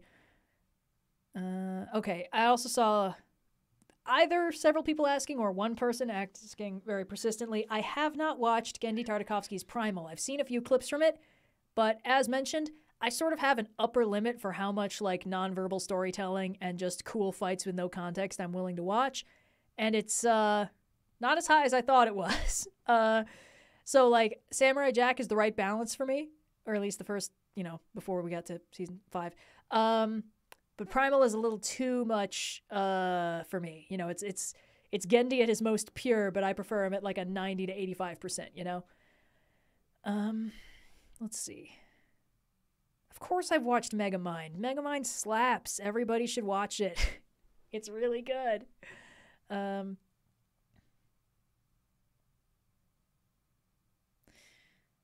Ah, uh, Spy X Family, I've read the manga for, and it's very good. And I'm glad that it's getting a manga version or an anime version that everybody sees and likes uh, because it's extremely cute. And I cannot wait to see this House of Cards absolutely topple because, I mean, you know, it's it's a classic liar revealed story. It's like, oh, we've got we got three characters. All of them are concealing secrets. Only one of them is aware of the secrets of the other two. Okay, how long can we possibly maintain this? And it's like, that's sort of, well, that's what's essentially maintaining the tension, which I think is very interesting. Like, as they build a more and more pleasant status quo, we become increasingly aware of how precarious it is. Uh, so everyone being like, oh, it's so cute. I absolutely love their family dynamic is like, there's sort of like underneath them the like uh you know the overlaid meme image of like oh no uh so uh yes i'm excited. I think it will be cute. Uh and it also does some very interesting like character stuff and real political commentary stuff. Uh yeah. Thoughts on usagi yojimbo? Okay that's bait. It's good. Everybody should read it. Um it's uh it's a great black and white comic uh, that's basically like, hey, what if we had a Kurosawa style wandering lawful good protagonist doing like heroics in the world, but also he was a rabbit in a world of like anthropomorphic animals. And yeah, let's do it.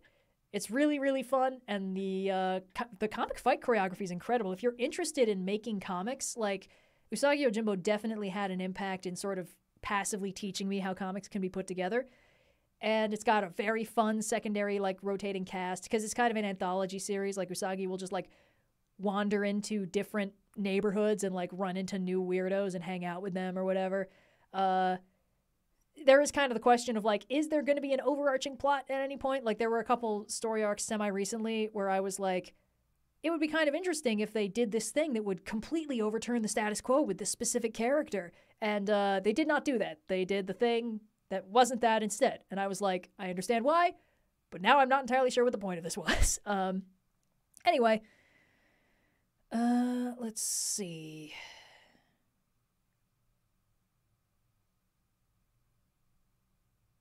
Sorry, just uh you still workshopping on making an urban fantasy setting comic something. You haven't spoken a lot about it. I love the concept of urban fantasy so much that I do want to do something with it, but I've had a lot of false starts. And I think that's not a problem. It's, you know, it's the sort of thing you sort of experiment with and, and have fun with on the way, and then you find something that you are actually passionate about doing with it. Um, so for a while, I had a comic, and then it sort of just dissolved into I had a bunch of characters, but nothing really to do with them. And then I scrapped all that. And then I had a different character and sort of the possibility of a bunch of stories about that character. Uh, I started toying with the idea of essentially doing like a like a private investigator who is a werewolf, um, because why the fuck not? Uh, and that of course opens up the opportunity for a lot of like little short mysteries and stories. And I wrote one of those, and then I ran out of mysteries. Uh, and then I constructed a much larger mystery for this character to be involved in. And I got about seven plot twists deep before I thought, I think this has spiraled out of control, and I left it alone. So it's clearly still in the workshopping phase, like the little little goblins in my brain are still like hammering over it on the forge before it prevents like presents me with anything I can I can do with it. Uh, thanks for getting that spammer before I I did. Um, have you seen Strong Female Protagonist? Okay, I want to recommend that actually. Uh, Strong Female Protagonist is a webcomic, I want to say co written by Brennan Lee Mulligan of College Humor and Dimension 20. And I read through the entire thing up to where it was currently at at the time. I don't know if it's updated since then. And it's really interesting. It's like a it's a very I'd say deep dive into certain elements of Brennan Lee Mulligan's like internal philosophy that I thought was quite cool. Uh, and it had a, an interesting explanation for a Superman like power set uh, that I thought was neat. So it wasn't going to be The Wolf Among Us because my werewolf detective was going to be a lesbian. So that's very original. I don't know. I just think there aren't enough like lady werewolves, you know? I think that I think we deserve more lady werewolves. It's a natural combination, you know? It's like what are two demographics that I commonly associate with flannel? you know what? I'm just going to stop talking about this before somebody bullies me into writing the whole thing before it's good. Anyway, uh, yes, I've watched The Court of Fey and Flowers. It's good. Everybody else should watch it too. Um, the comic is called Strong Female Protagonist. It's a little difficult to Google, but you can find it. Um, oh my God, guys, you got to slow down or at least chill out a little bit. Um, uh, Kurosawa, Yojimbo. Yeah, I watched Yojimbo and Sanjuro. Uh, they're good. It's interesting. Um, I think Sanjuro is the one that originated the uh, like the high pressure blood thing, where you have like the two samurais, and they're like staring each other down, and then one of them like does the draw the sword and sheath it again so fast you can't even see it, and then the other guy like explodes. Uh, that's almost entirely because of an effect in Sanjuro that sort of went a little too right. Like they had like a like a blood pump and they sort of overcalculated the pressure. So like he's supposed to just bleed, but instead it's just like psh, uh, and then he falls over and they're like, Don't ruin the take, don't ruin the take. So from that point forward, everyone was like, Wow, high pressure blood is awesome. So it's all thanks to Sanjuro. Um, let's see. um,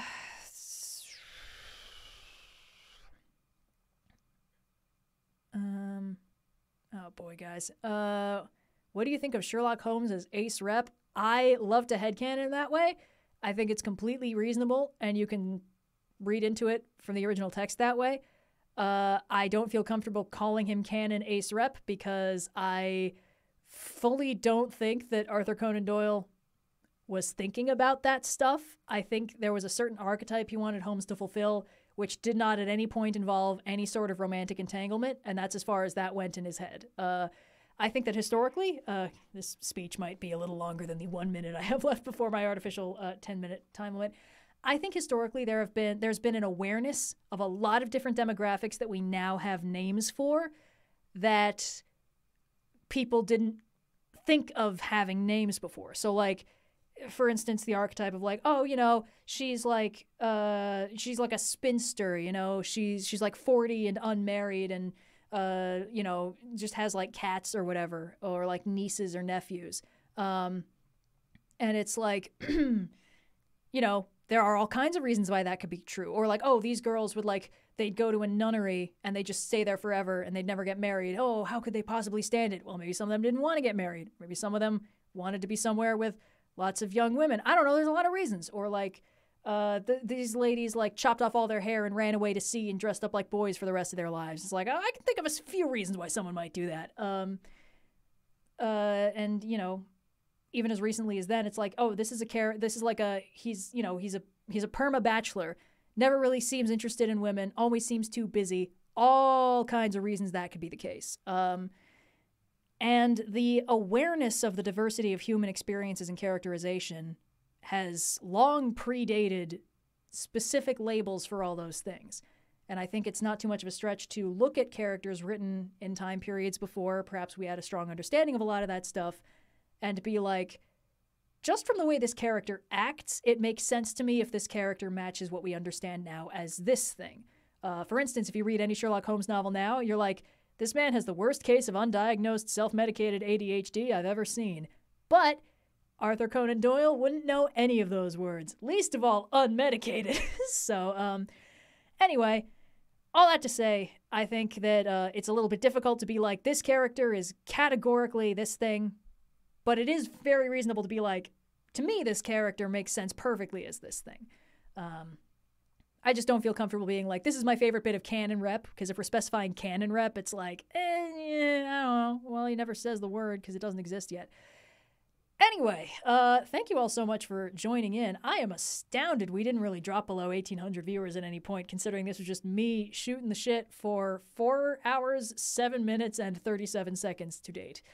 Uh, but, uh, you know, thank you all very much for tuning in. Uh, and also, for the 2 million subscriber milestone that we probably I probably could have mentioned earlier in the stream. I think it slipped my mind. Uh, we are going to have a video out tomorrow in about, you know, 11 hours. Uh, sort of like a, a little celebratory, commemorative, like, hey, this was cool kind of dealio.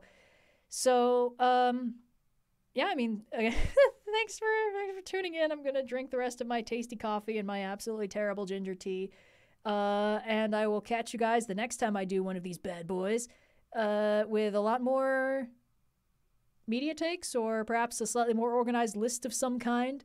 Um, I'm continually amazed that you guys actually like watching these. Like this is just my brain like switches off, like removes the restraints on my hyperfixation info dumps and just like lets it rip, revengeance style.